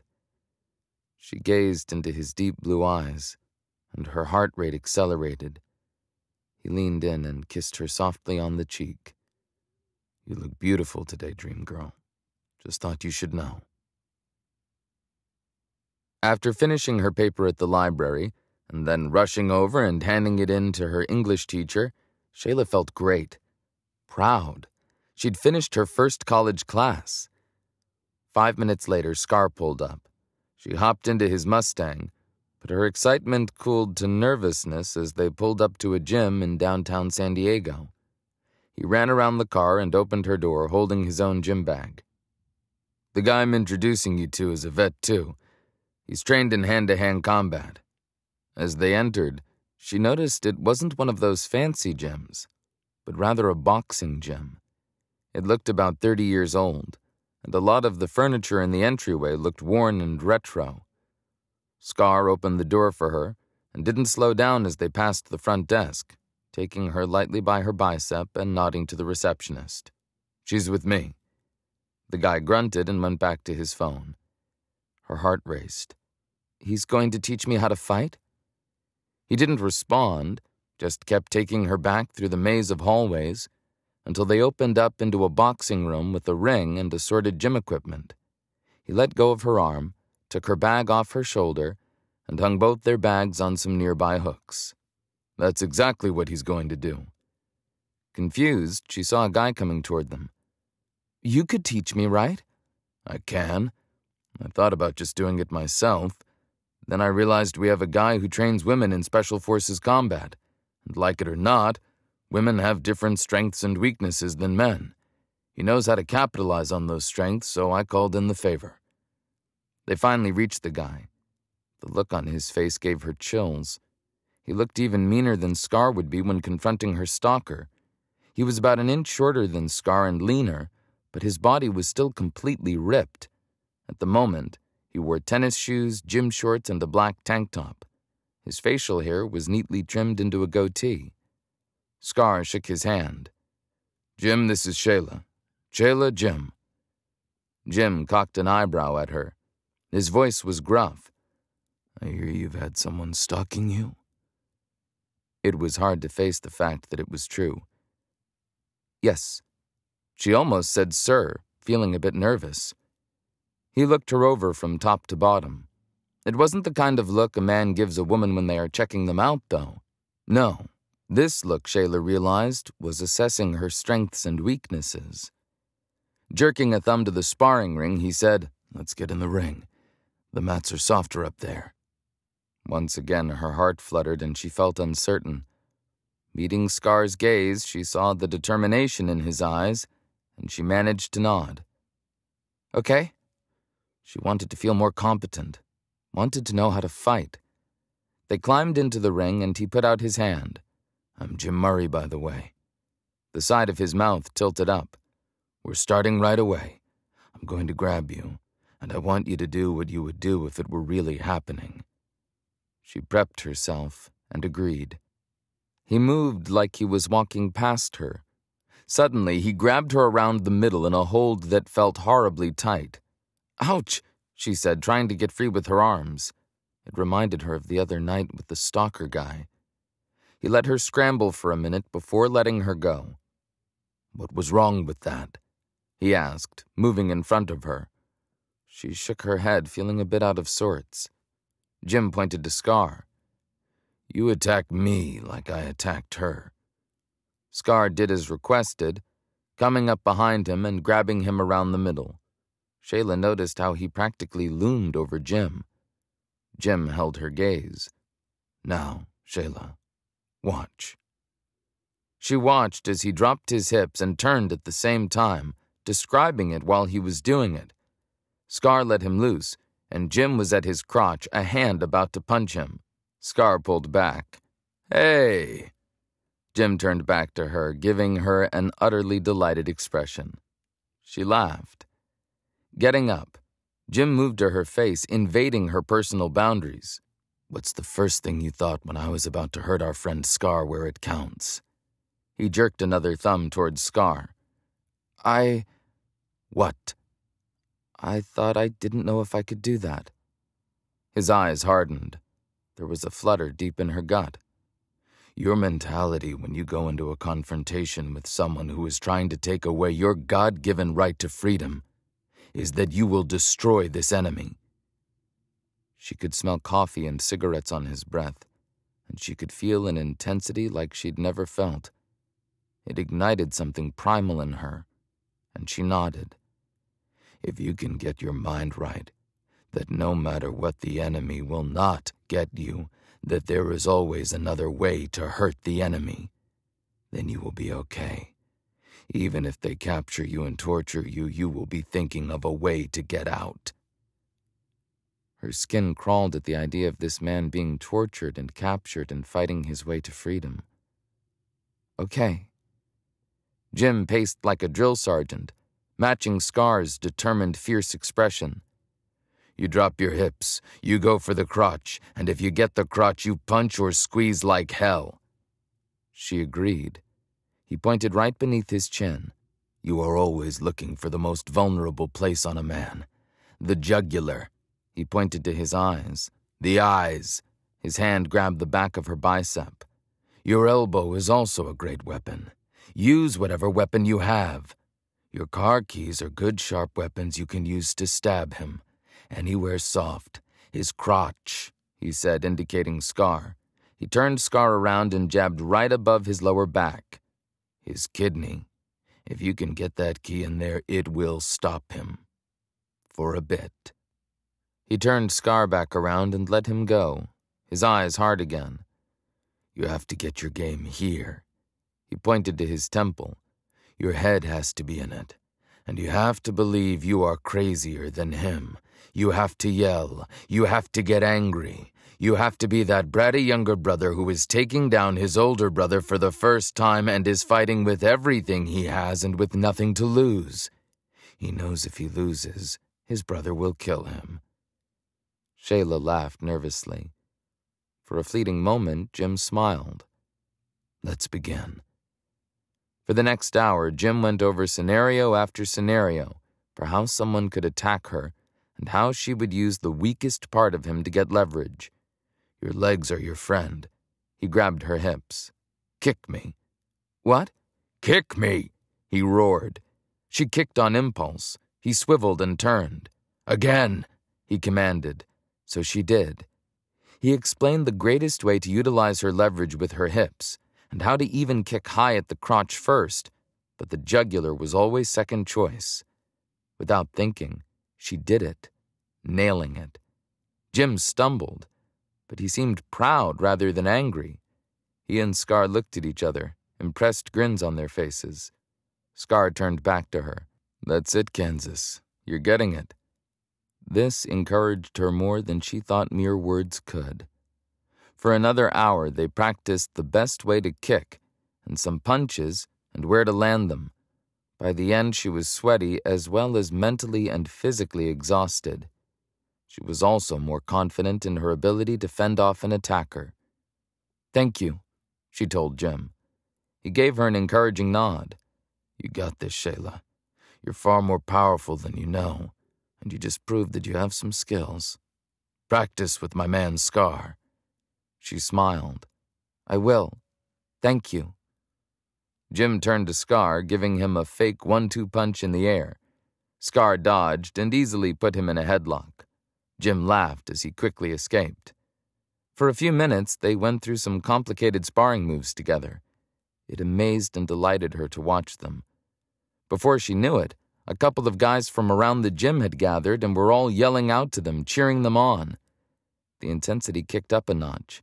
Shayla found herself cheering for Scar because, surprisingly, Jim was a contender. Admittedly, she didn't know how they were judging this fight. In the end, the match was over when Scar had Jim pinned to the floor and the guys shouted out the count until three. Scar pushed himself to his feet and helped Jim up. Jim pounded him on the back, and Scar put his arm around his shoulders. Another guy from the gym playfully punched Scar in the shoulder. Scar cursed him good naturedly, and they started talking. Jim walked over to her and smiled. So, you're dating my man here. He jerked a thumb to Scar. Shayla didn't know what Scar had told him. Uh, yeah. Jim looked her up and down, not in a seductive way, but rather in a speculative way. Don't mess with him. What? She wasn't sure she heard him correctly. Jim moved closer, leaning in.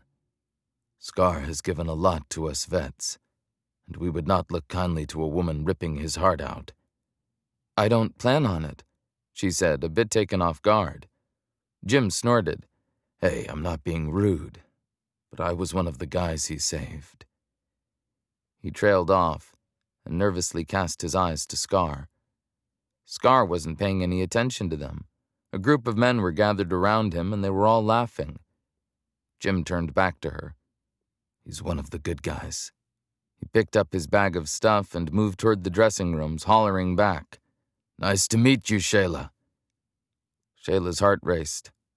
Again, she wondered what Scar had been through. Clearly, he'd saved lives. As she watched him spar with another guy in the ring, she could tell he loved these guys, loved being here. She continued to look around the room and noticed some of the guys had missing limbs. One man coming in at that exact moment had no legs. The guy without legs yelled out to Scar, insulting him and cheering for the other guy. Scar flipped him off, and all of the men whooped with laughter. The guy with no legs came over and started talking to everyone. Scar put a hand on his shoulder. She could tell he was asking him a question. Shayla had to admit seeing him in his element, and how he helped so many, she might be falling in love. Chapter 19 Later that night, as Scar pulled up to Dana Landing, where his brother docked the cruise ship, he was happy they'd come. It had been a tricky conversation earlier in the day with his brother, but he was happy he'd set it up. Truthfully, he was happy he and his brother were getting along. He'd had a chance to talk to Carrie earlier, and she sounded happy. His brother had confided in him he would be asking her to marry him soon. Scar thought about the fact that he kind of wanted to ask Shayla the same thing Stephen was about to ask Carrie, which was weird. It would be way too soon for her. They sat in the car for a second. Shayla said, I told you that you can't spend more than $50. Ignoring her, he got out and went to her side of the car and opened the door, unable to stop himself from being more than happy to bring her here. Calm yourself, woman. You told me you wanted to meet my brother. He took her hand, walking next to her out of the parking lot and toward the dock. She looked at their hands, then back to him, and he got a whiff of her fresh lemon scent. She'd showered and had done little else in terms of her appearance, wearing simple jeans and a red scoop top with black flip flops. You're seriously taking me to meet him right now? He nodded, nervous butterflies swimming in his stomach. I'm a man of action. She laughed. The sun was just starting to set in the sky.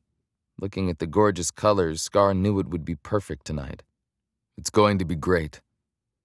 Stephen was waiting next to a small cruiser. He stepped out onto the dock, and his eyes swept up and down Shayla. Scar was almost sure he would make some snarky comment, but instead he put his hand out. Well, it's nice to meet you again, Shayla. This time, hopefully, Brandon won't send the eggs back. She grinned. Of course, his brother would use his Christian name. It's what his mother would have done. His brother was a lot like her. Whether that was good or bad, Scar hadn't decided yet. Not missing a beat, Shayla shook his hand. Nice to see you, Stephen. I've heard good things about you. Shaking her hand, Stephen looked surprised. That's good, I suppose. He dropped her hand and turned back to Scar, cocking an eyebrow. It's all queued up for you. Thanks, man. Stephen fist bumped him. I'm glad you came, he said as he moved away from them down the dock. He hollered, Hope to see you again, Shayla. Maybe you can get Scar to come over and meet his new nephew in a couple of months. Scar laughed. See you, Stephen. Thanks. Neither he nor Shayla spoke for a couple of seconds. Then she blew out a breath. Well, a new nephew? Taking the opportunity to stare into her eyes, deep green ones, beautiful and shimmering with flecks of gold. His mouth went dry. Yeah, uh, he told me at the diner that day. I'm happy for him. She smiled. I'm happy for you. You'll make a great uncle. He shrugged and turned to the boat. You ready? She shook her head. You're tricky, Scar Walker. Taking me out on a dinner cruise would cost a lot. Wagging his finger at her, he smiled. I didn't pay. She sighed and searched his face. You paid in other ways, didn't you? He didn't want to confirm or deny what he'd exchanged. Let's go. Gruffly, he took her hand again and led her onto the cruiser, automatically starting the tour. The one he'd done for tourists as a teenager. This is Dana Landing, hometown of the famous landing points for many boats in the San Diego Bay. This beach we are connected to is Mission Beach. He pulled her past what would normally seat tons of passengers but this evening it stood empty. We're heading to the captain's seats. Is your brother losing money by having us on here tonight? Nope. He didn't need to explain the details to her. The simple truth was enough. This made her frown at him. How could he not be? He ignored her and took her to the cabin, where the steering wheel for the boat was. He pointed to a seat. Sit and enjoy the sunset from one of the most famous places in San Diego. Taking care, he pulled the throttle and felt the boat move away from the dock. It was crazy how it all came back to him so quickly. He got on the radio and signaled they were leaving the bay. Next, he flipped on the music, knowing it would be the station their father had always put on. Country. He liked country, so that was good. Looking around, Shayla didn't let him off the hook. He had known she wouldn't. It was part of the reason he liked her. How much does a cruise like this cost? Stop, woman. I'm part owner, and I haven't used it in two years. He flashed her a grin. This seemed to calm her down, and she quietly gazed out at the sights. For the first time in many years, more than he could remember, he was seeing the bay as if for the first time. He pointed. There's SeaWorld and there's the ritzy part of Mission Bay Hotel Catamaran, Hyatt Regency, expensive houses. He scoffed because now the houses weren't as far out of reach as they had been before. She turned to him. What's so funny? How did he explain?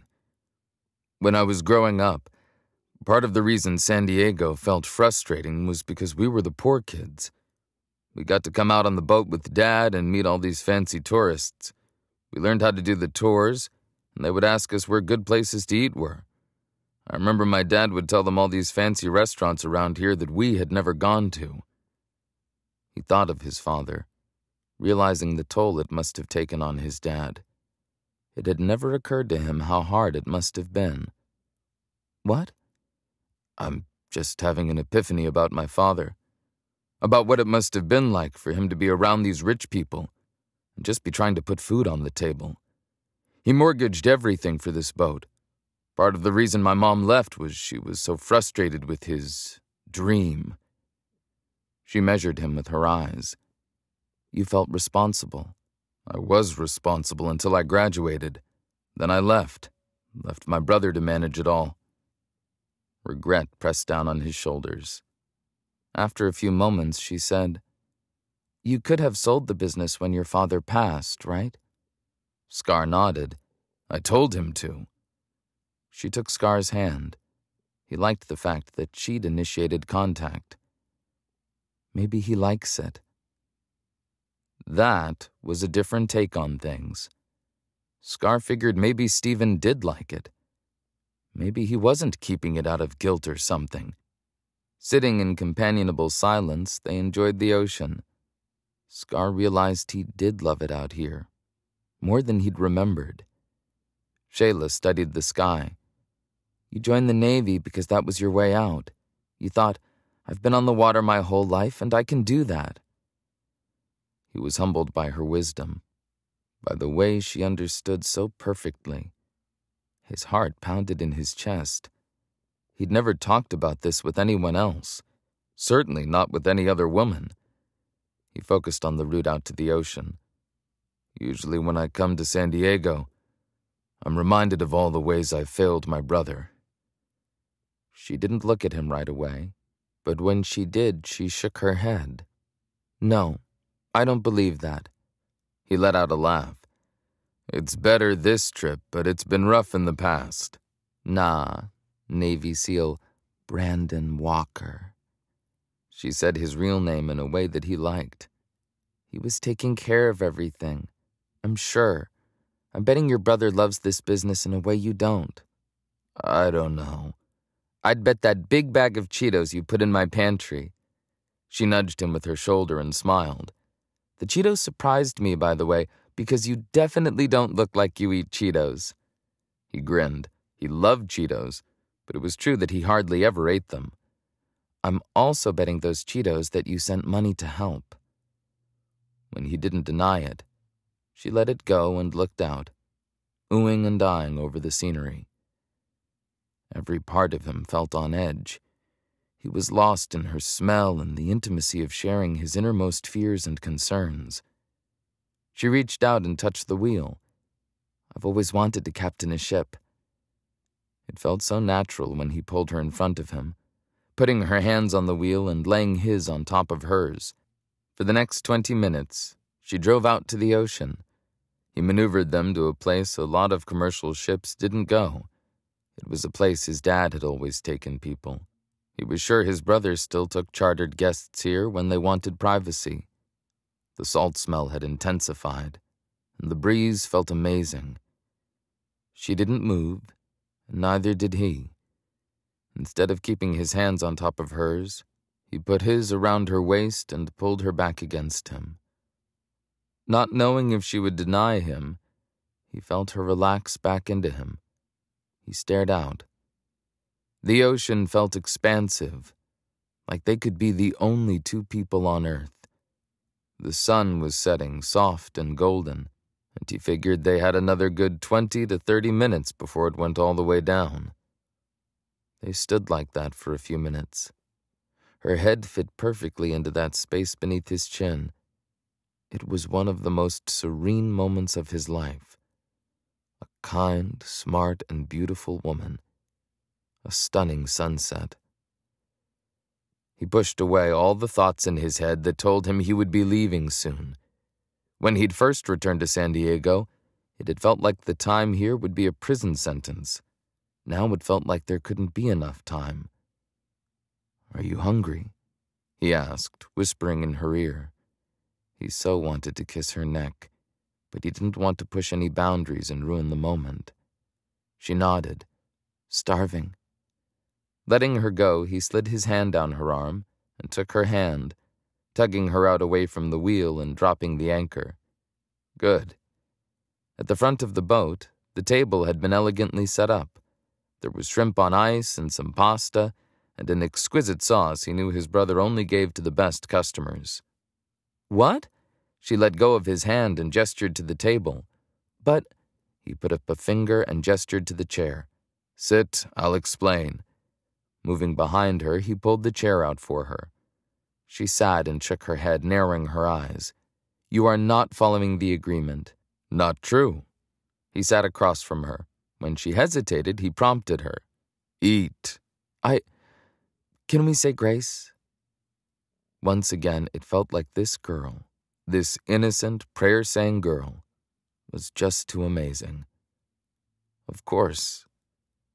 She put her hands together and closed her eyes. Dear God, thank you for this day, for Scar and his generosity, and for this amazing boat ride and food. Please bless my family and Scar's brother. Amen. Warmth spread through him. He was stunned by her goodness. She put her napkin on her lap and took a piece of shrimp like she hadn't just squeezed his heart with her simple prayer for him and his family. Explain how this was free. Matching her smile, and feeling proud of himself and his cleverness, he decided to let her in on the secret. Well, when Dad died, he left me half the business, but I've never taken a share of it. When I asked Stephen if we could do a boat ride tonight, I offered to pay for all of this, but he wouldn't allow it. In fact, I think it made him happy I was finally getting something from the business. He quirked a smile. Hmm. Again, you have been sending him money, right? He didn't confirm or deny this. She sputtered a laugh and shook her head. The only reason he was ever mad at you was because he loves you and he felt ignored. The only reason you were mad was because you were punishing yourself. He hadn't really seen it that way, but she'd hit the nail on the head. To distract himself, he turned and looked at the last bit of the sun going down. Isn't that pretty? She hummed in contentment. Yes. Turning back to her, he thought about how much he loved this moment. He loved being the host of San Diego. Without thinking, he put his hand on the table and held it out. She furrowed her brow, and he wasn't sure she would take it. He kind of thought she might because all her body language showed she was interested in him. But he didn't want to push. Look, Kansas, I don't want to push. If you still love that guy, or if you don't want this because I'm leaving, I get it. I. He trailed off. He'd used far too many words already. Slowly, she put her hand in his. I told you my parents weren't happy I was leaving. But when Jason broke my heart, I cried in my father's arms, and he told me that I could look at this as a beginning, a beginning to a great life. Tears bubbled in her eyes, and he was stunned by her beauty, inside and out. That's what made her so different and precious. So maybe this, whatever is happening with us, is just a part of that beginning. His heart raced in his chest because he wanted a chance with this woman more than he'd ever wanted anything. I like beginnings. I think we just don't put pressure on it. We just let it be a few days of fun. He saw the opening in the defense and he planned to take it. Okay. He liked the feel of her hand, so he forced himself not to rush this play. Let's just have fun. He thought of all the things he wanted to do with her, all the things he could do for free. She laughed. Why do you have that mischievous grin on your face? He shook his head. No reason. This is just going to be the best four days of your life, Shayla Castle. A Navy SEAL promise? She bit back a smile. He winked at her. The best of your life. Chapter 20 When they got back to her place, it was late. Shayla had insisted she would stay at her townhome. Scar cleared his throat as he walked her to the door. Okay, so I've installed even more cameras and an alarm system. She was stupefied. What? He gently took her phone from her. This morning while you were working. Gratitude and disbelief washed over her. He'd been with her all afternoon and night, and now she found out he'd spent his morning working on her house. I thought you were supposed to be working on your vet's project. I put a trusted friend in charge for the next couple of days. Actually, it's Jim. I'll be checking in with him, though, so it's cool. He punched in her code and installed a new app. This gives you all the camera views. He explained as he walked her through it. Humbled and, as usual, amazed when she was with Scar, she paid close attention to what he was doing. He pulled up another camera and cursed. Sorry. He looked up. It's not working. He put her phone back in her hand and walked into her house and rushed up the stairs. Let me check the top camera. She followed him, putting her gym bag down by the laundry room in the kitchen and following him up the stairs. When she got up there, he was half hanging out the window. Scar? she called. This camera seems to have malfunctioned. As she went to the other window, she saw him twisting and turning the electronics. Dang it. It was nice to have him here putting up a security system. She pulled back and tapped on the new app to some of the lower cameras working on the side of the house, but the app froze. He pulled himself back inside the window and looked at her on the phone. Is it working? No. Without asking, he took it out of her hands and began messing with it. She would have complained about his brashness, but she could see that laser like Navy SEAL focus and knew it was for her benefit. She looked over his shoulder. Crap. He pulled out his phone and texted his friend. Moving to the bed, she sat and reasoned she hadn't had a security system before two days ago. It was strange how she felt vulnerable because it wasn't working. Once he'd sent the text, Scar crossed his arms and shook his head. What? You're not staying here tonight. He sounded final, like her father when he'd decided something. She sputtered out a laugh. That's your decision how? His face didn't change. Because you need to get some sleep.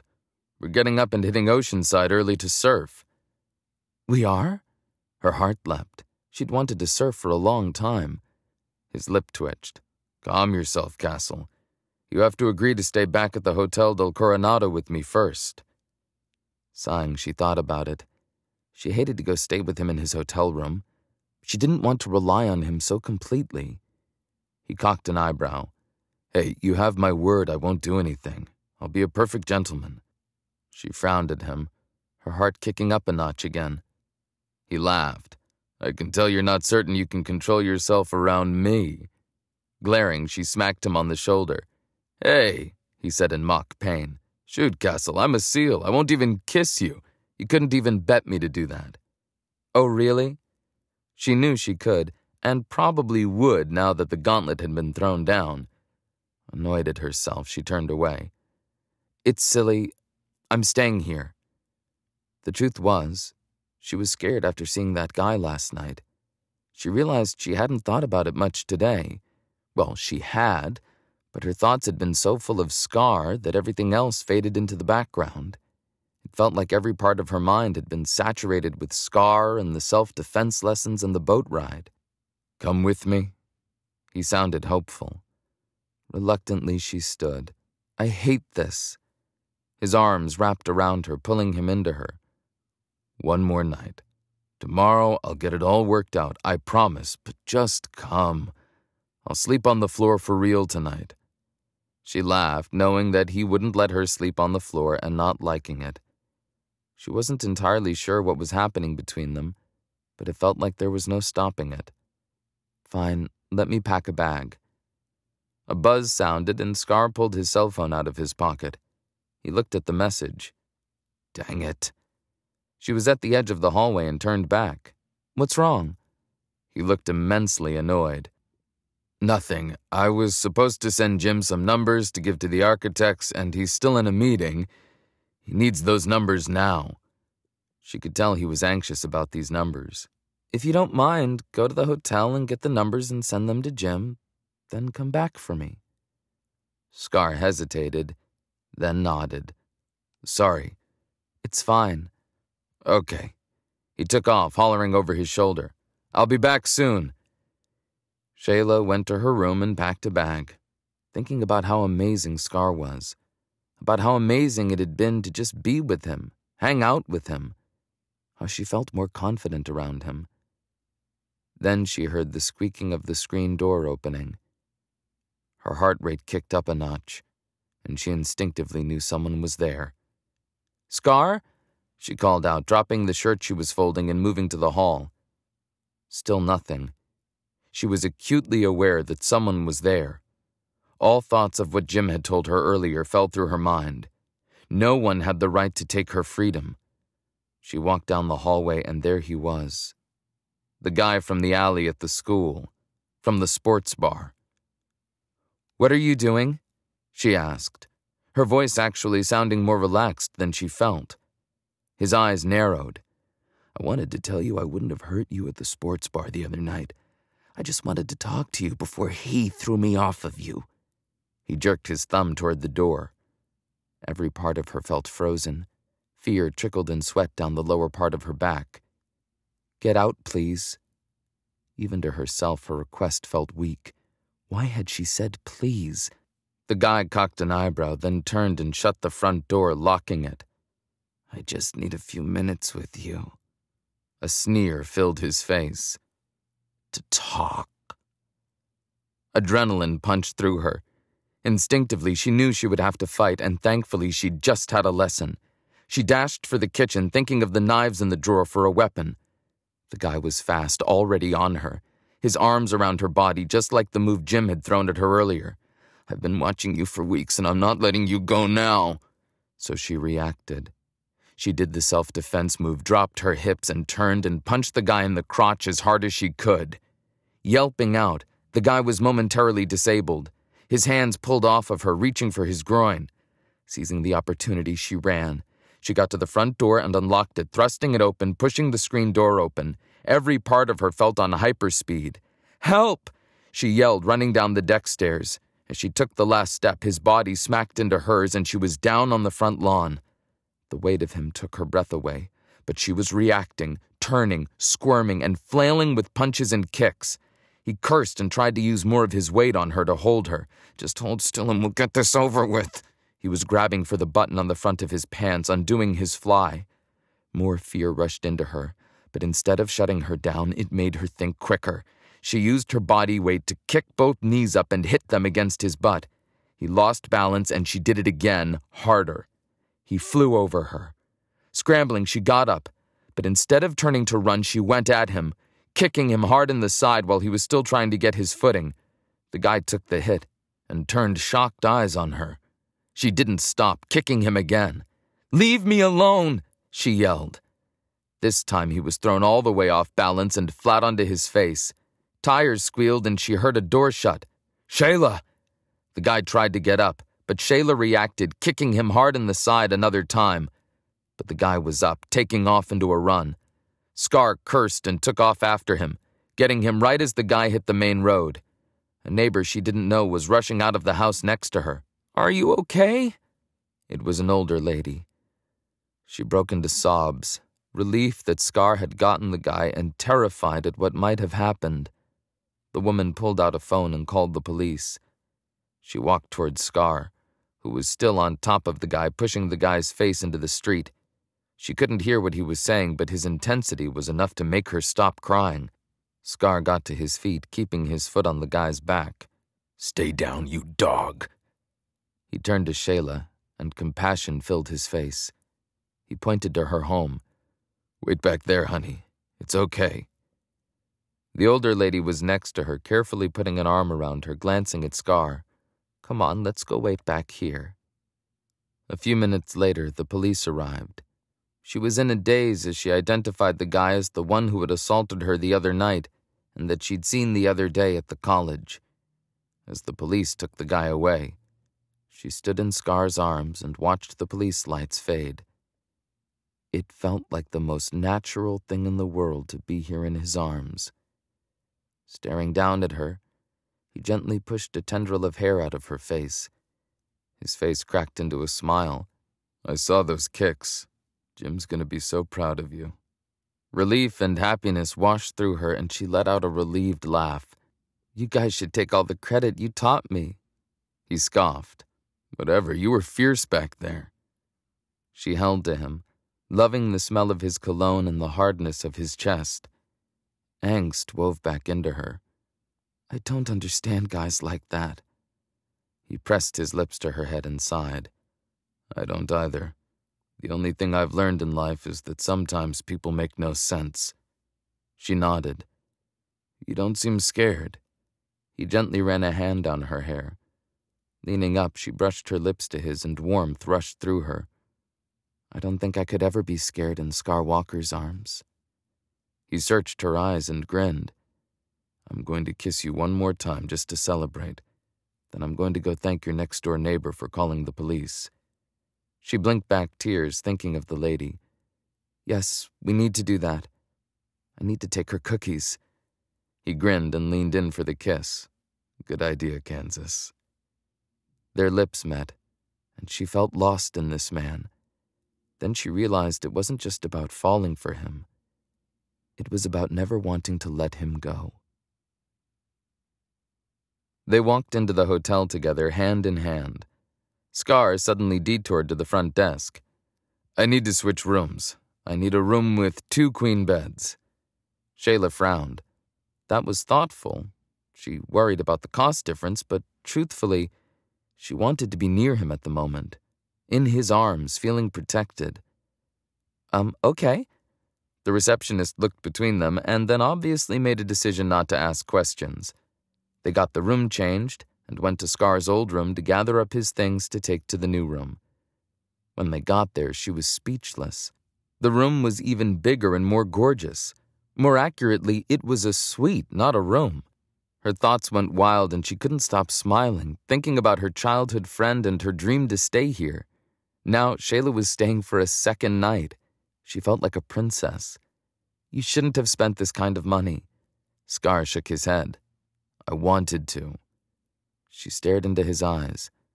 I feel bad because I kind of just want you to hold me. His arms were swiftly around her, encompassing her, his lips on her head. Are you okay, dream girl? She nodded and let the strength of him fill her, saturate her, calm her. After a couple of minutes, she pulled away from him, feeling exhausted. Get ready for bed. He gave her a nudge to the bathroom then pillow talk. After getting settled, she put on pajama pants and a t shirt and brushed her teeth. It was almost midnight. She sat on one bed. Scar came out of the bathroom in a different pair of shorts and t shirt, looking so hot she could hardly stand it. Ready? Yep. He turned off the light. She got on her knees. I'm praying for a sec. She felt like she had to tell him so he wouldn't talk to her and think she was ignoring him. After praying for her family and expressing gratitude for all her blessings, including Scar, she thanked God for protecting her, for sending Scar and Jim to help her have the skills to defend herself, for the neighbor lady. She climbed into bed and wiped the tears off her face. Are you okay? He asked softly. Yes. Pillow talk, please? He let out a soft chuckle, and she heard him turn on his side and face her. She did the same, not feeling sleepy at all. Her eyes adjusted to the moonlight coming in, and she could see how muscular he was. You start, he said softly. She thought about all she'd learned about him, and all the questions she still had, which felt endless. She just wanted to know more about him. No, you go first. He let out a sigh. Hmm. She peered at him through the shadowy room. Her heart sped up a notch, as it always seemed to do around him. It was funny. He was like an addiction. You're kind of a larger than life type of guy, saving me around every corner. After a moment, he jumped out of bed. You're too far away. What are you doing? I'm going to push our beds together. He started moving the alarm clock and yanked the phone cord out of the wall. This made her laugh and actually made her happy. Okay, he grunted as he picked up the little table between their beds. Well, we can't sleep in the same bed, so I'm thinking we just push the beds together. Sounds good. Shayla relaxed even more, watching in the moonlight as he picked up one last lamp and moved it, all his muscles flexing. Usually she didn't stare so intently at him, because he could see her and it would be awkward, but now she unabashedly watched his muscles work.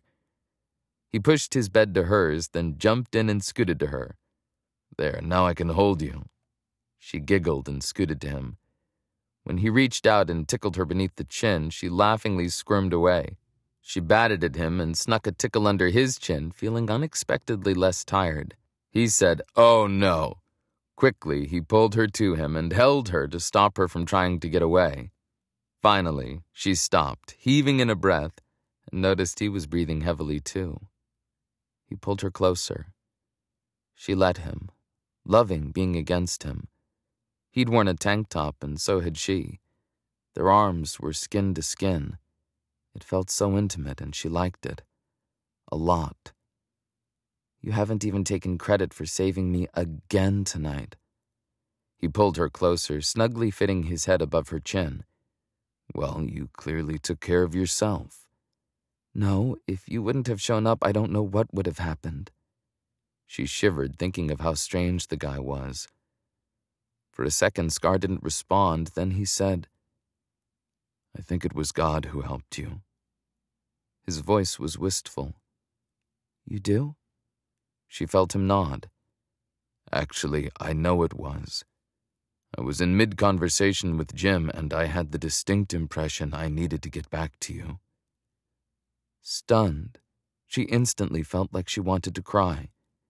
Hey. He kissed her forehead and brushed a hand on her hair. It's a good thing. She sniffed. I know. I'm grateful. I'm just a bit overwhelmed. They were both silent for a few seconds. She whispered, How often would you get impressions? Hesitating briefly, he responded, Every time I needed to. For a second, she thought of all he'd gone through and held him tighter. So you believe in God? He let out a light chuckle. Of course I do. To see the things I've seen, to go into the situations I've been in and come out alive, I know the big guy was standing over my shoulders sometimes. I felt him so distinctly. His voice got quieter. I felt angels. Sometimes I would actually hear my mother's voice. Leaning back, she stared at him as her eyes adjusted. You're pretty amazing. He let out a laugh. I'm just glad you're safe. His fingers combed her hair. You're so beautiful, dream girl. She pushed his chest, but he wouldn't let go. Back to Dream Girl? she asked, unable to stop herself from thinking about kissing him again. Hesitating for what felt like forever, he stared at her. Ask me to kiss you, Kansas. I think we're past this. Her heart raced. He sighed, but didn't let up on the intensity. I am a former Navy SEAL, trained not to reveal the country's secrets. Keep my word. I know it was an extreme case for kissing back there, but I'm not going to take advantage of that. You need to ask me to kiss you if you want me to. Not trusting herself, she gently touched his face, tracing the scar down his cheek. An idea hit her. If you really tell me what happened with the scar, I'll let you have a kiss. Relaxing, he shoved onto his side and scooted back to his bed, pulling her hands to drag her with him. I did tell you. What are you doing? she asked. I promised you I would be a perfect gentleman, so I figure the crack is no man's land. She laughed, as she was still right by him at the edge of their beds. Story, the real one, she said, and gently reached out and touched his face again. Then you might get a kiss. Closing his eyes, he sighed. Woman, you're not playing fair with this kiss blackmail thing. She hummed. I don't think it is blackmail so much as negotiation.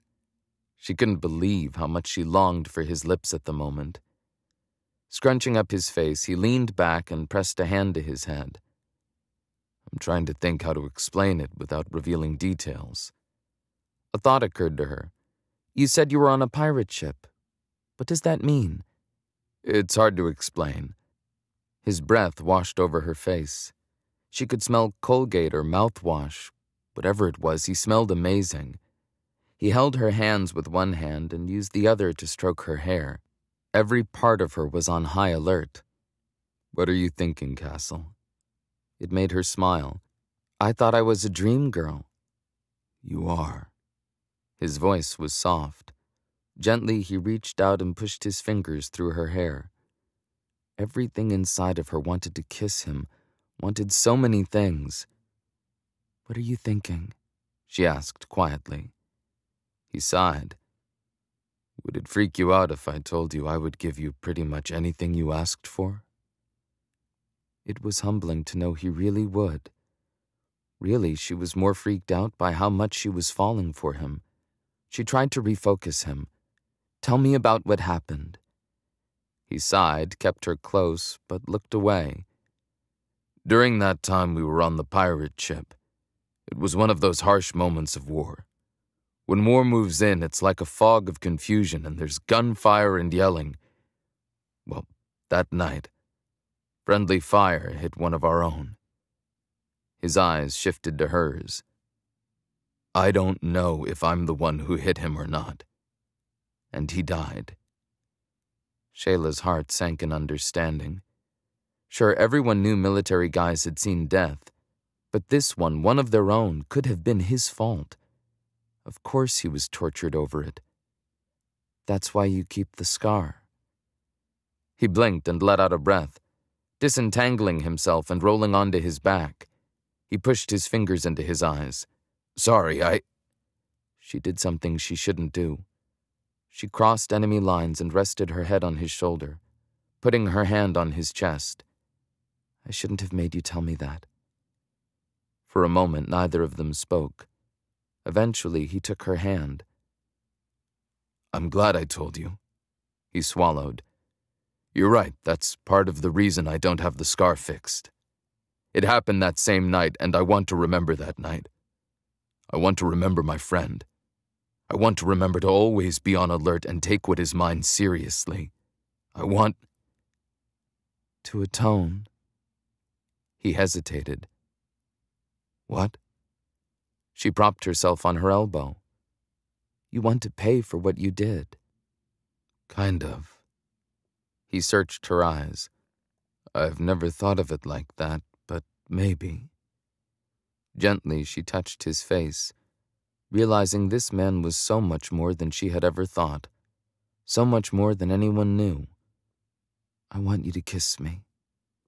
Scar hesitated, which surprised her. As her heart kicked into high gear, she hastily added, But kissing is all I can give you. I'm sorry. Turning onto his elbow, he pulled back and faced her. She matched his position. Carefully, he ran his hand down her arm. I want you to know I like that you care about what God thinks you should do with your life. You pray over food. You wait until marriage for sex. You have standards. It's refreshing. That he thought this way made her feel gooey and happy inside, but she had to admit she was so lost in his touch right now that her mind felt confused. However, her heart didn't. Her heart shouted, Kiss the man! Scar gently touched her face. How about we make a deal that I know your standards and I'll be considerate? I won't even kiss you unless we have, like, a code word for kissing to let me know you want to. This intrigued her. A code word? He scrunched up his face. Hey, I'm all about code words. She smiled. What code word should we use? Hmm. He kissed her cheek, and then softly trailed kisses around her face. She felt herself give in to him, relishing him kissing her, holding her. She felt so safe and cherished. Something obscure, something you wouldn't say unless it was an emergency. Something that isn't in normal conversation. He breathed on her neck. Her mind thought of different words. Jungle Jim, she said. He laughed. Ah, I like it. He kissed her neck again. She waited for some ideas from him, but only received neck kisses. Sharks? She figured that they were near the ocean, so while that would not be a normal word, it wouldn't be out of place either. Hmm. He didn't sound convinced. What? She pulled back, staring at his face. He kept his hand on her hair, and then his lips quirked up. Hey, he said softly, his smile widening. Hey? She laughed because it was the most normal word ever, and they said it all the time. That's the code word? His grin widened. Yeah. Hey. He kissed her cheek again, gently, then pulled back. An obscure word only used when we want to kiss. She laughed harder and pushed him in the chest, but he kept her close. They just stared at each other. She smiled. Hey. Instantly, his lips settled on hers. The world shifted. She pulled him closer and got lost in his lips, in his smell, in every good thing this man was and all the pain he'd been through. He deepened the kiss, and once again she thought about how it had never been this way with Jason. She broke the kiss and snuggled into his chest. I like code words. He laughed and held her tighter. Me too. And Scar? Yeah. Thanks. For everything. It was amazing to her how close she felt to this man. He grinned. It was a favor to me. Of course it was, she mumbled against his lips.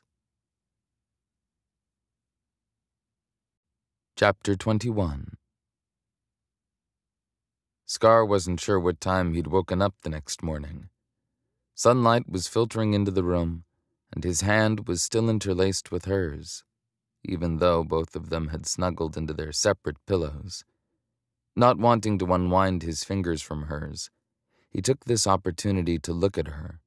Her red hair fell in gentle waves around her face, all messy and a bit ratty. Her pale skin and freckles made him smile. Her skin was perfect, and he resisted the urge to reach over and move the hair on her cheek. Loving this freedom, he had to really, unabashedly study her. His eyes trailed her neck and down to the tank top she wore. She wasn't overly curvy, just perfect. A yoga body, he decided. He thought of the guy last night, and the same desire to kill the guy pulsed through him. He hated freaks like that who thought they could just do whatever they wanted to whatever woman they wanted to torture. Sucking in a breath, he refocused on her. His thoughts drifted to always wanting to protect her, to be there for her. Marriage. It hit the center of his chest. Was he really thinking that? He sighed and knew he was, which was so weird and not him. His brother would laugh his butt off. His eyes trailed lower from her lips down to her legs. She wore shorts and her legs were long and lean. Down to her feet. He suddenly realized her toenails had pink glitter polish on them. It was strange, but he thought about how he'd never really noticed that before, even though she'd been in flip flops last night. It made him smile. He liked the sparkles. She was girlish in a sweet, innocent way. The way she'd kicked that guy last night had proven she learned quickly. He thought about the fact that he would keep teaching her ways to defend and protect herself. He liked the idea of that. Checking the time on his watch, he realized they needed to get up. It was past 6:30, and they needed to get on the road to Oceanside by 7, especially considering traffic. He squeezed her hand a bit, finally allowing himself to push the hair out of her face. Time to get up, sleepyhead. Her eyes popped open and she sat up. Oh my gosh. He laughed and put a gentle hand on her hand. Do you still want to go today? She blinked and nodded, a smile stretching across her face. Yeah. Great. He winked at her and got up. We have to leave in 30 minutes, so let's grab some breakfast quickly and go. No need for a shower. We're going to the ocean. A bit later, when he came out of the bathroom, she was standing at the window staring out. He moved next to her, unable to resist putting an arm around her waist and pulling her into him. Loving that she relaxed against him like she belonged there, he stroked a hand down her arm and laced his fingers with hers. She sighed. It's so beautiful. Sometimes I just feel like I'm in a movie or something, like this can't be my life. Taking notice of the ocean and the surfers out there already, he smiled, thinking she'd changed the way he looked at San Diego. Yeah, it's beautiful. She looked up at him and frowned. Are you talking about the ocean or me? He kissed her cheek. Both. She laughed. Hey, he said, asking it like a question. Hey. The way she looked a bit shy in the morning light drove him mad for her, as if he wasn't mad enough. He took her into a kiss and deepened it, wishing he hadn't promised himself or her he would obey boundaries. She laughed through the kiss. How did we happen? He was wondering the same thing. I don't know, but I'm glad we did. Their eyes held. He thought he would never get tired of gazing into hers. Her lip turned up. Hey. He laughed, already seeking her lips. Hey. As they drove to Oceanside, Scar was anxious for her to see what they were doing before surfing. When he took a turn for the airport hangar, she sputtered. Wait, the beach exit is up further. I know, he said, smiling at her. Okay, so where are we going? You'll see. He grinned. She let out a happy laugh and smacked his arm, which she had a habit of doing when she was excited. He liked her touching him in any way. What's going on? She asked again. He pulled off the exit and turned right. The airport hangar wasn't far. As they parked, she was almost yipping like a chihuahua because she was so excited. Scar, tell me, she begged again. It made him smile as he opened her door and took her hand to walk toward the gate. He spotted his friend already waiting for them. You'll see. She did a little jump, and he laughed, thinking how young she seemed. She was. The reality of that age difference hit him in the gut. He wasn't sure if her parents would like him or not, since he was roughly seven years older than her. Well, hopefully they would work it out. Scar knuckle bumped his friend through the gate. Lollipop, this is Kansas. Kansas, Lollipop. Lollipop turned to her and opened the gate. You already got a nickname from the lieutenant, I see. The gate opened, and she and Scar walked through. She narrowed her eyes at both of them. I guess you served together. Scar smiled and jerked a thumb at Lollipop. Joe Saunders, but Lollipop to me. Lollipop waved them forward, and they fell into step with him. He turned to Shayla. You don't even have to tell me where you got your nickname. Lieutenant here isn't that creative. She laughed. Scar could tell she felt comfortable, but she still gave him a crazy look like she was about to explode. What are we doing? Lollipop raised an eyebrow at Scar. You haven't told her? Scar loved this. They got to the tarmac where a helicopter awaited. Helicopter ride over Oceanside. He presented the copter to her like Bob Barker would show a special piece of gold jewelry. Her hand flew to her mouth. Oh my gosh, she stared at the helicopter, tears swimming in her eyes. No way. She shook her head back and forth, then grabbed his arm and jerked him closer, murmuring, Way more than fifty dollars. He shook his head and turned to Lollipop, who was busy doing a safety check. Nope, not for friends. An amazed look, filled with gratitude and humility, washed over her face. She blinked and wiped at her nose as she sniffed. Scar. Scar knew, as his heart froze, that he wanted to see that look of love and hero worship on her face for the rest of his life. He grinned and pulled her roughly into a hug. You're fine, Kansas. She hugged him but blinked and pulled away. He could see she was getting herself under control as Lollipop moved back to them. Lollipop took in the scene and gave Scar a look like, What the? Scar shook his head and let her go, keeping her hand. We're ready for the big tour.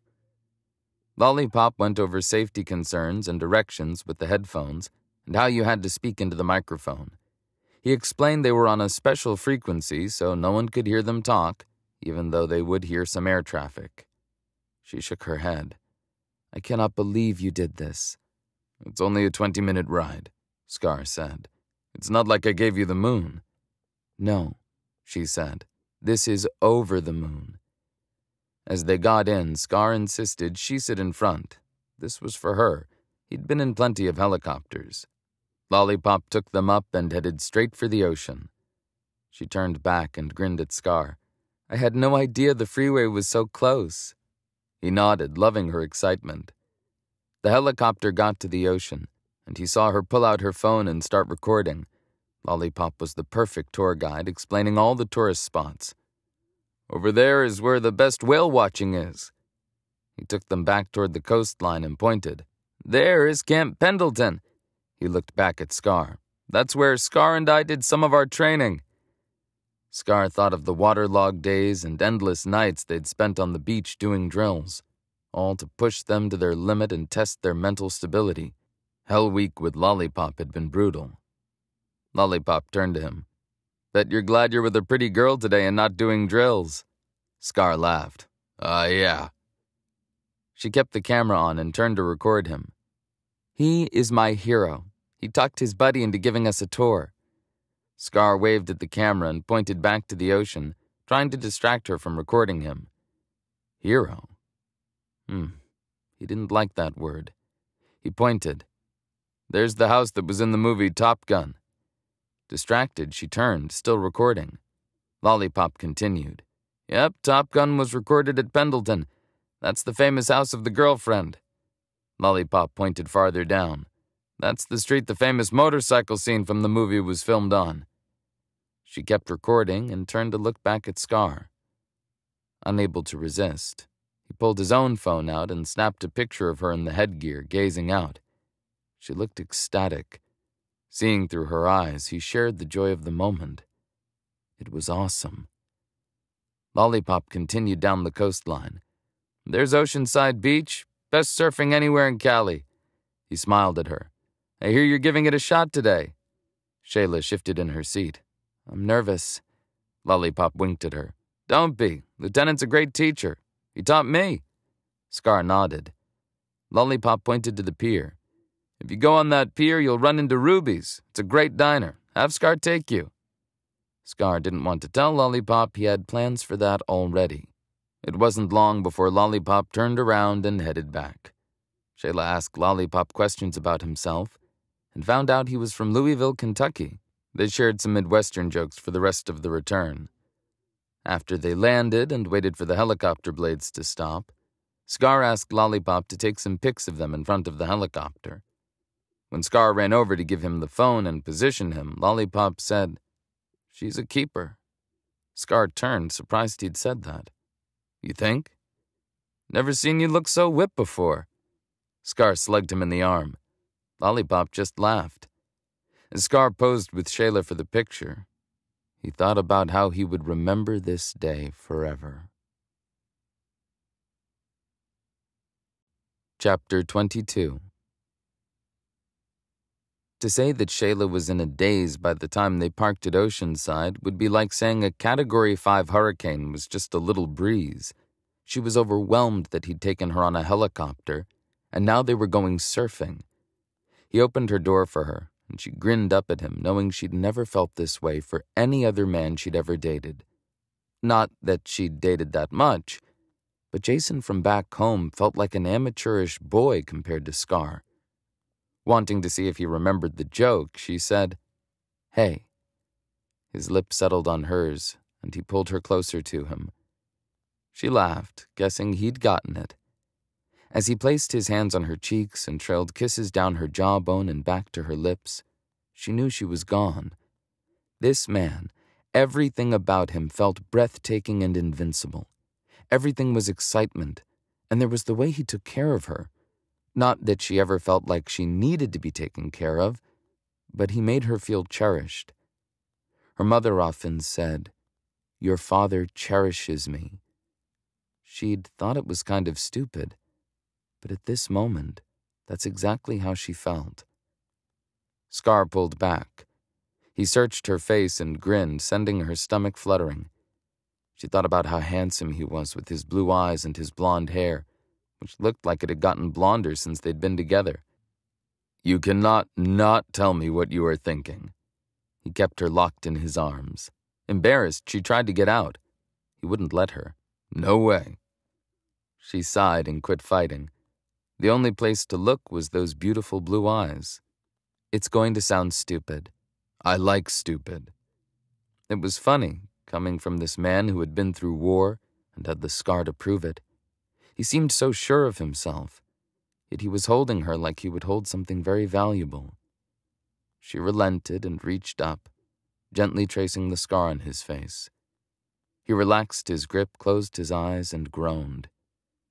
You cannot touch me like that, woman, and expect me not to kiss you again. She let him kiss her. This time it was light and sweet. He kept her close. Tell me what you're thinking. My mother has always said my father cherished her, treated her with kindness and love. I could see that he did. My brothers and I would tease that he went about doing nice things for my mom too much, leaving her little flowers in season on the table for her and cheesy things like that. Scar lifted his eyebrows. I was just feeling that same way about you a second ago. You open doors for me. You plan amazing things for me and kiss me like you mean it. It was stupid, but it made her almost tear up to say this. He squeezed her. I do mean it. She blinked. Exactly. You take me on helicopter rides and you're gonna teach me to surf, all so I can live my dreams. Holding her gaze for a second, he leaned down and kissed the tears forming in her eyes. Shh. You're just going to have to get used to it. This made her smile, and they held each other for a few more minutes. Abruptly, he let her go, keeping her hand as he pulled the door shut. Because I'm thinking I might have to relocate to San Diego. Her heart leapt. What? A million thoughts flitted through her mind. What? She jumped next to him as she walked. He laughed. It's not final, but I'm thinking about it. He tapped his head. Elation swept through her. He could be here. He could do things with her all the time. He laughed. Focus, Kansas. Today we're teaching you how to surf, and I'm all business. She got serious. What about football? You clearly love it. He hesitated. Then he let out a breath and stopped walking. She stopped with him. You can't give that up. A troubled expression darkened his face, and he looked toward the ocean. She could feel the conflict inside of him. I love the game. I love everything about playing professionally. He turned back to her. But when I was a SEAL, it felt like more than a job, more than something I did for a living. It was a calling. It was something. He broke off and rubbed a hand over his face. I guess it felt like God wanted me to do it. Chills washed over her, and she felt herself open up even more to him. He'd been directed by God. I was so dang confused when I took a bullet and got discharged because it felt like God had given me mixed signals. He put a hand over his chest and smiled at her. Sounds funny, doesn't it? She put her hand over his. Not at all.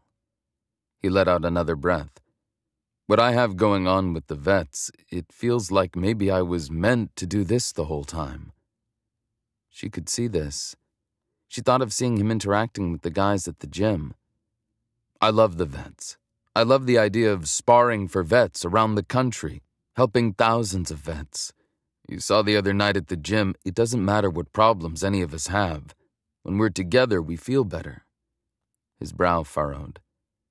I've been trying to figure out a way to spend more of my time doing what matters, and. His lip quirked up. Maybe there's this girl who might be worth putting down roots for.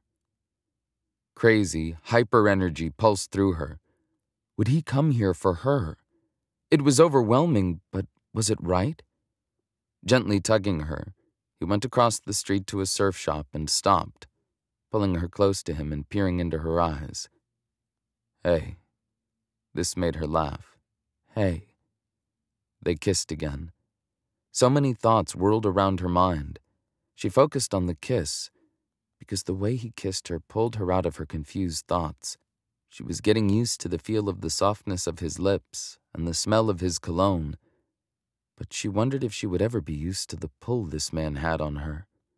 Once again, her knees went weak, and she felt herself leaning into him. In response, he held her closer. Pulling back, she was breathless and laughing. Focus, Lieutenant, he sighed. Okay. So I was going to pull in a favor because I know the guy, so I could get by with him letting us use all the stuff for free. However, when I called him two days ago, he mentioned his wife is about to have a baby, so I need a pass on the spending money part right now, because we need boards and wetsuits, but I want to help the guy out. When she started to protest, he put up a hand. I have money, Kansas. I wish you would stop making this such an issue. It bothered her to have him spending what would probably be at least 200 on this excursion. How about, in exchange, I'll let you cook dinner tonight? She rolled her eyes. With the food you bought me. He cocked an eyebrow.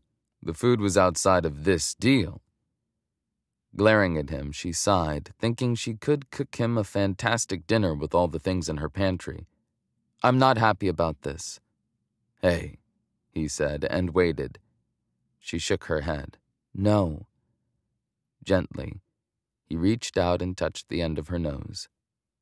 You stay here so you don't have to witness the money spent, even though you should know I do cherish you, and I would, I will continue to spend money on you. Not for this deal, she said, knowing it was futile. He rolled his eyes. Fine. Fine. Letting go of her hand, he stepped into the surf shop. She thought about how she'd just let him do whatever he wanted, and she wasn't even really mad at him because he was kind, thinking about how his friend could use the money. Dang him. Twenty minutes later, Shayla was wearing a wetsuit, and she and Scar were standing on Oceanside Beach. The waves rolled in and out enticingly. There were other surfers scattered along the shoreline. She noticed most of them were male, but there were a couple of women. Even though it was early, there were two families setting up umbrellas and kids running around. The smell of hot dogs wafted through the air. Once in a while, a homeless person would walk along the pier carrying a backpack. They both stood on the surfboards. Scar pointed to the board. Put your dominant leg in back. Listening intently, she put her right leg in back. Now, transfer your weight to your back leg and kind of sit into it. Keep your stomach tight and use your core. He pointed to the ocean. The best thing about learning to surf at Oceanside is the waves crest closer to the shore. That's why it's the best for surfers, especially for beginners. In other places like Coronado Beach or Hawaii, the surfing demands a lot of strength to get out far enough to catch a good wave.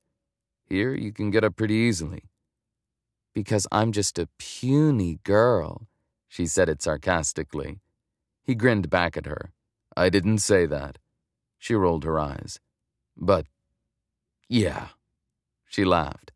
There's the egomaniac I love. He froze. You love? It's just a saying. As she peered into his eyes, she wondered. He held her gaze for a long moment before going back to teaching her. Okay, the basics of getting up. He dropped to a push up position on the board. Come down here. Taking a second to get down on her knees one at a time, she grimaced at him. Show off. He laughed as he straddled the board. When you first climb onto your board, you're going to straddle it like so. Then you'll kneel on the board. Then you'll put your left leg out front and balance on your right knee. Good. He put his hands out. Use your hands for balance, but remember that balance comes from your belly button, from contracting those muscles. She mimicked his stance and focused on her core. Okay? When I say up, you'll go here. He pushed himself up to the classic surfing position you always see in the movies or on television, and she followed suit. Good. His hands rested on her waist. You get your hips to the side, but you look down the front of the board.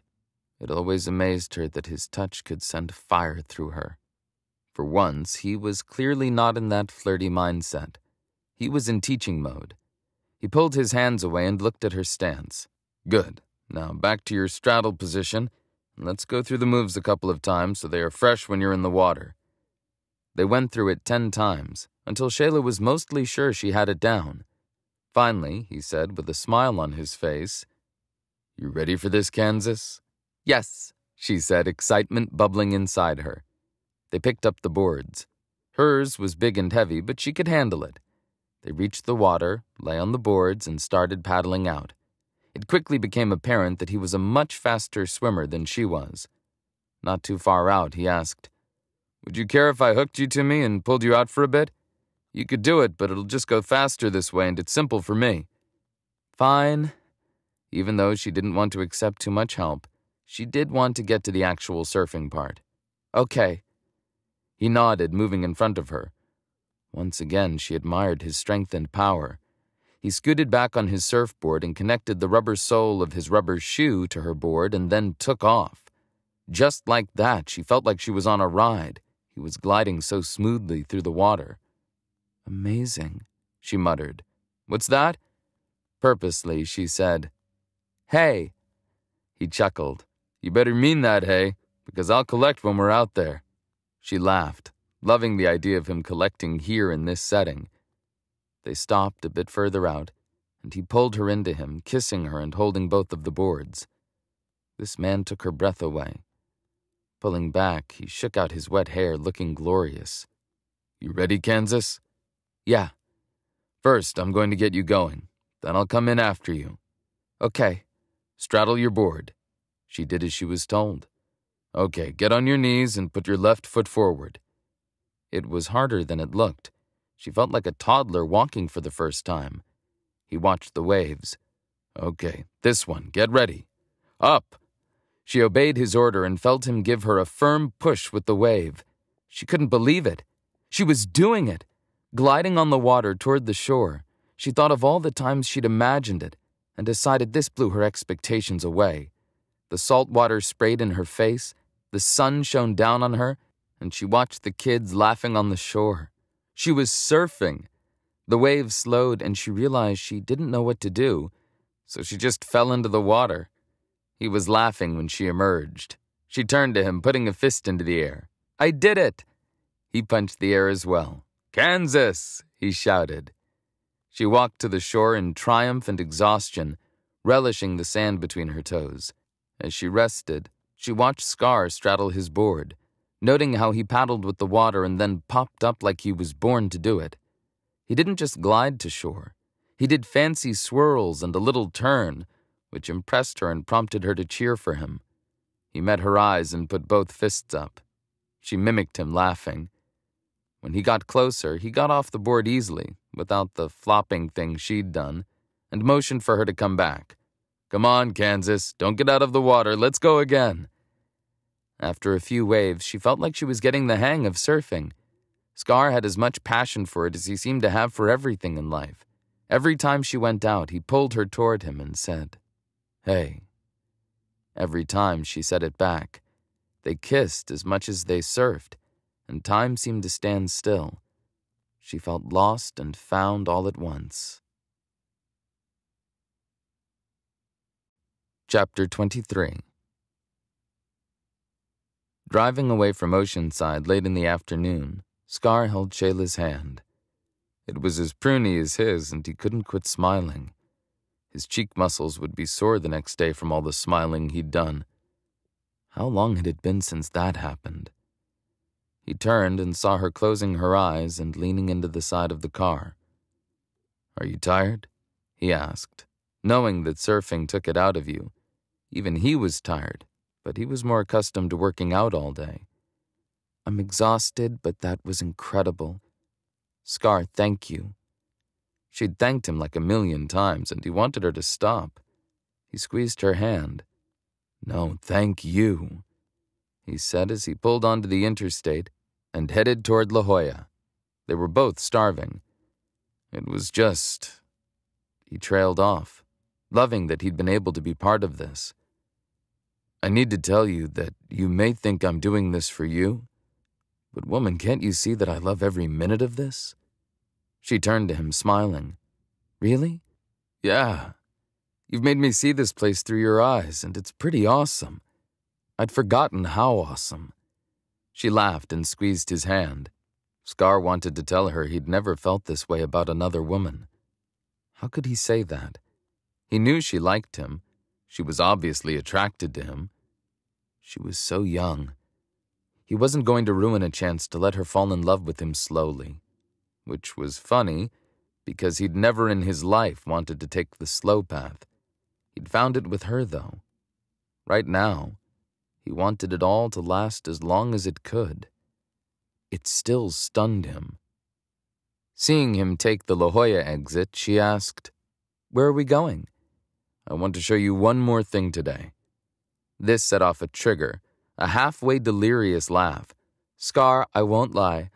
I want to see whatever you want to show me, but I'm starving. He grinned. So am I, and we'll fix that. No, she pulled her hand away. I want to cook. He reached and took it back. You promised. She pouted adorably. You will. I'm a machine. I'll be hungry in three hours, and it's only four o'clock. So suck it up, Kansas. You have to spend the rest of the day with me and feed me later, too. This made her smile. Fine. Neither of them spoke as he wound through the streets, heading to one of his favorite sushi restaurants. At least it had been. He hoped it was still there. He smiled, thinking that it wasn't an uncomfortable silence. Shayla looked around a little before she laid her head to the side and rested. All he could think about were plans for the future. He felt like he really could give up the Titans. His mind raced as he thought of the way he loved being the point person on the sparring program. Maybe he could head up the one here and go open more gyms around the country. It would take a bit of travel, but he could do it. Liking that they could be comfortable with silence, he finally pulled up to the restaurant. He was thrilled to see Shiku was still in business. Oh no, she said, looking from the restaurant and back to him. I'm sorry, I hate sushi. He frowned. No. I can't, it's disgusting. True to form, he didn't accept no. He parked and said, You try it, then we'll leave if you can't eat it. She looked worried. That's a waste of money. I don't care. Really, I don't think it's a good idea, she insisted. He went around and opened her door. Kansas, I took you on a helicopter and surfing today. This is all I'm asking from you. She rolled her eyes. Oh, another favor to you. He put his hand out. Please. Taking his hand, she climbed out. Hey. She frowned at him and shook her head. No. Dang, no kiss. He would take the win with the sushi. He was grateful she would try new things. They walked in and a hostess sat them. What would you like? Scar asked after they'd sat and were staring at the menu. I have no idea. He loved that she was about to experience great food. Do you care if I order a couple of things? Nope. He ordered the California roll, the salmon roll, and four others. After the server left, she looked around, looking skeptical. This ain't the farm. It made him laugh, and she smiled at him. Once again, he thought of how he liked just being with this woman. Tell me about the farm, he said, leaning forward. She sighed. Surprisingly, I've missed it since I've been here. But the past couple of years, it's just been a lot of work. He tried to see this girl on a farm. What did you do? Everything tractor driving, mucking out stalls, feeding chickens, milking cows, all of it. She was tough. Farm work had taught her toughness. He thought about the cleat chasing women he'd dated. What are you thinking about? she asked. Schooling his expression, he shook his head. No point in telling her that all he could think about was going to the farm and asking her father if he could marry her. Talk, she said insistently. Saved by the food, he thought, as their server put the dishes on the table. Systematically, he put a bit of every roll onto both of their plates and showed her how to eat with chopsticks. She stared blankly at the food. Putting a bite of salmon roll into his mouth, he nodded at her. Finally, she picked up some California roll and took a mini bite. He waited. Come on, Kansas, you can do better than that. She chewed, then took another bite and flashed a smile. Success! It's good. What should I try next? He pointed at the salmon roll and laughed, falling deeper and deeper in love with this woman. When Scar pulled up to her townhome around 6:30, he could tell she was tired, but he didn't want to leave. She started to open the car door but paused. Not to be pushy, but are you opening my door or is this one of those times I can get the door for myself? I'm opening the door. Smiling, he got out and opened her door for her. Hey. Grinning, she leaned into him. Hey. His hands were on her waist and he pulled her closer. She giggled and pulled back. This code word business is pretty tricky. He kissed her again and pulled back. Top secret. With a laugh, she reached for her bag, and they walked hand in hand to her house. They got to the door, and he looked around, checking his phone. I got a text a while back that new cameras have been installed. He took her phone. Let's get the app downloaded. She opened the door and held it. You're coming, right? Happy that she expected him to come, he walked in with her. I didn't know if you wanted some time alone or something. For a second, she looked confused. If you need time, you can. I mean, thank you for the helicopter ride and the surfing. She smiled widely. And for the sushi. Her cheeks turned red when he took her hand and pulled her into the crook of his arm.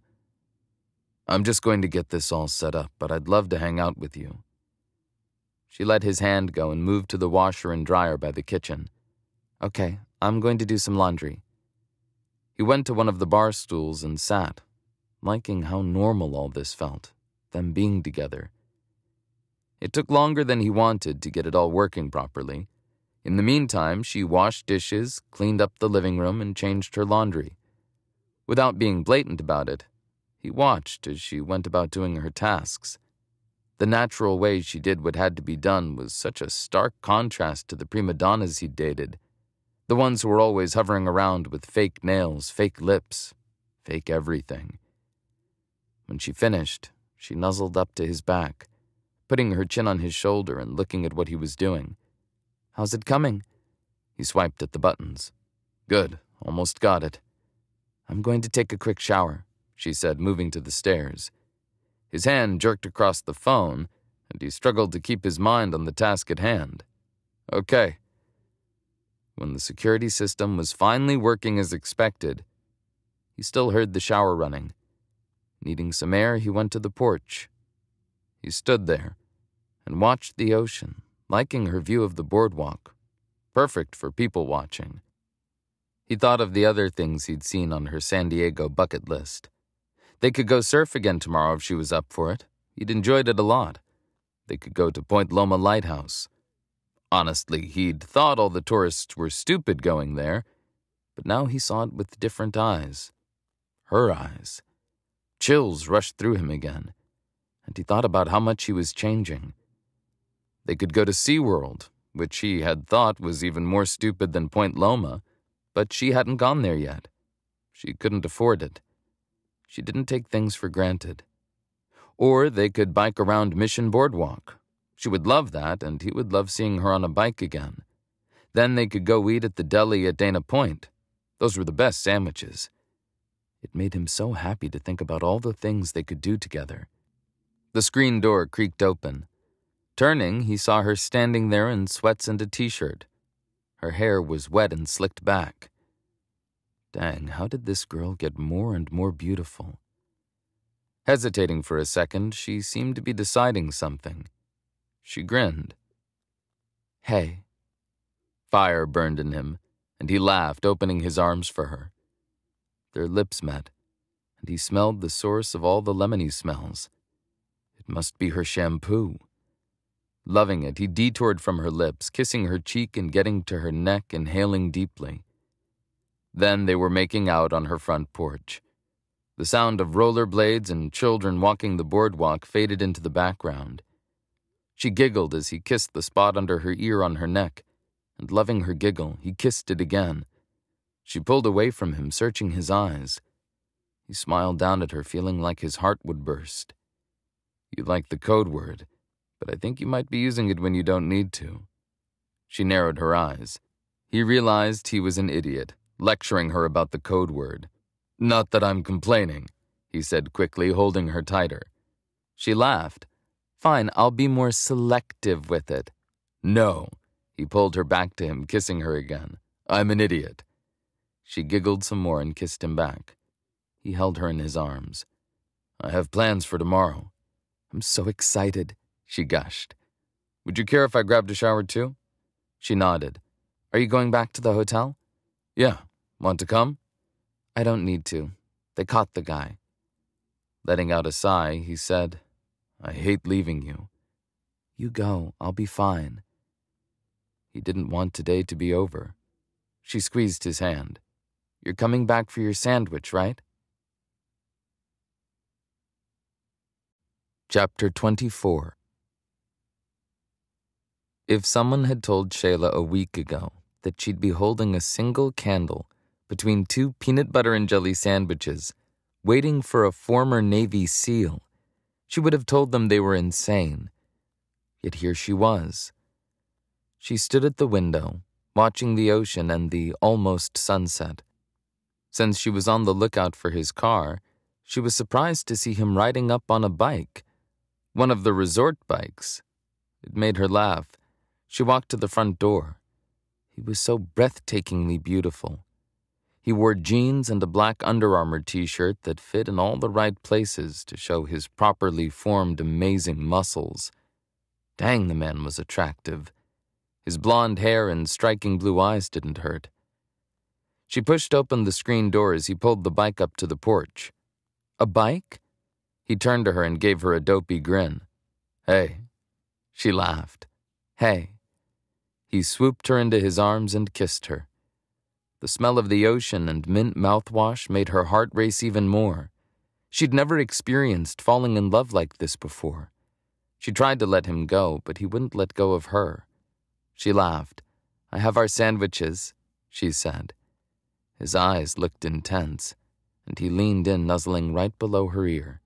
You taste better than a sandwich. She shivered and held his broad shoulders, loving the feel of him against her too much. Worry flitted through her mind at how much she liked him physically.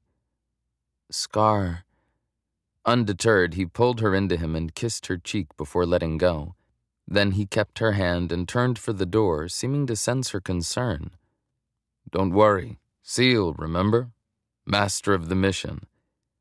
Unable to stop herself from smiling, she passed him as he held the door.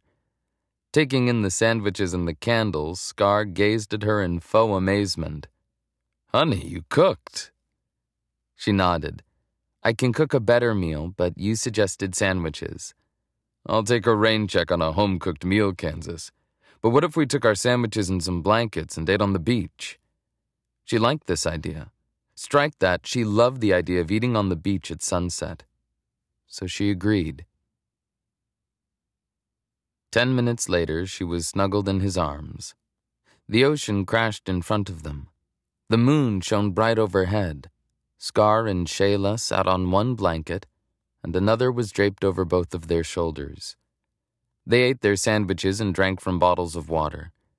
The whole day ran through her mind, and she couldn't believe it. She was finally doing the things she'd always dreamed of, and it was better than she'd ever imagined with him. What are you thinking? He finished a drink of water and tossed the bottle onto the sand. Feeling herself relax, she leaned into his chest, and he propped his head on top of hers. It was amazing how perfectly she fit there. I was thinking how wonderful this day with you was. He squeezed her and patted her hair. It was a good day. The sun was setting, and there was a bit of a breeze, but not one they needed a blanket for. Being here in his arms, just like this, felt perfect. She was overwhelmed with gratitude to God. Tears filled her eyes, but she didn't want to turn into a blubbering mess. Can I tell you something? he asked. She hesitated, sensing the gravity of her words. Of course. I didn't tell you one thing about the night I got the scar. His admission took her by surprise. Okay. She turned in his arms and repositioned so she could see his face. He frowned. The night my team was captured, she blinked and thought of what he was sharing with her, something he'd probably never shared according to him. You were captured? He waved his hand in dismissal like this was a side detail. Yeah, anyway, their ship took us to an embankment. It was dark. My face was bleeding. The guys I was with, one of them was moaning from his injuries. Another was crying. There was nothing I could do about it. And I remember thinking, why the hell am I here? And what am I doing this for? Uneasy, she breathed. And? I think this moment right here with you is the answer I've been waiting for. A thrill ran up her spine, and she turned and looked up at him. Tears were in his eyes. One was falling down his cheek. She was stunned that he'd shared that with her. Moments like this, when a man holds a woman bathed in moonlight, the world feels right somehow. That's how it feels with you, Shay. It just feels better. It makes everything I went through feel worth it. Without saying anything, she leaned up and brushed her lips across his. They tasted like peanut butter. He deepened the kiss, and she wondered if there would ever be a more perfect moment in her whole life than right now. No one said the code word. He grinned. She rolled her eyes. Maybe we should skip the code word. He laughed and kissed her again. Chapter 25 Scar and Shayla headed back to her townhome, the blanket draped over both of them. He loved the feeling that he could protect her right here, that nothing could go wrong with her right by his side. He wasn't sure what she would do when they got to the townhome. All he knew was he didn't want to leave her for the night. It was stupid. Security was up to par, but man, he didn't want to leave. They walked up the stairs and he opened the screen door for her. She punched in the new code on the lock. Thank you so much for having all the security put in. Nodding, he loitered on the porch. For a moment, neither of them spoke a word. Then she sighed. Well, I guess I'll see you tomorrow. Every part of him wanted to keep seeing her tonight, but he agreed. Sounds good. Okay. Thank you. Then she grinned. Hey. He broke into a laugh and crossed the doorway. Hey. He pulled her into a kiss, keeping it light and sweet. He ended it by kissing both of her cheeks and holding her close to him. Slow, he reminded himself. This was not a girl to take things fast with. Pulling back, she nodded. See you in the morning. With an insane amount of self control, he pulled back and moved out of the doorway, pulling the door shut behind him. He took the bike he'd rented off the porch and hopped on. It was dark, but the moon lit up the sky and there were lights on the boardwalk back to the hotel. He biked by a few random people, couples, and some military runners. It was strange to him that even though he should be tired from all they'd done together, he only felt awake and alive. He decided right then what he would do. He would follow the same trail that they'd taken the other day, and he would push out a bike ride around the island. Going hard and fast, he took off. It felt awesome. He was soaring, flying. He crossed the street by the hotel and went down the other boardwalk along the other side of the island. The breeze was cool and perfect. He thought about how the air in San Diego felt so different from Texas. San Diego actually cooled down at night, and the breeze was heavenly. Once more, he thought about how he could be in San Diego full time how he could relocate. Was he willing to give up football? As he pushed around the rest of the island for the next hour, he liked the idea of being in San Diego, liked the idea of doing the vet sparring full time, running the gym, expanding with other gyms, maybe even doing tours with his brother. Most importantly, he could be with her every day, eventually every night, too. With her, married to her. Getting back to his room, he took another shower because he was gross and saw it was only 10:30. As he got all his clothes together for the laundry, he made a list of all the things they would do the next day. He couldn't stop smiling as he thought of the pillow talk they would have when he called her in just a bit. Then he got a text. Thinking it was her, he was going to reply, Already miss me? But it wasn't. It was from Anthony Kincaid. Bro and Dad want to chat about project. Sending the jet for you at 8 a.m. tomorrow. Annoyance rippled through him. He did notice the irony of this situation because he liked being on the Kincaid team. He liked the power they could wield with their charitable forces and the vision he had with this program. However, at the moment, he felt like he'd been summoned by the king, and he did not like that. He texted back, Okay. What else could he do? Plus, a small part of him thought this might be an opportunity to talk to them about relocating here. They also had to talk about football. Sure, they could replace him, but they were a team. He would miss them. He grinned, thinking they wouldn't miss his trash talking. Thinking about it made him smile. You don't try to compete in trash talking with an ex Navy SEAL. You just don't. His phone rang and he smiled as he answered. You just can't get enough, Kansas. She hesitated. You know, I guess I don't mind my other nickname so much. He laughed and felt something stir in his breast at how much he wanted this woman, how completely he wanted her. You got it, dream girl. A chuckle rang over the line. I miss you. She sounded vulnerable. He wanted to offer her to come stay, but he didn't want to do anything he would regret, and he did understand the need for boundaries, guidelines, and discipline. It was what had gotten him this far in his career. I miss you too. He didn't want to tell her this, but he had to. I was just summoned to Mount Olympus by the Kincaids. Oh, the guys that run your charity? Yes. Okay.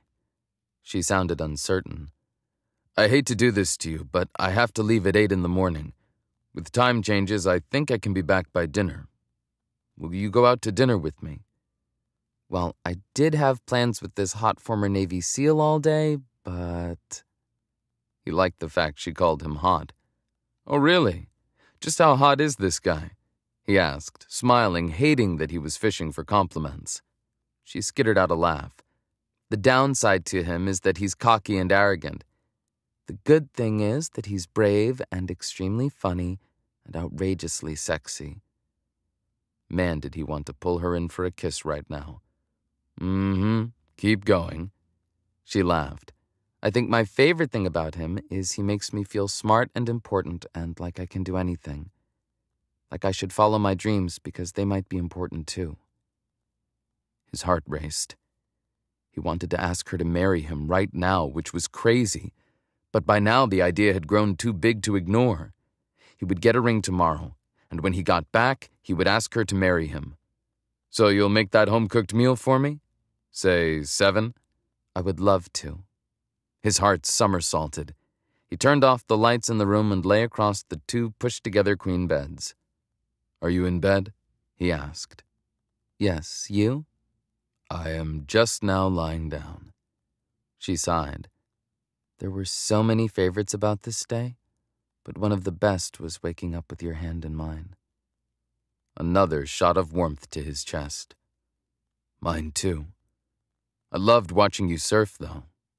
You're gorgeous, dream girl. She didn't say anything for a minute. And you're not bad yourself. Your flattery overwhelms me. She let out a sigh. What do you want me to say? You kind of have an amazing body. Liking her blatant compliment more than he should, he grinned. Uh, yeah. That's good. Say that. She laughed. And your tattoos, even though I don't know what they mean, are pretty awesome. The trident. What? On my shoulder, I have the Navy SEAL trident. It is an eagle holding a gun, a trident, and an anchor. The pendant is one officers get when they've accomplished the BUD/S training to become a SEAL. Come to think of it, he normally didn't discuss his tattoos with anyone, not even the woman he dated last year. You're pretty amazing, she sniffed. I cannot believe this day. I cannot believe I met you, that we fell in love. He finished for her. He couldn't believe he said it, but then again he could. It was her.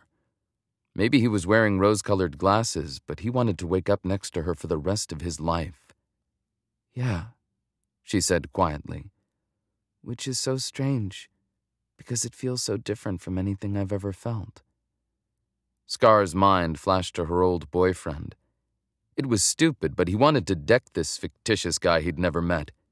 He had to be fictitious, because everything between him and Shay felt so real. Scar? she asked. Sorry, yes, it's different for me too, Dream Girl. His voice was soft, and he thought about how he'd never seen this coming. She sighed. I saw some of your past girlfriends on the internet tonight. What? He didn't like thinking she was looking at pictures of his dates with other women. It's. Well, some of those girls had it all. He knew what she was thinking. They looked like they had it all because it was all fake. I. He tried to explain. That's not my type. He defended himself. Hmm, she said. He hated that he wasn't there to talk to her about this in person. I. His heart raced at what he was about to confess. I went for a bike ride tonight. Tonight? Yeah.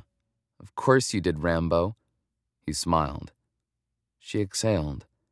My legs are shaky and my upper body strength is wasted, but you go for a bike ride. He grinned even wider, not hating how she was complimenting him on his manliness. Of course, she would never say it that way.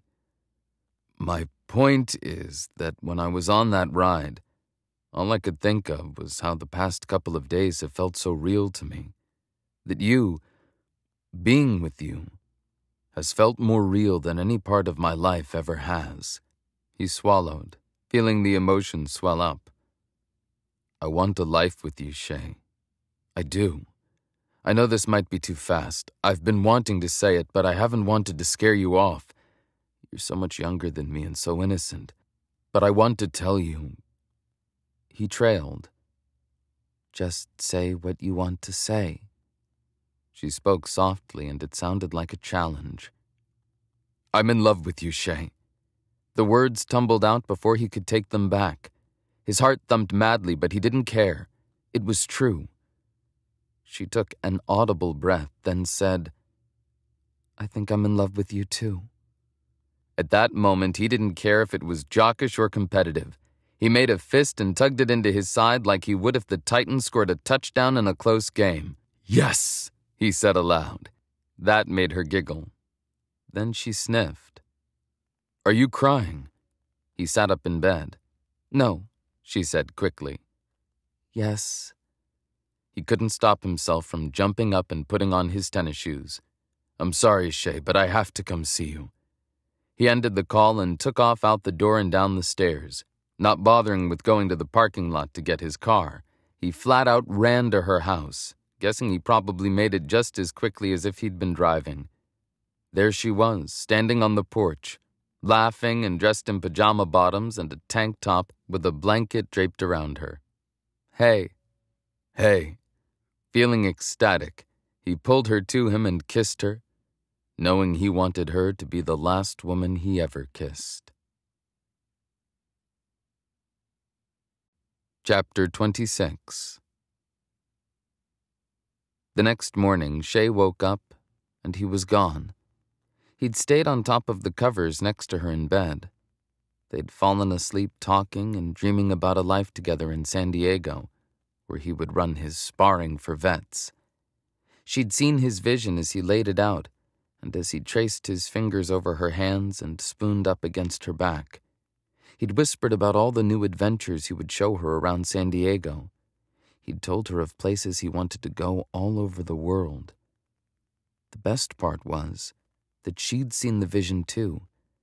Even though it overwhelmed her, the thing she was the most sure of was him by her side, hand in hand as they started a life together. Knowing that he would probably wake and leave to catch his plane, she hadn't expected to wake up at almost nine o'clock in the morning. She laughed and rolled out of bed happy to see a rose on the chair by the bed and a note that said, Hike to Point Loma today, and we'll talk about it tonight. How had he gotten a rose? She smiled even wider as she smelled it.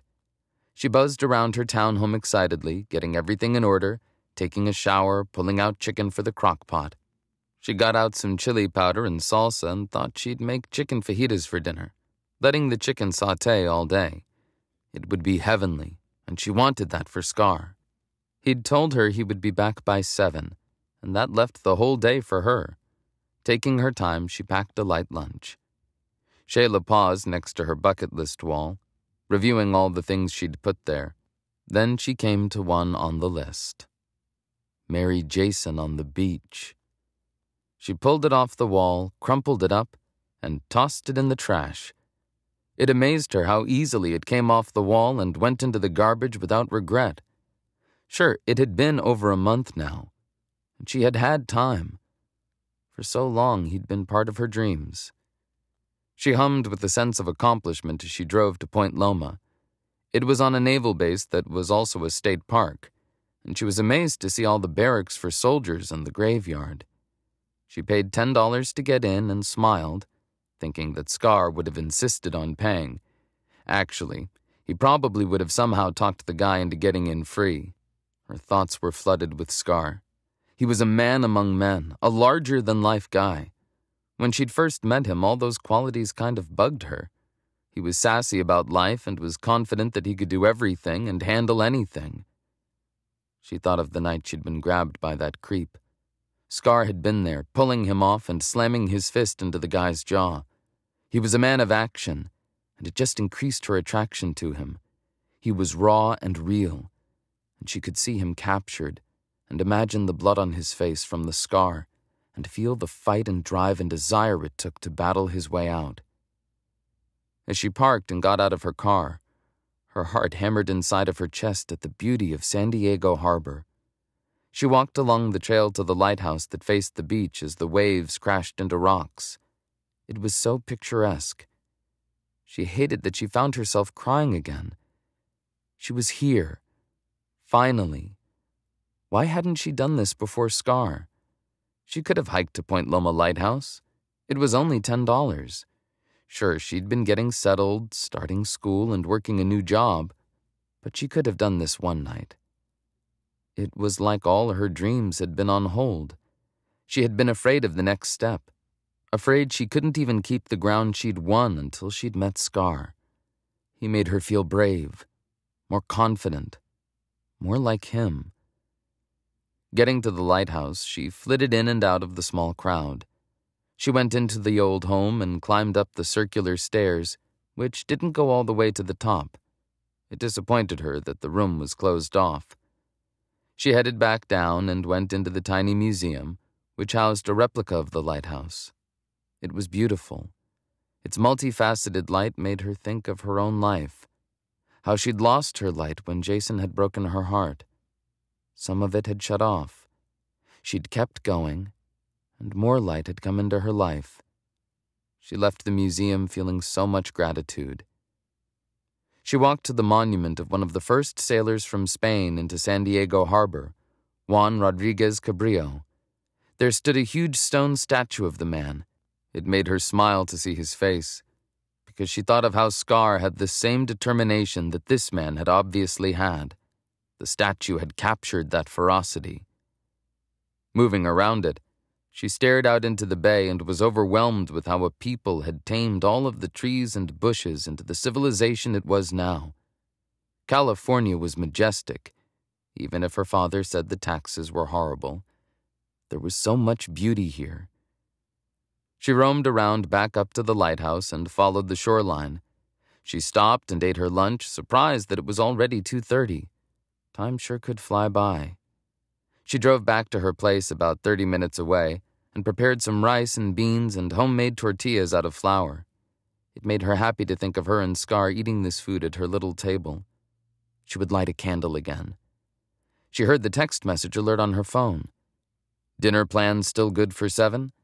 She texted back. Yes. He texted back with an emoji thumbs up. Feeling almost at a loss for what she would do until he arrived, she went up to her room and decided to lie down for a few moments. A loud banging on the door startled her awake. She jumped up, grabbing her phone and finding that it was almost seven. Oh my gosh. She'd wanted to be ready and have nice hair and makeup. She didn't know how she'd slept for so long. Rushing down the stairs, she couldn't wait to see Scar and tell him, hey, and indulge in his lips. She flung the door back, a smile on her lips, but froze when she saw something she had stopped imagining and even wishing for. Jason. He stood there, wearing Wranglers, cowboy boots, a belt buckle, and a five gallon hat. He looked completely out of place. Hey, he said. What are you doing here?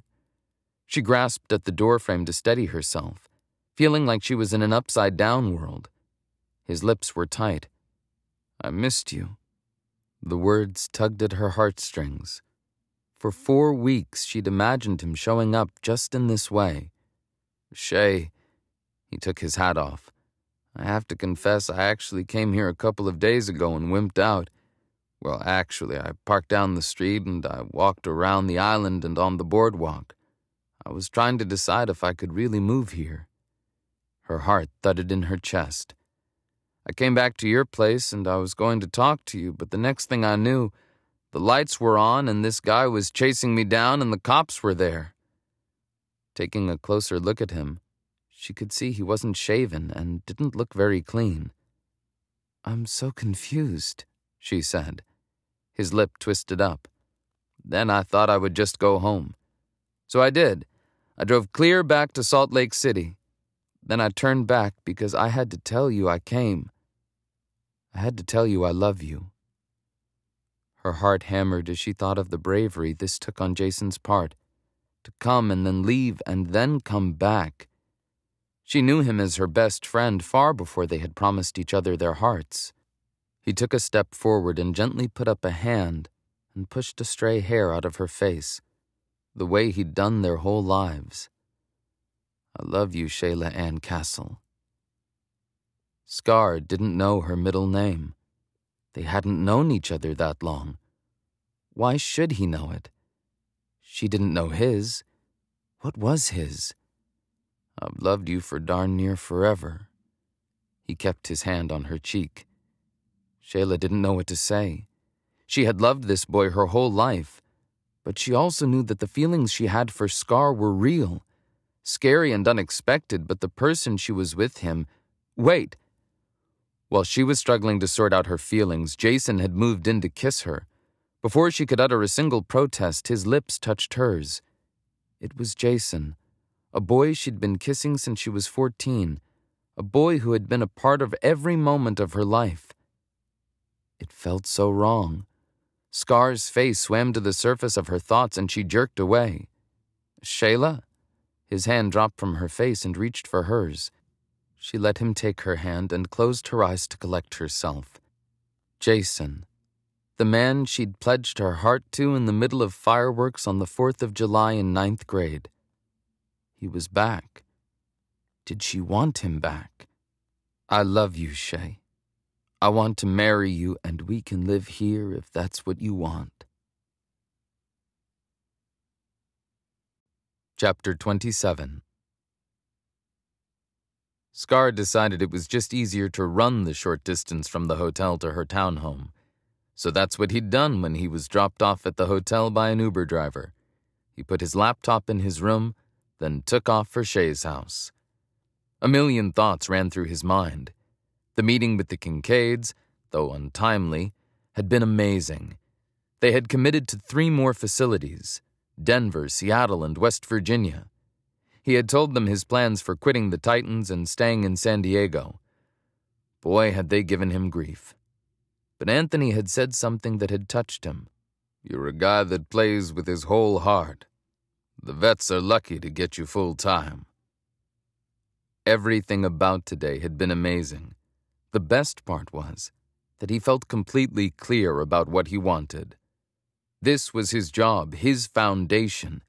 He thought of the thousands of vets it would help, and how they would help him.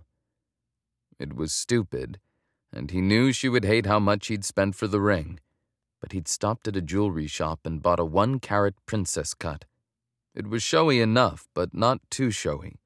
He knew she wouldn't want too showy. It was all so unreal to him that in less than two weeks he'd fallen so hard for this woman and that he was going to do it. He was going to ask her a question he'd never asked another woman to spend the rest of her life with him. He meant it. He wanted every day with her. Sprinting for the last part, he turned off of the boardwalk and began crossing the street to her townhome. He saw something he'd never expected. His heart turned to ice when he saw her kissing another man holding his hand. After freezing for a split second, he couldn't stop himself. Hey! he yelled, wanting to grab the guy and rip him off of her. Chapter 28 The sound of Scar's voice broke the spell of Jason. Shayla's heart skipped a beat as she turned to see Scar coming toward them like he would slay the dragon and fight off the opposing forces if necessary. What the? Jason looked back and undoubtedly was a bit intimidated by the former Navy SEAL trudging toward them with the ferocity of a lion. What the? Scar stopped in her yard, broaching the deck. Scar? she said, touching her mouth where Jason had just kissed her. It would have been slightly amusing to her to see a scene like this in a romantic comedy movie. It would have been hilarious if it weren't her life. She moved away from Jason out onto the deck. This is Jason, she said, all her thoughts scrambling. This. She turned to Jason's scary looking face, a face she'd seen him wear during wrestling season before a match. She wanted to veer him away from this opponent, because it would not go well for Jason. Scar way outmatched him. Scar's eyes flashed back and forth between them. You're the ex boyfriend? Yeah, I am, Jason's jaw tightened and he glared at Scar. Who are you? Shayla fumbled to explain to Scar. He just showed up and. Her mouth felt dry. She felt like she was in front of judge and jury. She turned to Jason. Jason, would you please just. She didn't know what to do. There were still some things to sort out. Go in my house for a second. I need to talk to Scar. Jason flicked his glare to her. Shay? he demanded. Scar's glare was on him. Wait a second, he said, seeming to be processing his profile. This was the guy who ran the other night. He pointed an accusing finger at Jason. You were running. You were chasing me? Jason asked just as harshly, pointing back at Scar. Jerk? Why don't you come down here and tell me about it? Scar's voice bordered on thundering as he took a step forward. She put up both hands like she was blocking her brothers from a fight. Stop! She looked at Jason. Go inside, please. I want to talk to you about everything, but I need to talk to Scar first. Sucking in a ragged breath, she saw the most ferocious look on Jason's face. But he nodded, giving Scar a triumphant look. I will go into your house, he said like he was throwing it in Scar's face. He shut the door, and Shayla turned to Scar. Already his eyes were on hers. They were intense, fiery, every bit the seal she knew he was. She felt herself start to tremble. Scar, I didn't know he would show up here. Uh huh, he said, the cynicism back in full force. So the boyfriend shows up and I find you in a lip lock? He sputtered. Really, Shay? It took her off guard that he called her Shay instead of using one of her nicknames. It felt impersonal, especially after everything that had been happening between them the past couple of days. Look, she said, her mind racing. Give me a chance to talk to Jason. I need to sort some things out. He scoffed. Right. That means my time is done. Thank you for your service. He said it like an officer would thank a soldier. Scar. She couldn't believe he was acting so rashly. I spent most of my day making dinner for you. I went up to Point Loma and missed you. All I wanted was for you to get back here, okay? Because. Did she have to say it? She couldn't stop herself. I've fallen in love with you. Now his face hardened even more, and his lips twitched back to the sardonic smile. So you fall in love with me, then kiss your boyfriend when he shows up. Every part of her wanted to deny that she'd kissed Jason, but she had. I did not kiss him, and it's not that simple. Isn't it? His face fell, looking ragged and vulnerable. Are you really in love with me or not? Is it him or me? The words were quiet and sharp. Her mind raced. She needed to talk to Jason. He had been the one for her whole life. This thing with Scar felt huge, life changing, but she just needed a minute. Shaking his head at the silence, he shook his head and grunted. Awesome. I know how to pick 'em. She felt shell shocked and out of sorts. You're comparing me to one of those big boobed bimbos that have everything fake about them? She raised her voice. Really, Scar? He shook his head and then swallowed and looked away from her, squeezing his eyes closed. He tugged a box out of his pocket. Her heart hammered inside her chest. She didn't know what was happening. He couldn't be doing this. Closing the gap between them, he popped open the lid. I came here tonight to start something new with you. His eyes looked vulnerable and stormy and confused, exactly the way she felt. He frowned, holding the ring suspended in the box in the air. So I'm. He broke off, then sucked in a breath. I can't believe I'm doing this, but. He dropped to his knee. Her hands reflexively went to her mouth and tears were in her eyes. Will you marry me? He blinked. I don't know what's going on, but I do know that the only thing I care about is you and me. I'm throwing caution to the wind. I'm trusting and having faith. I love you, Kansas. I want it all with you. Our dreams, our hopes, a future. In San Diego. Right now. I want to start. I want it right now with you. A thrill ran up her spine and she reached for the ring with shaky fingers. I want. Scar. Her hand flattened. As she thought of Jason, uncertainty dampened her mood. I. Tears fell down her cheeks. I. She thought of how she'd always seen herself married to Jason, of how she'd only known Scar for such a short time. At her silence, his face drained of all emotion. He stood, pulling the ring back and pushing it into his pocket. He shook his head. Scar, it's not. I can't just. Would you give me a minute? Oh, she was not explaining this well at all. He scowled at her. Carpe diem, he said simply. I wasn't doing that until I met you, so thank you for that. He barked out a laugh.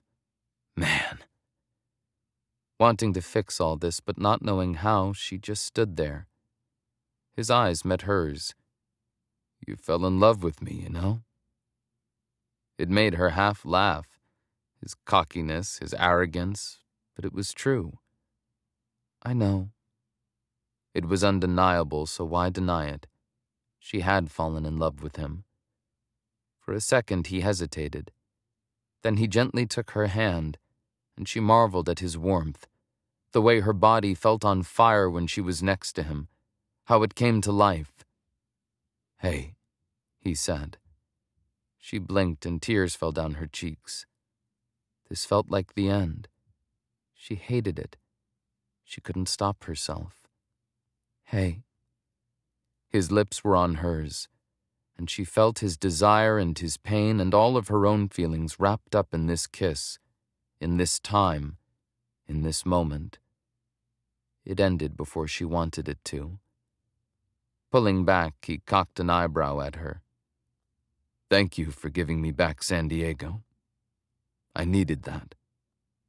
He looked down. Goodbye. Then he left. Chapter 29 It had been two days. Two days since he'd left Shayla to go back to her boyfriend. Two days since he'd checked out of the Hotel del Coronado and just crashed at the gym. Two days of soul searching. He'd thrown himself into the vet project and worked long nights. At night, he would go through the limited pictures he'd taken of her on his phone. He'd wanted to delete them, but he found himself unable to do it yet. Now he stood on his brother's cruise ship, staring off the bow. He'd made the paperwork official and would force his brother to sign if he had to. The boat was Stephen's. It was funny to Scar that his brother had been right in the end. San Diego was home. He was staying, even though he was heartbroken. He'd been consumed with Shayla, with the days they'd spent together, with the knowledge her old boyfriend was in town, with the dreams he'd lost when she hadn't answered his question. He clutched the bar that ran across the bow of the ship. He thought he could bend the metal if he tried hard enough. Here you are. His brother's voice pierced his thoughts. Been looking for you. It was early, and the sun shone from behind his brother, making him squint. They looked alike, more than he cared to admit, but his brother didn't have the scar on his face. I'm here for paperwork you should have signed a long time ago. He held up a file with the paperwork to make the cruise ship officially Stephen's. He wouldn't take no for an answer. His brother frowned at him. Scar, we need to talk. The business is yours. You've been running it, so just sign them. Scar held the folder out to him. Stephen glared at him and crossed his arms. Are you leaving? Actually, I'm staying. His brother's eyebrows shot up. Really? I've decided to work on the Sparring for Vets project full time. Stephen looked him up and down. What about the girl? Scar shrugged, but the feel of the ring in his pocket was still there. Nope, was all he said. His brother narrowed his eyes, seeming unconvinced. What happened? What was not going to happen was this conversation. Suffice it to say, it was a mistake. Scar shook his head, sinking back into the brooding thoughts. Stephen scoffed. Look, I don't know what happened. Clearly, she did something that hurt you. You're one of the bravest, strongest people I know. So if you think it's time to walk away, I am not going to argue with you. Heck, you know I am the first person to want you to stop putting yourself in harm's way, but. She's here. His heart raced. What? Stephen rushed on. She says it was all a misunderstanding, and she looks as miserable as you, so I figured. Jolting out of his cynical calm, Scar's heart jumped. What? Guess she couldn't find you the past two days? His brother shook his head. Did you do one of your disappearing acts? I told her to wait while I checked the boat. He thought of how he'd blocked her number. He didn't need any Hail Mary pillow talk in the middle of the night if she felt bad. He was done. She'd made her decision. His brother's face softened. I liked this girl. She was here. She was here? She was here? He started for the dock, feeling like someone else was controlling his limbs. Wait. Stephen's hand was on his shoulder. Bro, remember. Don't let pride get in the way. After letting that sink in, Stephen said, I admit, I have a lot of my own pride. It's a Walker trait. Don't lose her because of your stupid pride. Scar was only focused on one thing. She's here. He couldn't believe it. Scar, his brother called out again. One last thing. He stopped, noticing his brother had finally called him Scar. Stephen was next to him, reaching out, pulling him into his arms. They hugged briefly. It felt good to make that connection again. His brother let him go and asked, You love her? A million emotions clashed within him. I don't know, I thought so, but it's complicated. His brother shook his head. Love is simple. You love each other, you forgive each other. That's how it works. Wash, rinse, repeat. Scar smiled and felt so grateful for his brother. I'm sorry, Stephen. For my pride. Both of them hugged again before Stephen pushed him. Go to her, you idiot! Scar took off, but slowed to a stop when he saw her coming down the dock. Her red hair was pulled back in a ponytail, and there were strands haphazardly hanging out, just like when he'd met her. When he saw her face, the distress and the relief on it perfectly reflected his feelings. With a cry, she rushed toward him. She held her hands out to her sides, tucking in her bottom lip as if saying, I couldn't stay away from you. Dang it if he didn't feel like this was the end of some sappy romance novel. Scar would read any number of cheesy romance stories if he got to end up with his dream girl. He ran to her, stopping a few feet shy and knowing tears of his own were running down his face. She shook her head, her eyes bloodshot. You never gave me enough time to answer you. A grin swept over his face. Hey. She closed the gap between them and smiled. Hey. They kissed. He was drinking from her and she from him and it felt perfectly right. Like the world, his world and everything in it had been restored to perfect working order. She pulled back and got serious. I told Jason I realized he was a dream I'd had for a long time, but my dreams had outgrown him. His heart stopped. They have, he said with certainty. Carefully, she put her hand on his face, tracing his scar. You call me your dream girl but you're my dream guy. I want you. I know it's crazy and I know it's fast, but it might be the only dream I know is real. For a second, he felt like he couldn't breathe. Hearing her say that meant everything to him. He reached out, taking her hand. He held it and got down on his knee again. He couldn't believe he was doing this, but if he knew anything, it was that this woman was the only woman he would do it for. Marry me. She put her hand to her mouth and tears were in her eyes. Marry me and let's start it all together. She laughed. I was hoping you'd ask again. Yes. He stood and slipped the ring onto her finger. Hey, she said, falling into him. Hey. He pressed his lips to hers, picking her up and spinning her around. Finally, he put her down and she gazed into his eyes. His heart felt like it would burst. I'm glad you messed up my eggs. She shoved him, but he kept her close. He kissed her lightly on the lips. I want to keep living dream after dream with you the rest of our lives. She smiled back. Me too. Epilogue Scar stood on the beach at Coronado Island and waited for his bride. His brother leaned over, nudging his shoulder. Dude, don't worry, she'll probably come. Elbowing his brother, there was faint laughter next to Stephen. Anthony Kincaid leaned toward them, a wide grin on his face. Trash talking appears to be an inherited trait in your family. Scar grimaced at Anthony, then turned back to the big red carpet that went from the tent to the place they'd set up for the ceremony even though he'd never admit how much it meant to him that most of the Titans had joined him for this ceremony, and most of the guys at the Sparring for Vets program had come too, it did mean a lot. He felt immensely happy.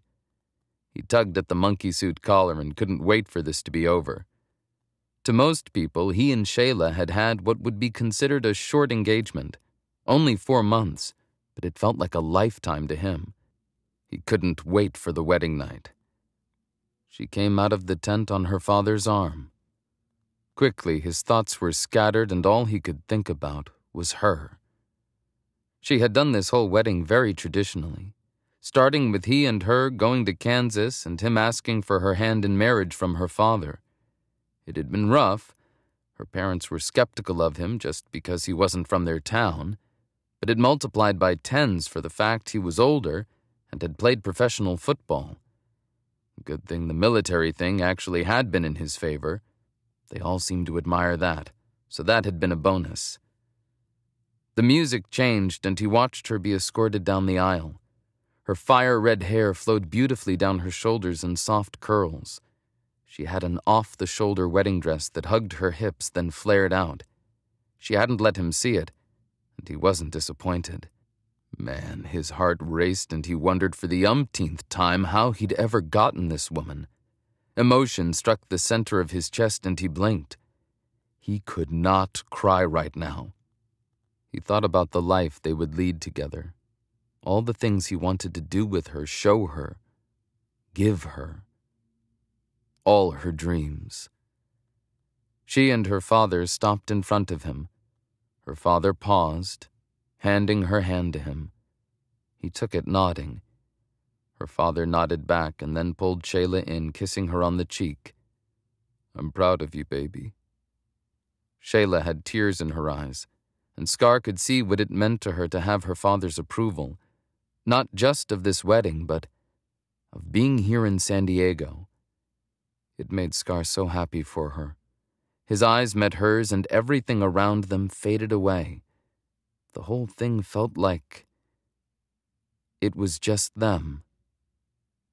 The preacher started into the vows, and both of them just smiled at each other. He saw her, that day surfing at Oceanside for the first time, her fist in the air, laughing and grinning from ear to ear. Every dream, every day, for a lifetime. That's what he wanted with this woman. Forever. At the end of the ceremony, the preacher told them they were married, and he turned to her grinning. He'd thought about this moment so many times how he would say it, how she would respond. Hey, he said, his heart thudding inside his chest. She laughed, blinking back tears. Hey. Then they fell into each other's arms and kissed. The best kiss of their lives. This has been The Dream Groom Texas Titan Romances. Written by Taylor Hart. Narrated by James Foey. Copyright 2018 by Taylor Hart. Production copyright by Taylor Hart.